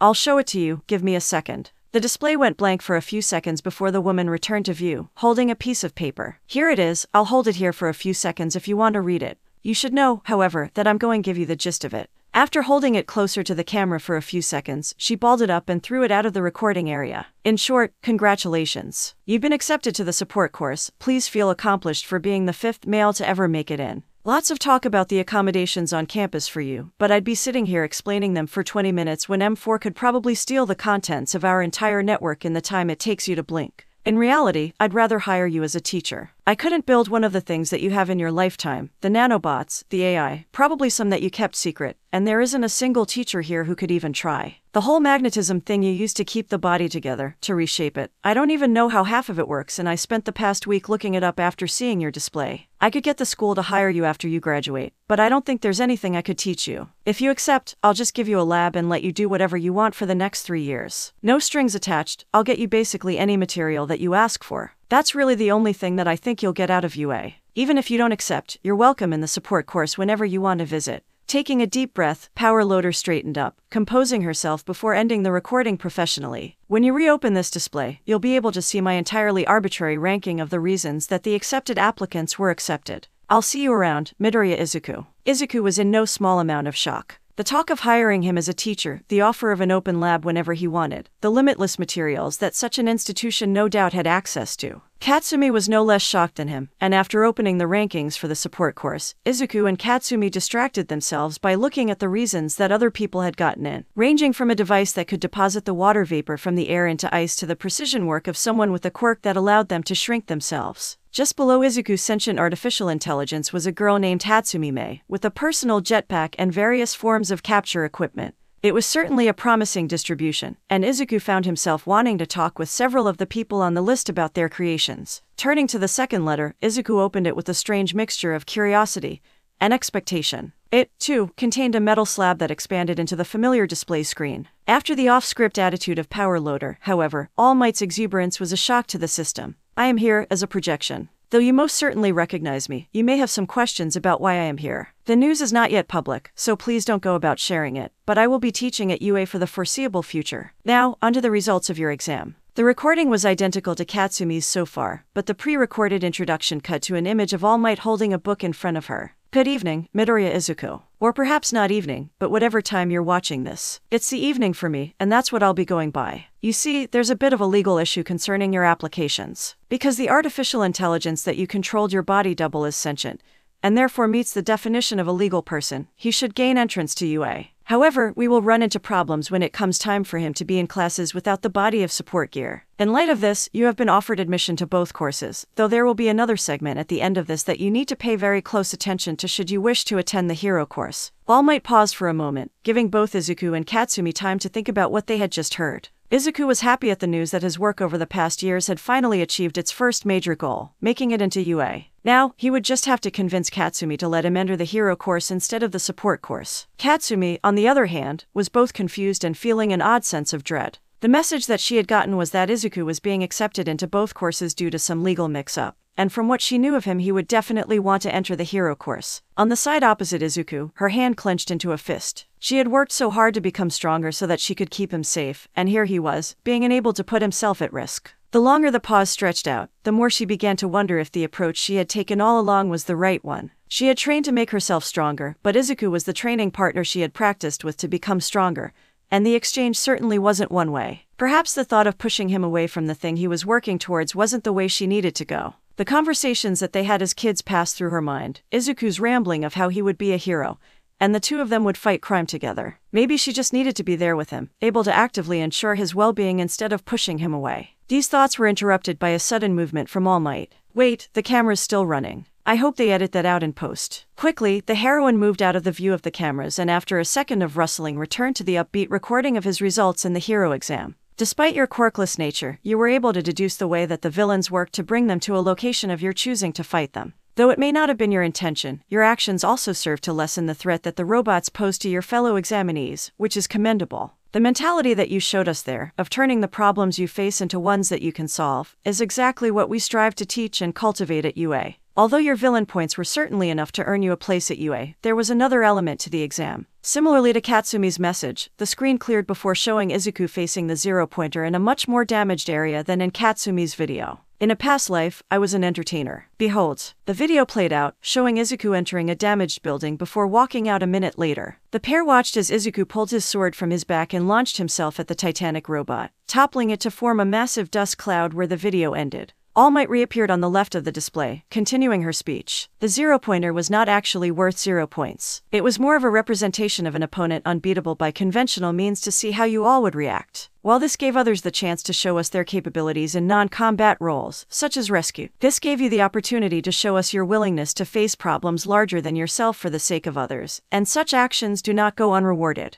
Observe. The video re expanded to fill the screen, changing to the medical area. The girl that he had met in the partially collapsed building was there, talking with Present Mic as she went around to make sure that all of the examinees were okay. Unpausing, the girl began to speak. I'm fine, Present Mic. I do have one request, though. There was someone in my exam area who took down the zero pointer while I was trapped. I don't remember his name, but he should have been the only boy in the area. I didn't see him at all during the exam, so if he needs any points to make it into UA, could you give some of mine to him? I might not be here if it wasn't for him, and. Present Mic waved her hand. Don't worry, there's more to the exam than just villain points, and if he took down the zero pointer to protect you, he shouldn't be lacking for points. All might return to the display just as the video ended, carrying on after the other heroine finished her sentence. And indeed you won't. For your actions with regard to the zero pointer, you have been rewarded with 35 extra points. In addition to the 235 villain points you earned and the perfect score on the written exam, you have a grand total of 370 points, earning you the number one spot in this year's Hero Course exam. Instead of concluding the video as she had for Katsumi, the scene cut back to All Might with her book, looking much more tired.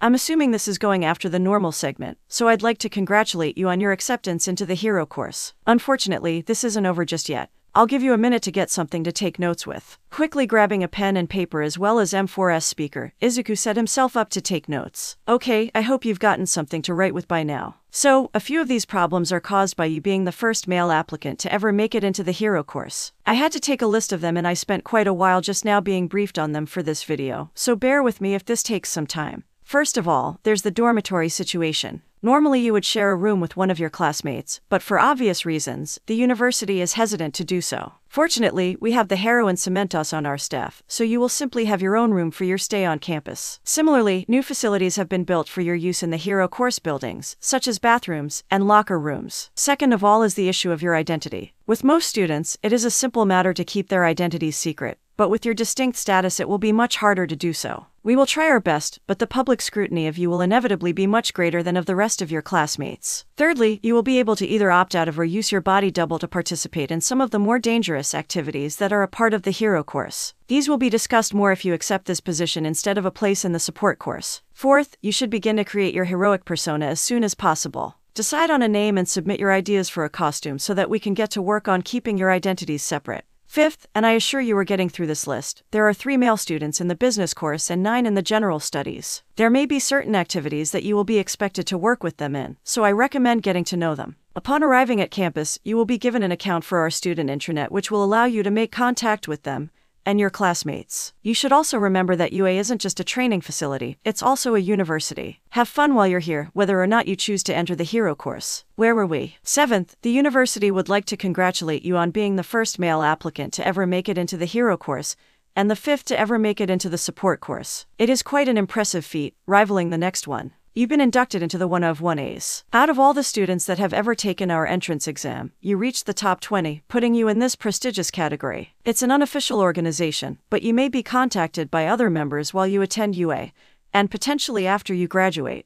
Your rank is currently fourth, behind pro heroines Farah, Quicksilver, and yours truly. On behalf of the rest of us, welcome to Class 1S, as we call ourselves. You're invited to our send off of the member you displaced, pro heroine Bullet Hell, which will take place on campus the night before classes begin. Please don't feel bad about pushing her out. It happens every time a new member joins, and it's an inspiration to keep working harder every time. And last but not least, opening the leaderboard by pressing the button on the side of this device in the next 48 hours will be taken as your decision to enter the Hero course at UA. If you have not opened the leaderboard by then, we will take that as your decision to instead enter the support course. Once more, Midoriya Izuku, congratulations on your results and welcome to UA. The screen flickered off and collapsed, leaving the room silent when it finished. After a moment of silence, Izuku turned to face his girlfriend. Normally, he could tell what she was feeling just by looking at her face and body language, but this time the conclusion he was reaching was at odds with the one he expected based on his knowledge of her personality. None of the anger, envy, or impatience that he had expected was there, but instead, resignation. The questions he was about to ask were cut off by Katsumi pulling him into a hug, moving her head to near his ear. Izuku, I know that you want to go into the hero course. I know that I've been against it, but so long as you keep yourself safe and I'm there with you, I'll support you, okay? Izuku returned the hug, squeezing her tightly as he replied. Thank you, Katsumi. I thought I was going to have to convince you to let me go, but it's amazing that you're with me. I couldn't ask for a better girlfriend than you. After a moment of hugging, Izuku spoke up again. Out of curiosity, why did you change your mind? Pulling herself backward for a moment, she looked him in the eyes. I know you, Izuku. As wonderful of a person and boyfriend as you are, you are the most stubborn person I have ever known. Even if I told you not to, you'd still press that button or find a way into the hero course. It's pointless to try and stop you, so I figured that I might as well make sure that you do things right. It's certainly odd to be the reasonable one in our relationship, but someone has to do it. Once she had leaned back into the hug, she muttered, Also, I remembered you talking about being a hero team back before the hospital incident. Izuku laughed, holding Katsumi close to him for a while longer before the two broke apart.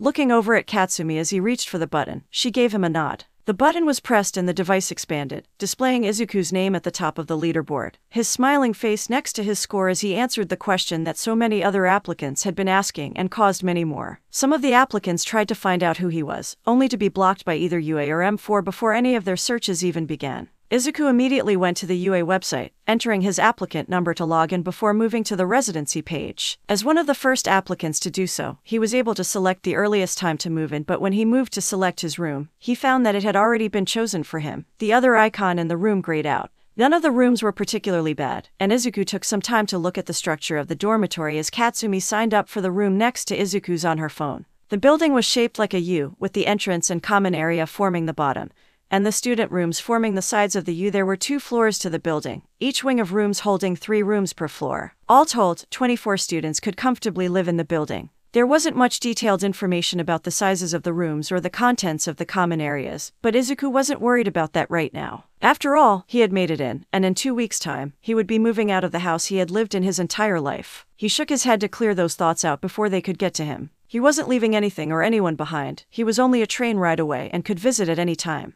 Instead, he was moving forwards, acquiring new friends and knowledge while retaining everything he already had. Both mothers were overjoyed to hear that their children had made it into UA, and after hearing the specifics of Izuku's situation Inko broke down in tears of joy. She had always known that Izuku could do it, ever since he revealed his quirk to her, but to hear that he had gone above and beyond in such a way filled her with pride for her son. They celebrated for hours that night, the mothers reminiscing about how their children were all grown up and the fact that their children would be headed off to university in such a short amount of time. The next two weeks were packed for the two of them, each mother trying to cram in all of the time that they could with their children before they were left alone. Izuku and Inko went on hikes, watched old films, and spent some time traveling around the country. Katsumi and Mitsuki, who had a slightly less close relationship, spent their time together visiting the places that Masaru had mentioned taking Katsumi in one of the videos he had recorded so long ago. It was melancholic, but the two bonded over the experience as much as they could. Still, the two weeks passed faster than any of them expected, and the day came for Izuku to move in at UA. Fortunately, with Inko still running her moving company, she was able to skillfully fit everything that Izuku wanted to take with him into the back of the truck she had bought so long ago in less time than it would have taken a team of professionals to move a quarter of the amount.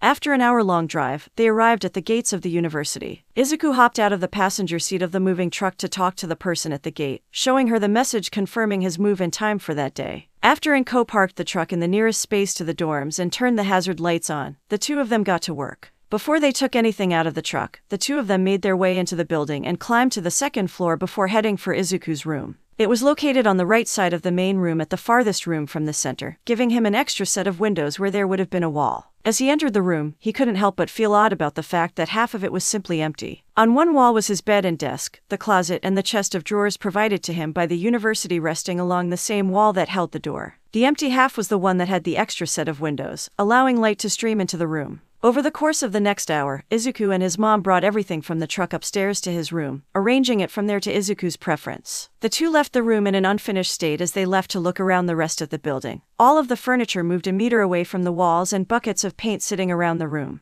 After having lived in a house where the walls were covered in art, the dormitory simply felt empty with its plain walls, something that Izuku definitely intended to fix. On the second floor, the main area was roughly split four ways. In the corner closest to the door leading to Izuku's room was an assortment of furniture intended for either studying or relaxing, while on the farther wall was a kitchen area. In the other half of the room, there was a large table with 20 seats, its proximity to the kitchen suggesting that it was meant for them to eat it when there were more than could fit at the kitchen table. The farthest corner from the door leading to Izuku's room was empty in a purposeful way, leaving the residents to fill it. While Inko left to look around the first floor, Izuku checked out the kitchen. It was likely that he would be using it quite frequently in the near future, and it was clearly larger and better equipped than the one at home. Opening the cupboards, he was unsurprised to find plates and bowls, several pots and pans, cutlery, and other basics, but when he found boxes of food in one of them, his interest was piqued. Upon looking through the rest of them, he found all kinds of pre prepared food, non perishable products, and other microwavable food.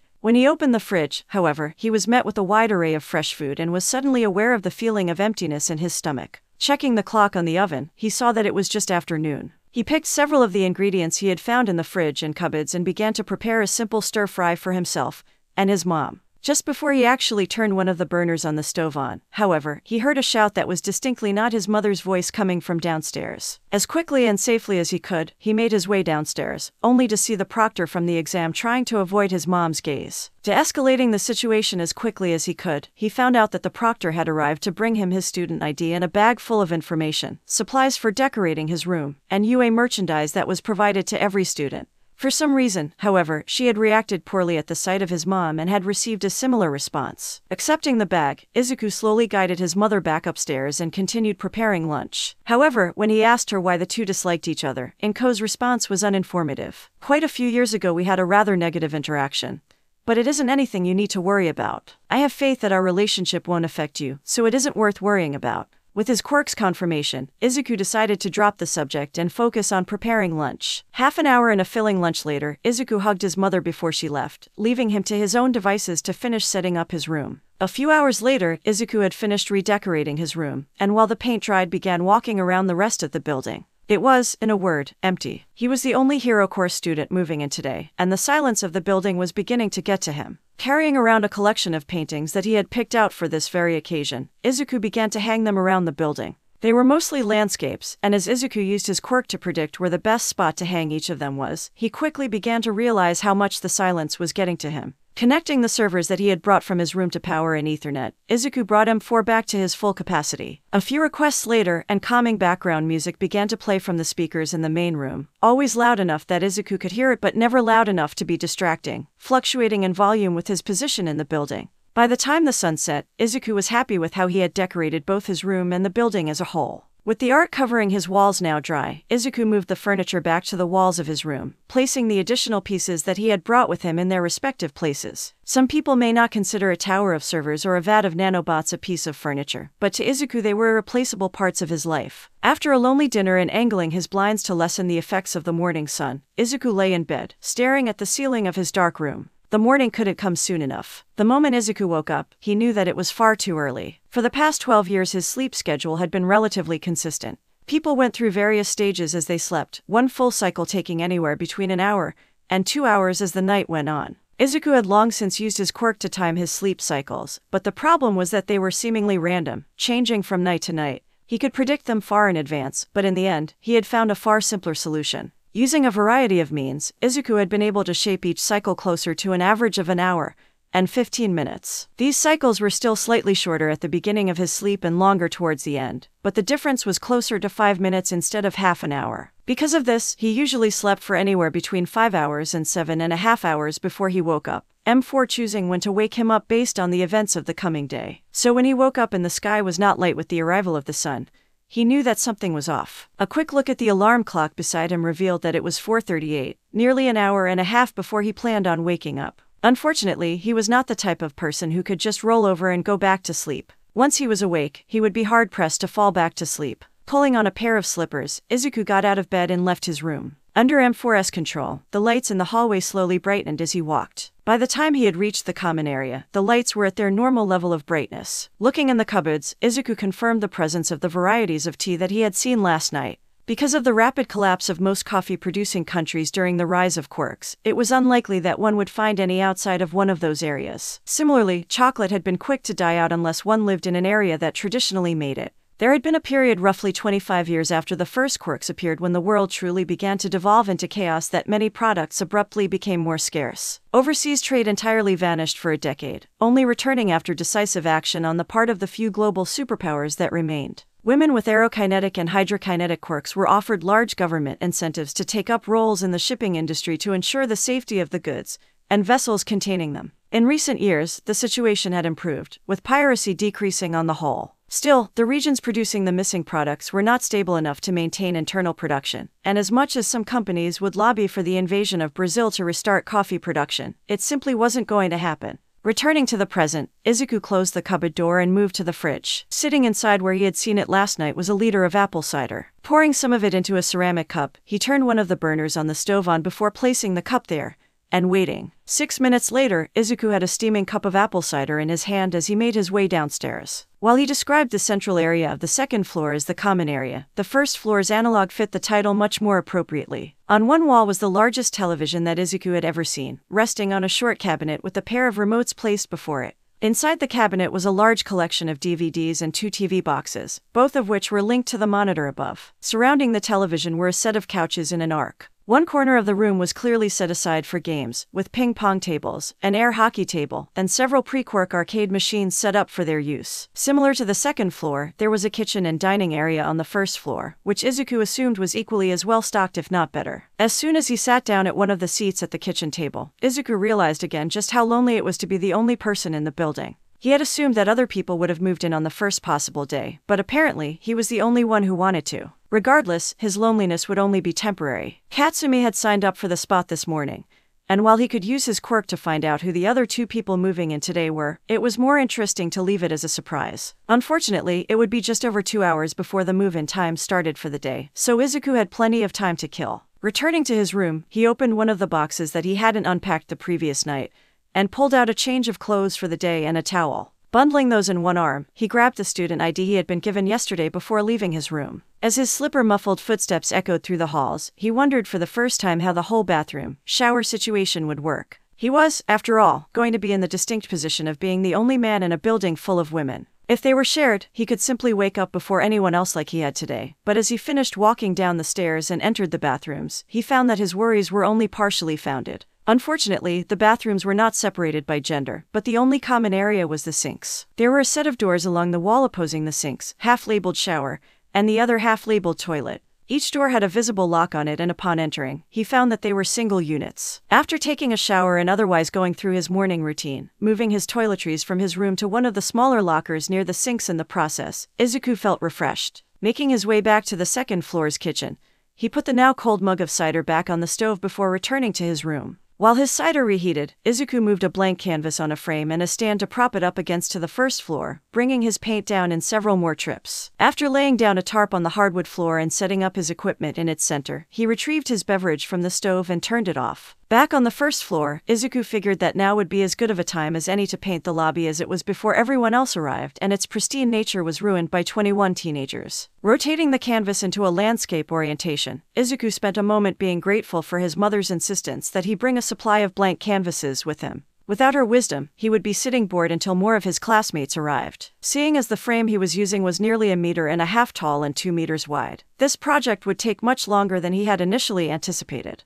That was fine with him, however. It was only 5:15, and Katsumi would be arriving at 9 at the very earliest. Dragging over a small table from near one of the windows, Izuku set his cider down on a coaster and picked up the finest paintbrush he possessed. It was time for a masterwork. Four hours later, he heard the distinct sounds of his girlfriend's quirk behind him, snapping him out of the focus he had on his painting. By this time, he had covered very little of the canvas in appearance, but in actuality was nearly a quarter of the way done with the piece of art. Setting down his paintbrush and reaching for his cup of cider, he raised it to his lips only to find that it was empty. Setting it back down on the coaster he had been using, he turned around and walked out of the main entrance to intercept Katsumi. Despite his size and the lack of apparent cover, the application of stealth related skills and the generous use of his quirk to confirm whether or not she was looking in his direction allowed him to quickly and effectively sneak up behind her. Once he was in position, he tapped lightly on Katsumi's shoulder, causing her to spin around in surprise before good naturedly punching him in the shoulder. Don't sneak up on me like that, Izuku. I still don't understand how you can do that, even though you do it so often. After she got over her surprise, she gave him a quick hug before returning to her excited state.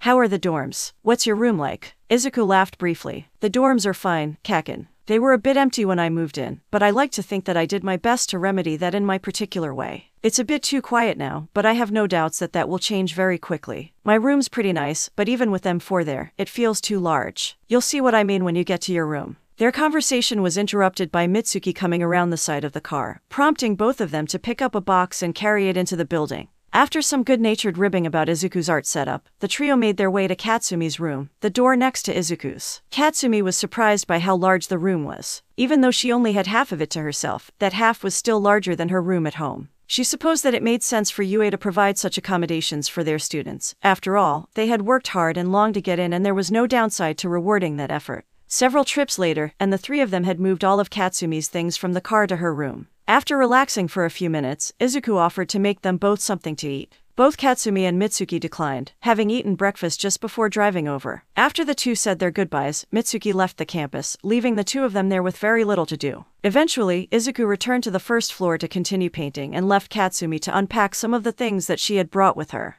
By 10:30, however, she had finished and was beginning to realize what Izuku meant by how quiet it was. From her room, with the door open, the loudest noises that she could hear were the familiar hum and whir of M4S servers, the background noise of several appliances in the kitchen, and the sounds of Izuku painting on the floor below her. Shrugging to herself, she made her way downstairs to hang out with Izuku while waiting for other people to arrive. He acknowledged her presence but otherwise didn't react to her arrival. She took the time to walk around and explore the building looking through the supply of food in the kitchen and at the paintings she knew Izuku had put up on the walls. While she was making her way through the hallway on the opposite side of the second floor when she heard the distinctive sound of engines outside the building. Making her way downstairs and outside as quickly as she could to find out who was moving in, she passed Izuku, still hard at work. Deciding to leave him be, she left through the front door. Upon laying her eyes on the newcomers, she realized that her earlier assumption had been incorrect. The sound of engines had not been from a vehicle, as she had assumed but from the two people at the center of the group that had just arrived and the engines that seemed built into their legs. Just as she was about to call out to them, however, she locked eyes with the younger engine bearing woman. She recognized her from the written exam, where she had called out Midoriya. Though Midoriya wasn't her boyfriend's true self, to her new classmate the two may as well have been one and the same.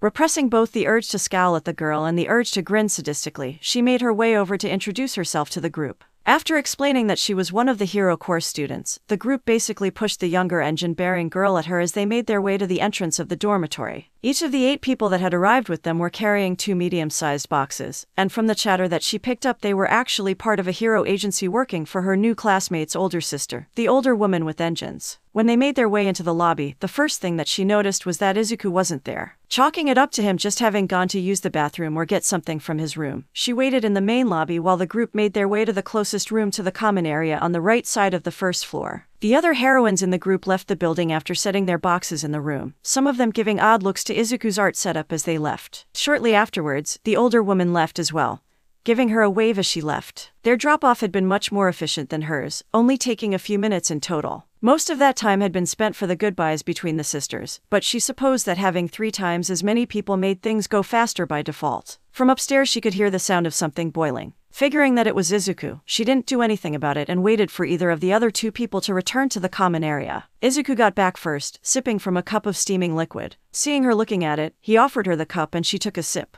It wasn't what she had expected, but the taste of the boiling apple cider was certainly better than she would have thought. Instead of returning to his position in front of the easel, he chose to sit on a nearby chair, looking at the hallway where the sounds of drawers being opened and shut could be heard. A few minutes later, the nearest door opened and the room's sole occupant came out, walking into the common area before truly recognizing Izuku's presence. There was an awkward silence for a few moments as the three of them looked at each other. The newcomer had a mixture of surprise, confusion, and guilt on her face as she looked at Izuku, missing the sadistic grin slipping free from Katsumi's control spreading on her face. Izuku maintained his calm facial expression, eventually deciding to break the ice. It's nice to meet you. My name is Midoriya Izuku, and I'll be one of your classmates for the foreseeable future. The structured greeting served its purpose, to prompt her to respond in kind. It's nice to meet you as well. My name is Iida Tomoyo, and I'll be your classmate as well. While she tried to find the words to put the thoughts running through her mind into reality, Izuku gave his girlfriend a look, trying to get her to complete their introductions. It took a few seconds for her to notice, but eventually she got the message. And my name is Bakugo Katsumi. Ignoring the missing parts of her introduction, Izuku stood up and stretched his arms and hands before turning to face the two of them.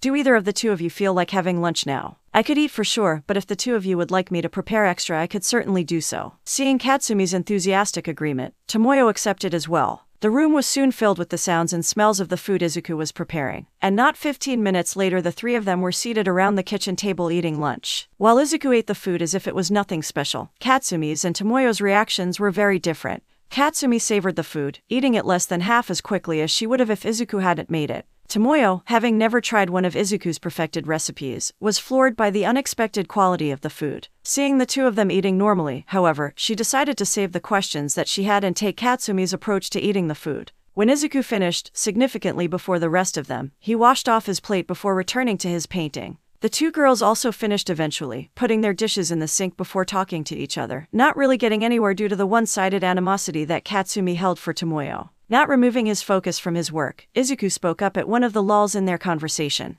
I may not be the best with words, Kacchan, but I do know you. I don't know why you're holding a grudge against her, but it's best that you resolve it now. You can't simply live with someone that you dislike for the next few years, after all. Could you try to talk it out? Katsumi huffed in frustration. All right, Izuku. I don't like her because she called you out in the written exam, saying that you didn't belong there. Are you happy now? Before Tomoyo could speak up, Izuku replied. Kacchan, you don't have to be enemies with everyone who looks at me strangely. I've forgiven her for what she said, and I think that my presence here refutes the point that you thought she was trying to make. She was likely just trying to prevent me from getting hurt, as one of the top rescue point scorers who didn't take down a zero pointer. Her attitude since she arrived has been regretful, even if she hasn't had the chance to show it. Setting his paintbrush aside, he looked over at the two of them. Tomoyo was looking relieved, while Katsumi was struggling to hold on to her anger in the face of Izuku's argument. Going back to his painting, he noticed the two of them engaging in a slightly more in depth conversation, talking about their entrance exams, high schools, quirks, and friends that they left behind to go to UA. As Izuku was nearing the completion of his painting,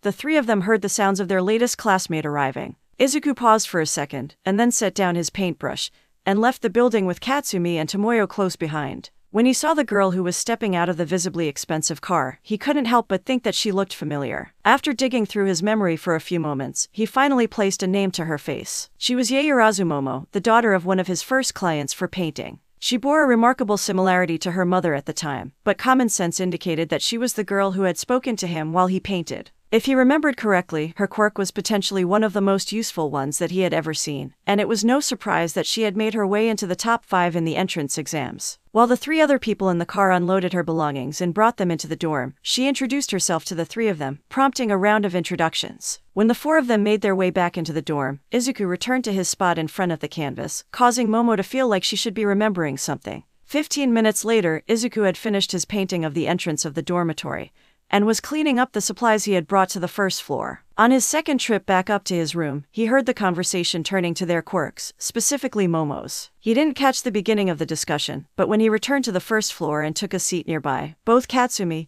and Tomoyo were staring at Momo. I'm telling you, it's not that impressive of a quirk. It requires a lot of memorization if I want to make anything more complex than base elements, and it's pretty slow when I need to make complicated things. Katsumi shook her head. You've got to be kidding me. You can make anything you can think of given enough time, and you think your quirk isn't that impressive. As soon as Izuku gets back, I'm sure he'll come up with some broken way to use your quirk. Taking the opportunity provided, Izuku spoke up, startling the three girls who hadn't noticed his arrival. I've already done that to a lesser extent. I think we met each other very briefly, 13 years ago. 14. I told her to make objects out of carbon to lessen the difficulty of converting body mass into other objects. Now, however, I'm sure that I could give better advice. The reminder, in combination with the image of Izuku painting, finally jogged Momo's memory and connected the boy she barely remembered talking with so long ago with the one sitting next to Katsumi. Katsumi, instead of reacting to Izuku's sudden presence beside her as one of them would have, sat perfectly still as she took a deep breath. Izuku, you shouldn't do that to anyone else until they get used to you. They haven't known you for as long as I have. You need to let them get used to you before you start doing things like that.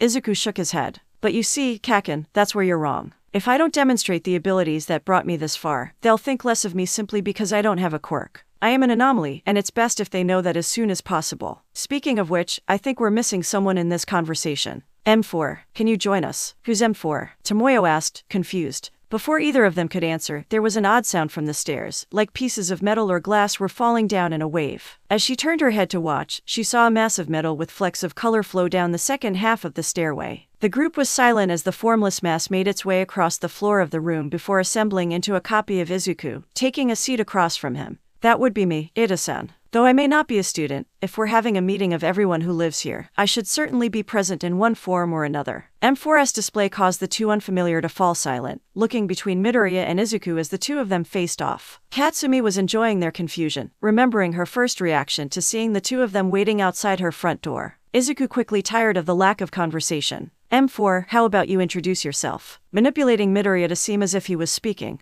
M4 happily obliged. Of course, Izuku. My name is Masaru 4, though you may call me M4 or, when I am in this form, Midoriya. I am the fourth generation artificial intelligence created by Midoriya Izuku, and despite my artificial nature, I am just as much a person as anyone else. It is a pleasure to meet you both, Iida-san, Yaoyorozu-san. With the metaphorical ice broken, the five of them continued their conversation well into the afternoon, only interrupted by Present Mic's arrival to deliver the welcoming packages to the three new arrivals. She had a double take at Midoriya's presence, but after his form turned a metallic silver, she got over her confusion, chalking it up as the reason that Power Loader had wanted him in the support course. After that, the four organic people in the room sat down to eat dinner, prepared by Izuku and M4 as they blurred around the kitchen. When they sat down to eat, however, Momo raised a question that had been on her mind ever since M4 replicated Izuku's form. How are we supposed to tell the difference between you and M4, Izuku? Katsumi laughed. Good luck with that. The only differences between the two of them that I've found are the fact that Midoriya is made of metal, and that M4 is much more formal than Izuku. When Izuku's wearing his armor, the only real way to tell the difference is from how they talk and act. While Izuku began to eat, M4 gave a more detailed explanation. There are a few more differences between the two of us, Katsumi. For example, I intentionally lack several external biological structures, such as body hair and pores on my skin. Though I have the appearance of them, it is simply inefficient to replicate them to such a degree unless we need to give the appearance of Izuku being somewhere beyond any doubt. As for how we talk and act, I assure you that I am capable of imitating Izuku far more accurately than anyone outside of yourself, and his mother would be able to tell. Things like creativity and originality are certainly different between the two of us. I lack the ability to make something exactly like the paintings decorating the walls of this building or to fight as Izuku would, but I am certainly capable of creating new ideas and fighting. Quirks that target humans will be unable to affect me, while those that target inanimate objects will. The vast majority of quirks that affect the oneic energy present in women will be unable to affect either of us, but that's neither here nor there. And if the two of us ever end up fighting against one another, I will certainly lose whether we are both limiting ourselves to physical bodies or not.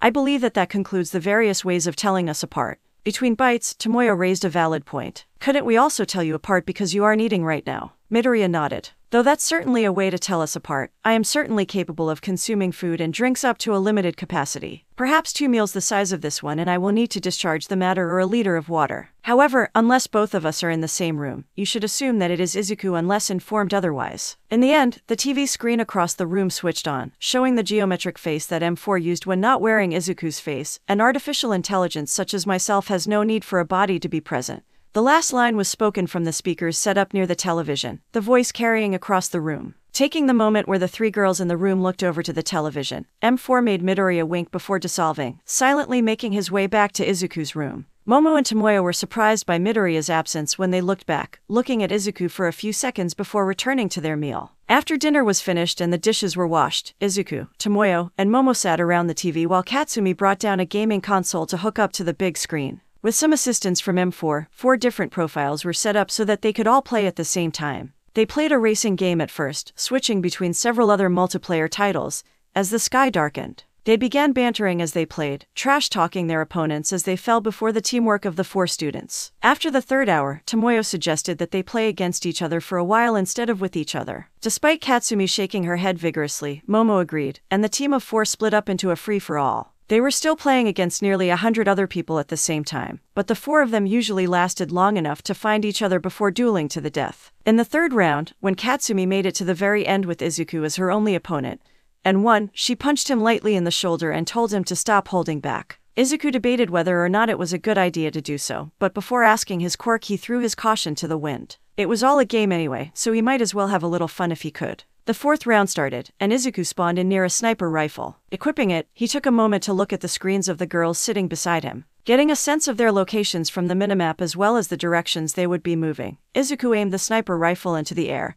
and fired in three seemingly random locations before using a taunt. Two seconds later, after the bullet drop caused the shots to fall to the ground, Momo's, Katsumi's, and Tomoyo's characters all died in quick succession. The replay of their death showing Izuku's character giving a thumbs up and smile reminiscent of All Might. Contrary to what one might expect, the three girls beside him were not discouraged. Quickly leaving the game, Izuku started a new one, and the four of them began once again with a new goal in mind taking down Izuku. Keeping a close eye on Izuku's screen as well as their own, the three of them adopted a new style of play, changing direction whenever Izuku made one of his seemingly random shots in the air and staying inside buildings as much as possible to force a confrontation in their favor. Despite their efforts, Izuku still managed to split them apart and take them on one on one, winning each encounter despite taking damage. On the fifth round, both Katsumi and Momo spawned in near Izuku and quickly joined forces, and took him out before he could amass any weaponry or armor. After that, they played for a few more rounds before suggesting that M4 take over for their opponents. As they began a 4v4 with M4 controlling their opponents, it quickly became clear that M4 was better than standard computer opponents. To attack him was met with an impenetrable defense, and to try and defend was met with overwhelming strength. Playing against him was truly a test of their teamwork, and with time they became able to hold their own, finally winning just as Katsumi was beginning to yawn. The four made their way back to their respective rooms and went to bed, eagerly waiting for the next day to come. Six hours later, as was usual, Izuku woke up to a dark and silent building. No longer uncertain, he made his way to the showers and began his morning routine. After finishing his daily message of crimes to All Might, Izuku sat down at the kitchen table on the first floor. Enjoying the peace of the early morning, he leaned forwards, stretching his arms to reach the far edge of the table, and pressing one cheek against the wooden surface. Lying there for a minute, Izuku wondered what he would do today. He could wait around the building for his classmates to arrive, he could wander around the campus, he could paint something new, he could train. Suddenly, Izuku connected a few dots. Power Loader had invited him to stop by the support course building if he ever wanted to, and he really had nothing better to do before anyone else woke up. M4 could puppet Midoriya to tell them where he went if they woke up he got back, and he could get a sense of perspective on what UA had access to. I can visit the support course building today. True. That decision made, Izuku spoke his plan for the morning into the air, and was answered by Midoriya silently showing up in the kitchen, carrying Izuku's backpack with him. Izuku took the backpack from Midoriya's outstretched hand and left the building to explore the campus. Half an hour later, Izuku made his way to the front door of the support course building. Experimentally scanning his student ID on the black box near the front door, he heard the telltale whir and buzz of the mechanism in the door handle moving to unlock the door. Stepping through the door, he was greeted with an informative sign showing which direction led to the classrooms, which one led to the labs, and which floors each year of students would meet on. There was even a set of helpful indicators for where Power Loader, the department head, and the various pro heroines working under her were. Currently, Power Loader was the only other person in the building, with her marker placed on the second floor labs. As Izuku passed by the first floor labs, he couldn't help but look in and try to make out the equipment in the dark room. He couldn't be sure of everything that he was identifying, but if even half of the pieces of technology in the room were what he thought they were, it would be better than his setup at home. Climbing the stairs at the end of the hallway, Izuku pushed open the door leading to the second floor. This lab was well lit, and inside he could see Power Loader adjusting one piece of equipment or another. Gently knocking on the glass of the window next to him, he watched as the pro heroine looked towards the back corner of the room. Seeing that it was him, she turned back and made a final few adjustments to the machine that she was fixing, likely a circular saw or a disc sander by what he could glimpse of it. After that, she set down the tools she was holding and made her way over to the doorway that Izuku had walked over to. Midoriya Izuku, a pleasure to see you. That is, if you are truly him and not M4 again. Izuku returned her greeting. A pleasure to meet you as well, Maijima sensei. I am the original, so to speak. I'm sorry that I couldn't show up to the exam in person, but I was preoccupied at the time. Hitomu laughed. Preoccupied, he says. Don't worry, with a score as impressive as yours on the hero course exam, I don't fault you for sending the copy to the support course. Unless we were all deceived, and both of them were copies in the end. Izuku shook his head. No, I was physically there for the hero exam. It wouldn't do to not show up to at least one of them, after all. Anyways, I'm here this early because I moved in two days ago and I don't really have anything to do. With M4 and Midoriya there to introduce me to my classmates, I decided to take a walk around the campus and get a feeling for the place. When I passed by, I remembered your offer to let me work in the labs whenever I wanted to, so I thought I'd stop in. Hitomu nodded. Yes, yes. I'll show you around the place. Follow me. After Hitamu turned off the lights and locked the doors to the second floor lab, the two of them went back downstairs and made their way into the first floor labs. The layout was similar to the second floor, though it was clearly missing some of the more specialized equipment. That made sense, however. Not every student worked on the same types of support gear or technology, so the more expensive and niche equipment would likely be acquired after the year began and moved upstairs, as the classes graduated. Izuku's tour of the lab was brief, seeing as Power Loader had to get back to work on the equipment. But the heroine had pointed out the pieces of equipment that required her supervision to operate, though both of them knew that that would be more of a legal concern than a practical one. Alone in the room, he made his way around, looking at the wall of shelves filled with basic components, various colors of wire, resistors, solder, and so forth, and the table with the form on it for requesting more specialized materials. Though there wasn't anything too special in stock, it was still far more than Izuku had ever seen in one place at the same time. Most of his tinkering and building was planned out with the help of his quirk that he never ordered a surplus of materials, and to see massive spools of various colors of wiring seemed extravagant. The form was also more of an open ended request than a checklist to go through. It gave the unspoken impression that so long as you could find an item, it could be bought, built, or otherwise acquired by UA.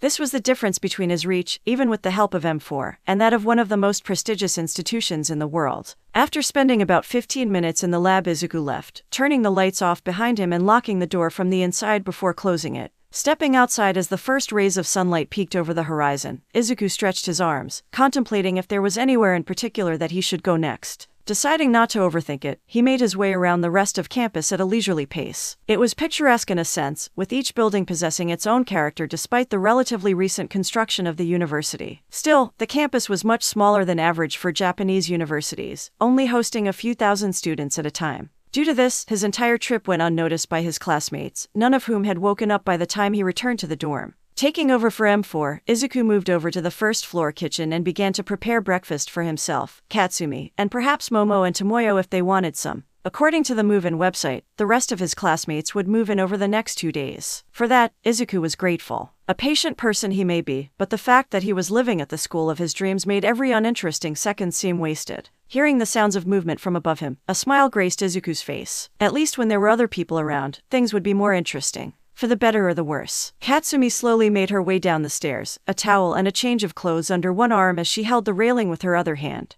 In her half awake state, she noticed the sounds and smells coming from the kitchen and looked over as she reached the bottom of the stairs. Seeing Izuku preparing breakfast, she made her way over and set her towel and clothes on the kitchen table before giving hugging Izuku and mumbling a good morning. As his warmth registered to her cold body, she began to squeeze him tighter. The feeling of the arm Izuku wasn't using to cook wrapping around her back only caused her to pull herself deeper into his warm embrace. After far too short of a period for her liking, Izuku pulled his arm away from her and gently began to pull her arms from their hold on his torso. Somewhere in her brain, the realization that she had come downstairs to shower overpowered the feeling of Izuku's warmth, and she let go of her boyfriend, picking up her clothes and towel from the kitchen table and making her way over to the showers. Ten minutes later, and Katsumi was much more awake, taking her clothes back to her room and then joining Izuku for breakfast. Today it was blueberry muffins, the kind that Izuku and Inko always made too many of and stored in the freezer for later. As good as they were reheated, however, the still warm muffins were delicious, being another one of the recipes that Izuku and M4 had perfected over the years. Twenty minutes later, as they were finishing up, Momo came out of the hallway leading to her room and started to walk towards the smell of food before realizing that Izuku and Katsumi were sitting there. She had a double take at Izuku's presence before she remembered what had happened yesterday. After greeting them and asking if she could have some of the food Izuku had prepared, she sat down with her breakfast and watched as Izuku and Katsumi began to start playing the same game that the four of them had been playing last night.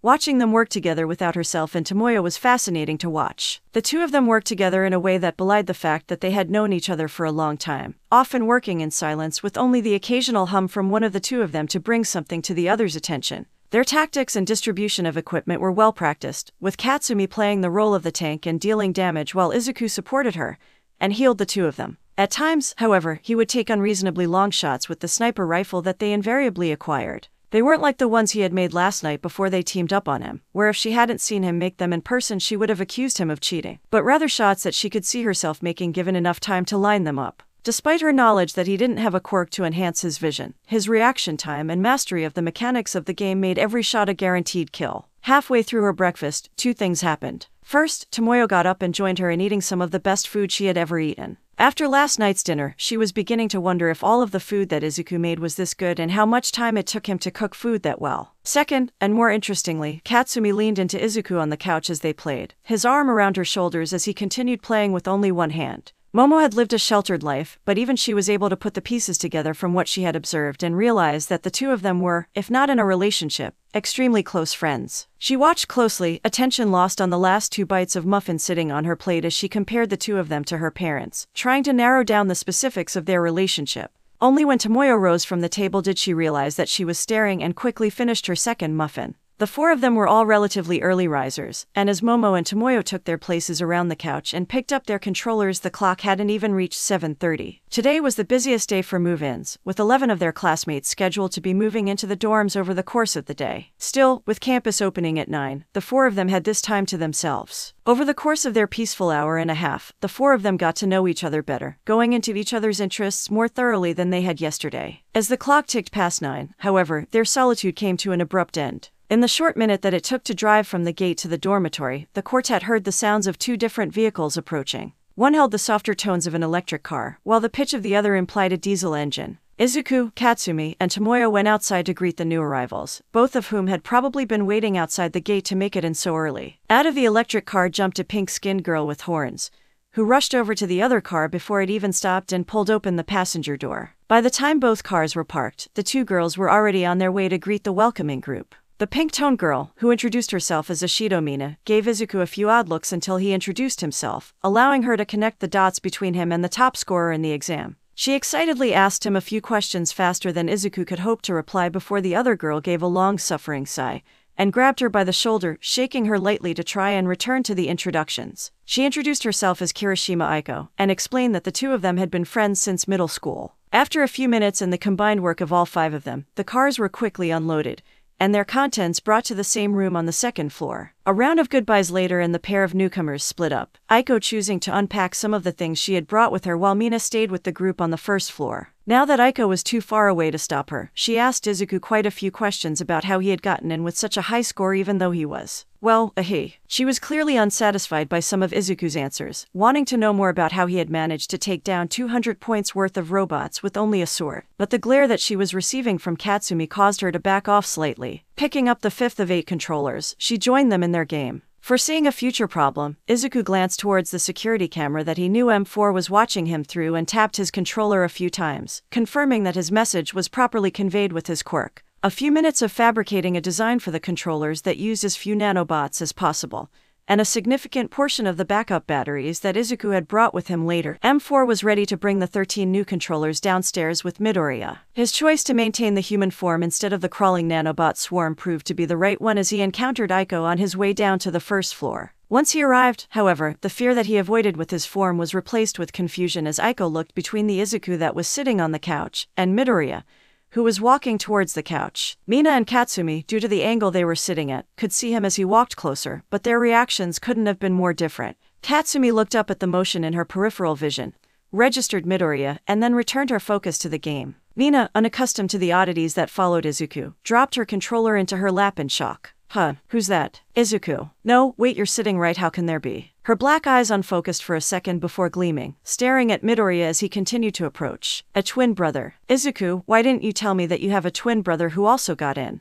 That seems like it would be an important thing to know. Izuku glanced up to see Midoriya standing behind him, nodding before looking over at Mina. I hate to break it to you, Mina, but I don't have a twin brother. He is just a robotic body being piloted by my artificial intelligence, M4. For the sake of convenience, we call him Midoriya and me Izuku. Though, I guess he also passed the entrance exams if you think about it. Mina and Aiko reacted to this news in their own ways, with Aiko simply shrugging and accepting the odd occurrence, saving her questions for later. Mina blue screened, freezing for a few seconds at the refutation of her theory and the bombshell that Izuku had just dropped on her. What? You can't just say something like that and not give any more details, Izuku. M4, fabricating the controllers inside Midoriya's chest, picked up the explanation. Though you may lack the context, I believe it was a descriptive enough statement. IMM4, the fourth generation artificial intelligence created by Midoriya Izuku 13 years ago. This body is simply an avatar comprised of nanobots to allow me to interact with the physical world. As you can see, by this point M4 had pulled the fourth controller from a rippling portion on his chest. I am clearly non organic. The two of them who had not been introduced to M4 already were staring at the incredibly realistic copy of their classmate pulling large objects out of his chest with a mixture of horror and awe. Momo, quite used to the idea of pulling her creations from her skin, looked on with interest, not too concerned with the sight. Tomoyo had a similar look of discomfort to Aiko and Mina, while Izuku and Katsumi paid almost no attention to the scene in front of them. After he had finished delivering the controllers, Midoriya said his goodbyes and made his way back to Izuku's room. After the round ended, Aiko picked up one of the old controllers while Izuku deliberately switched to one of the newly created ones, taking advantage of the fact that they had a near zero input lag due to M4 hosting the different accounts of the six of them in tandem with his monitoring of the inputs from the controllers. The six of them continued playing throughout the morning as new people rolled in. Asui Tsuyu, a girl with a frog quirk who sat at the kitchen table and slowly worked her way through some of the leftover breakfast. Tokoyami Fumiko, a crow-headed girl who stayed in her room, and Kyoka Jiro, who had headphone jacks coming out of her ears who joined the six of them in their game. For lunch, they threw together items that they found in the fridge and cupboards to go with the remaining 10 muffins from breakfast. It was an odd assortment of final meals that came out of this plan, but everyone was satisfied with the arrangement. During lunch, two new people arrived Minoru Minerva and Todoroki Shoko. Neither of them had the opportunity to do more than introduce themselves, but the general impression was that Shoko was withdrawn and Minerva was mischievous. Their impression of Minerva as merely mischievous would quickly be updated. After finishing his lunch, Izuku excused himself to use the bathroom. With his departure, the whispering questions about his presence from Shoko, Fumiko, and Suyu surfaced, and the girls who had arrived earlier were happy to answer their questions. Minerva, however, was simply not of the same mind. There's a man living with us in the dorm. How do you think he got in? Do you think he's single? Maybe he'd be willing to. Perverted, they agreed, was a better descriptor than mischievous. And judging by Katsumi's growing fury at the increasingly suggestive questions she was asking, perhaps unaware and lacking self preservation, the explosive pops of Katsumi's quirk, had Izuku been nearby, would have been familiar enough for him to calm her down. Unfortunately for the purple haired girl, nobody present was knowledgeable enough about Katsumi's quirk or her tells for various emotions to save Minerva from her fate. Does anyone know what room he's staying in? The little midnight stroll wouldn't. Minerva was cut off by the rather loud explosion punctuating the pops of individual beads of sweat.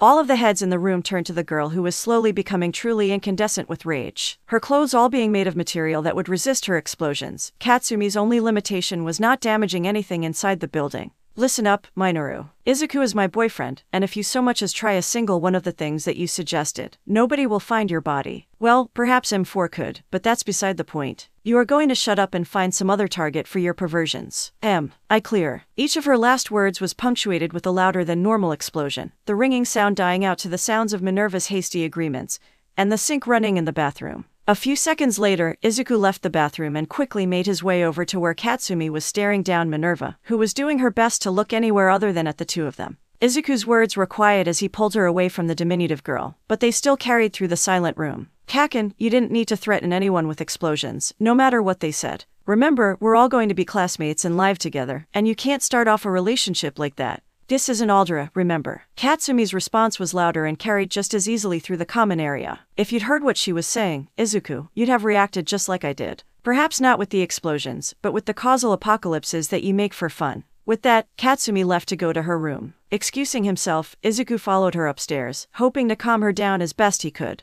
After the rest of them finished lunch, they went over to continue playing their game on the console. Before they could start, however, the screen turned blue and a geometric head with glowing green eyes filled the center of the screen. Momo and Tomoyo recognized this as the face that M4 had used yesterday night, but before they could say anything, a voice came from every device capable of producing sound in the room. Although Katsumi may have gotten the point across, Minoru Minerva, I would like to reiterate. Actions of that nature taken against my creator will not end well for you, and there is nowhere that you can hide from me. With that said, welcome to the dormitory. I hope that all of us can get along well despite a rocky start. The screen flickered and returned to the welcome screen of the game. Over the rest of the day, Minerva would attempt to rebuild bridges with her classmates, and most of them would tentatively accept. Izuku and Katsumi, however, never returned to the common area, not even for dinner. Katsumi had locked herself in her room, but Izuku's persistence eventually won out over her anger at Minerva for being exactly the type of girl that she thought she would never encounter again after leaving Aldera. She unlocked the door and went back to her bed, lying down as she simmered in her emotions. After a series of dull thuds on the floor, she started at the feeling of the bed moving.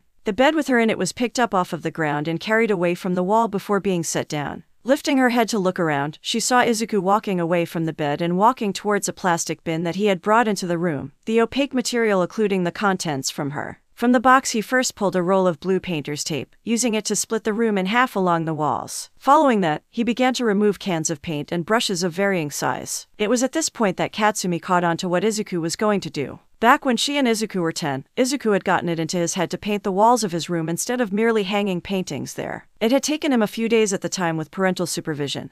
But in the end, she had been impressed enough to ask for him to paint her room as well. His initial design for his own room had been a series of mountain peaks surrounding the walls with himself, her, Inko, Mitsuki, and Masaru split across the five segments of wall. The two of them had their places on either side of the door, while the adults looked on from the other walls. Over the years, it had changed to reflect their changes in appearance as they aged, with only Masaru untouched by the passage of time. The general theme remained, however, and she would be willing to bet that if she were to walk into Izuku's room next door right now, the scene would either be replicated there or be in the process of being replicated. Before he began painting, Izuku pushed open the two windows as far as he could, trying to establish air circulation so that they wouldn't be inhaling the fumes of the paint as he worked. The buckets that he started to open immediately confirmed her suspicion of the scenery that he was going to adorn her walls with. In her room, so long ago, she had asked him to paint the scene of a forest, one of the places that Masaru had mentioned wanting to bring her in the videos that he left for her and her mom. The four of them had taken a trip to the forest, walking around on one of the trails while Izuku ran ahead to find the best views to recreate.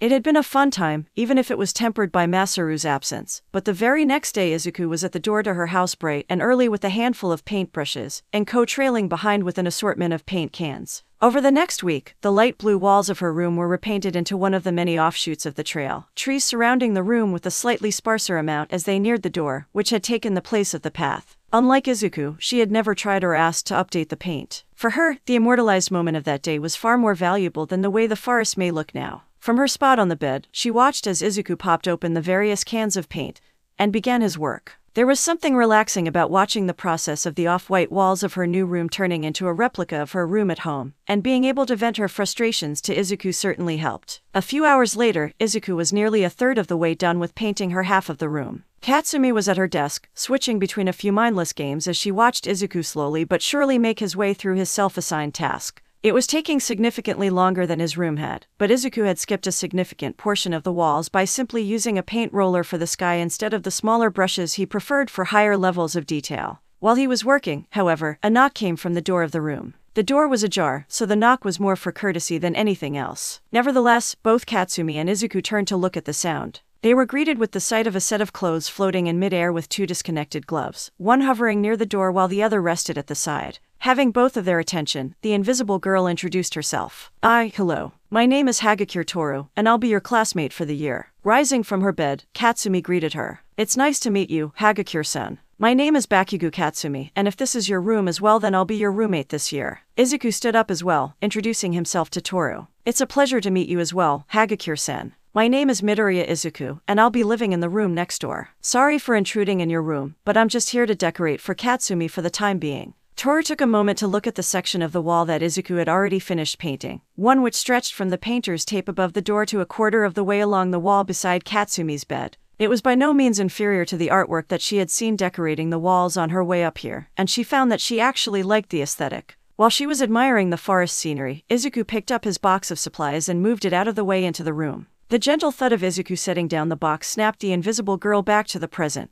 Oh, it's fine. I'll go downstairs and get my stuff. I'll be right back. Over the next half hour, Toru brought her belongings up from the car parked outside the building to the room, politely declining Izuku's and Katsumi's offers of help. After sorting her clothes into her drawers and closet, she sat on her bed and opened her phone. Between browsing through her social media and playing a game, she watched Izuku as he methodically worked his way across the wall. One of the perks of being invisible, in her opinion, was that she could simply turn her head while maintaining the motions of her hands, and nobody would be able to tell what she was actually looking at. Of course, the downsides of being invisible were also readily apparent, such as people not noticing you, people forgetting about you, and generally having to be much more aware of the people around you at all times. This wasn't even getting into the problems that arose from not even being able to see herself, but she had learned to deal with those or work around them as quickly as she could. Izuku, however, was very aware of her presence. He had been trying to piece together how her quirk worked, eventually arriving at the conclusion that her skin, flesh, and bones were somehow entirely transparent instead of using unaic energy to manipulate the light around her. The obvious counter to this idea was that recently eaten food should still be visible, which would make it much harder to remain undetected.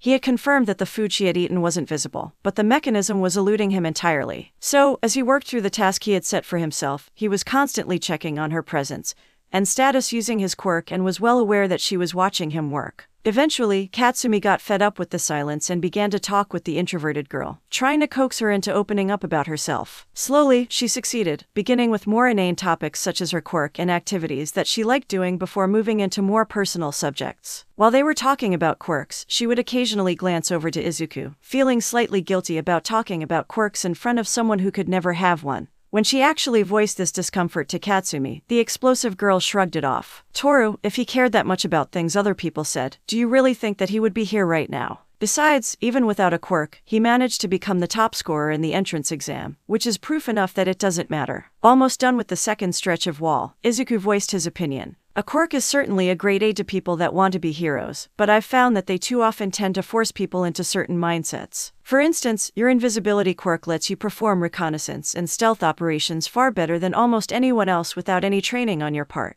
Because of this, you've probably trained to hold your breath longer, to avoid making noise, and all manner of things related to stealth. However, such a reliance on the skills you are naturally gifted with narrows your vision. You could learn how to fight effectively with a weapon, how to fight hand to hand against unsuspecting opponents, or any number of other skills. Few heroines learn to expand from their initial gifts, but many would benefit from a change of perspective. Katsumi, who had heard a similar argument from Izuku in various forms over the past decade, rolled her eyes. What he tactfully wasn't mentioning was that there was a certain set of heroines that could simply ignore the advice that Izuku had given. Women with particularly strong quirks could simply ignore everything else in favor of learning how to use their quirks more effectively. All Might with her strength and speed, Endeavor with her pyrokinesis, and herself with her explosions. Any of them could simply rely on their quirks to power through most scenarios they found themselves in. For people like Toru, who couldn't expand the ability or scope of their quirk, such advice was much more useful. Learning a supplementary skill to their quirk could propel them far beyond what they limited themselves to by only using their quirk. Izuku was an example of this advice taken to its logical extreme. Even without a conventional quirk, he could hold his own against one of the strongest heroines of all time through a mix of his own ability to sword fight, the technology he had built, and training his senses to the point where he could predict and react to attacks moving thousands of times faster than most would be able to. After an hour and a half more, Izuku finally stood from his position and stretched, his arms moving laterally upwards to avoid the ceiling. All right, Kacchan, that's my work done. I'm going to head back to my room and work for a bit, so if you want to talk, just let M4 know. He hugged her briefly before packing up the paint and brushes and making his way back to the room. Breaking away from the conversation to return the hug, she took a moment to look at the completed artwork covering her half of the room. It was certainly different from when they had visited in the early spring so long ago, now mimicking the same view in midsummer. Her eyes traced the trunks on the walls, lost in the updated scenery until a gloved hand poked her in the shoulder. Turning around, she was faced with a much closer outfit than before, Toru's head much closer to her own by the sound of her voice. Are the two of you, you know, together? Or are you just really good friends? I didn't want to ask while he was still in the room in case you weren't, but now that he's gone, you have to tell me everything. This was surprising behavior coming from the reserved girl, but Katsumi wasn't one to distance herself from her roommate before the year even began. And for someone with a more respectful interest than Minerva, she was happy to oblige. We are both good friends and boyfriend and girlfriend. I've known him for as long as I can remember, and he asked me if we could be boyfriend and girlfriend on New Year's this year, and I said yes. If I had my way, that would have happened a lot earlier, but I didn't want. Their voices dropped out of Izuku's earshot as he closed the door to his room behind him. Setting down the box of painting supplies in the unused closet space, Izuku moved over to his desk and turned on his computer. Now that he had a better idea of what UA could provide for him, it was time to get to work planning for some of the more lucrative ideas that he had come up with years ago. Pulling up the document, he moved it over to a spreadsheet and started putting his quirk to use, asking questions such as this project is completable at UA, and this project will take less than a week to complete to sort them. Unfortunately, there were still some ideas that even UA couldn't help him with, such as building vehicles larger than a motorcycle, or machines running on more exotic forms of energy. For the smaller and more mundane projects, however, he would certainly be able to make progress on them where he had been stuck for so long. After spending some time doing this, however, he was sidetracked by a message on his phone. Plugging it into his computer, M4 did the legwork of projecting the phone's screen onto the computer. The notification was from the messaging app that UA used, unimaginatively titled UChat. He had been invited to several groups, which was the subject of the notification. Three of them were marked as official, those being the group chats for the Hero course in general, the first year group chat, and the read only chat for school wide messages. The other two, however, lacked this tag and were much less structured in the notification inviting him. One of them was the chat for 1A, the invite coming from Kyoka Jiro indicating that she was the one who had created the chat. He accepted it without thinking, the chat automatically opening to reveal a list of messages indicating other people accepting the invitation. The other invitation was much more interesting. You've been invited to join UA Boys by Sakamoto Kai accept, reject. Accepting the invitation, Izuku was immediately met with a message from Kei welcoming the freshman boys to the group chat. It was a formulaic opening, introducing himself and the group as a whole, along with the resources available to them as a student organization. Kay was in the business course, and he mentioned the male seniors currently in the different courses in the message as well. While he was reading the introduction, another message appeared, also from Kay. Also, we're proud to announce that for the first time ever, one of us has made it into the hero course. Congratulations to Midoriya Izuku for his groundbreaking accomplishment. We are excited to be here for this historic event and look forward to meeting in person at our first event, a celebration tomorrow evening in room C211 of the Macquarie Economics Building. Before he could even ask, M4 pulled up his calendar in a smaller window and added the event, location, and time. Izuku smiled. It was such a minor detail, something that would only have taken a few seconds, but the gesture meant more to him than it should have. Taking some time to look through the other group chats, some more populated than others, Izuku leaned back in his chair. Classes wouldn't begin for another few days, and yet the feeling had definitely shifted from the loneliness of a few days ago to that of a community. Abruptly aware of how hungry he was, Izuku looked at the clock sitting on a short table next to his bed. Noticing that it was nearly an hour after he normally ate dinner, he stood up and headed to the second floor kitchen to make himself some dinner. Half an hour later, and Izuku was seated at the kitchen table, slowly eating as he checked his phone. The 1A group chat was lively, and Izuku was happy to get to know the people he had missed while calming Katsumi down. Everyone's introductions were pinned, allowing him to easily look through what his classmates had to say about themselves. While he was preparing his dinner, M4 had posted an introduction for Izuku as well as himself, both of which attracted significantly more attention than any of the others. With Izuku's introduction, they were curious about how he had gotten in more than anything.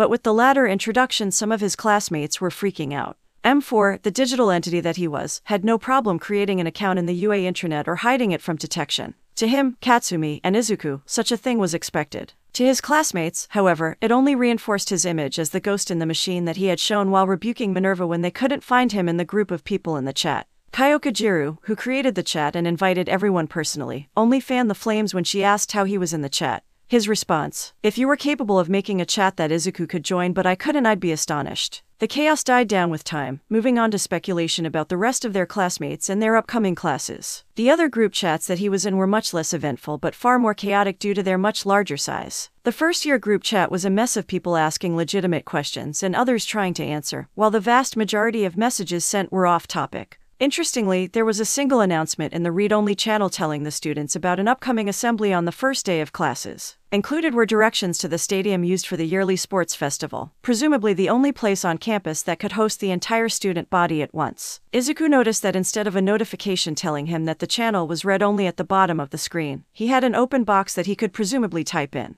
Chalking it up to M4, Izuku swiped out of the application before pocketing his phone and washing his dishes. Opting to go to bed early tonight, Izuku walked back to his room. It felt odd to be in the state of purposelessness that he was currently in, but with a few events in the near future and the following classes, he was sure that it would soon be put to an end.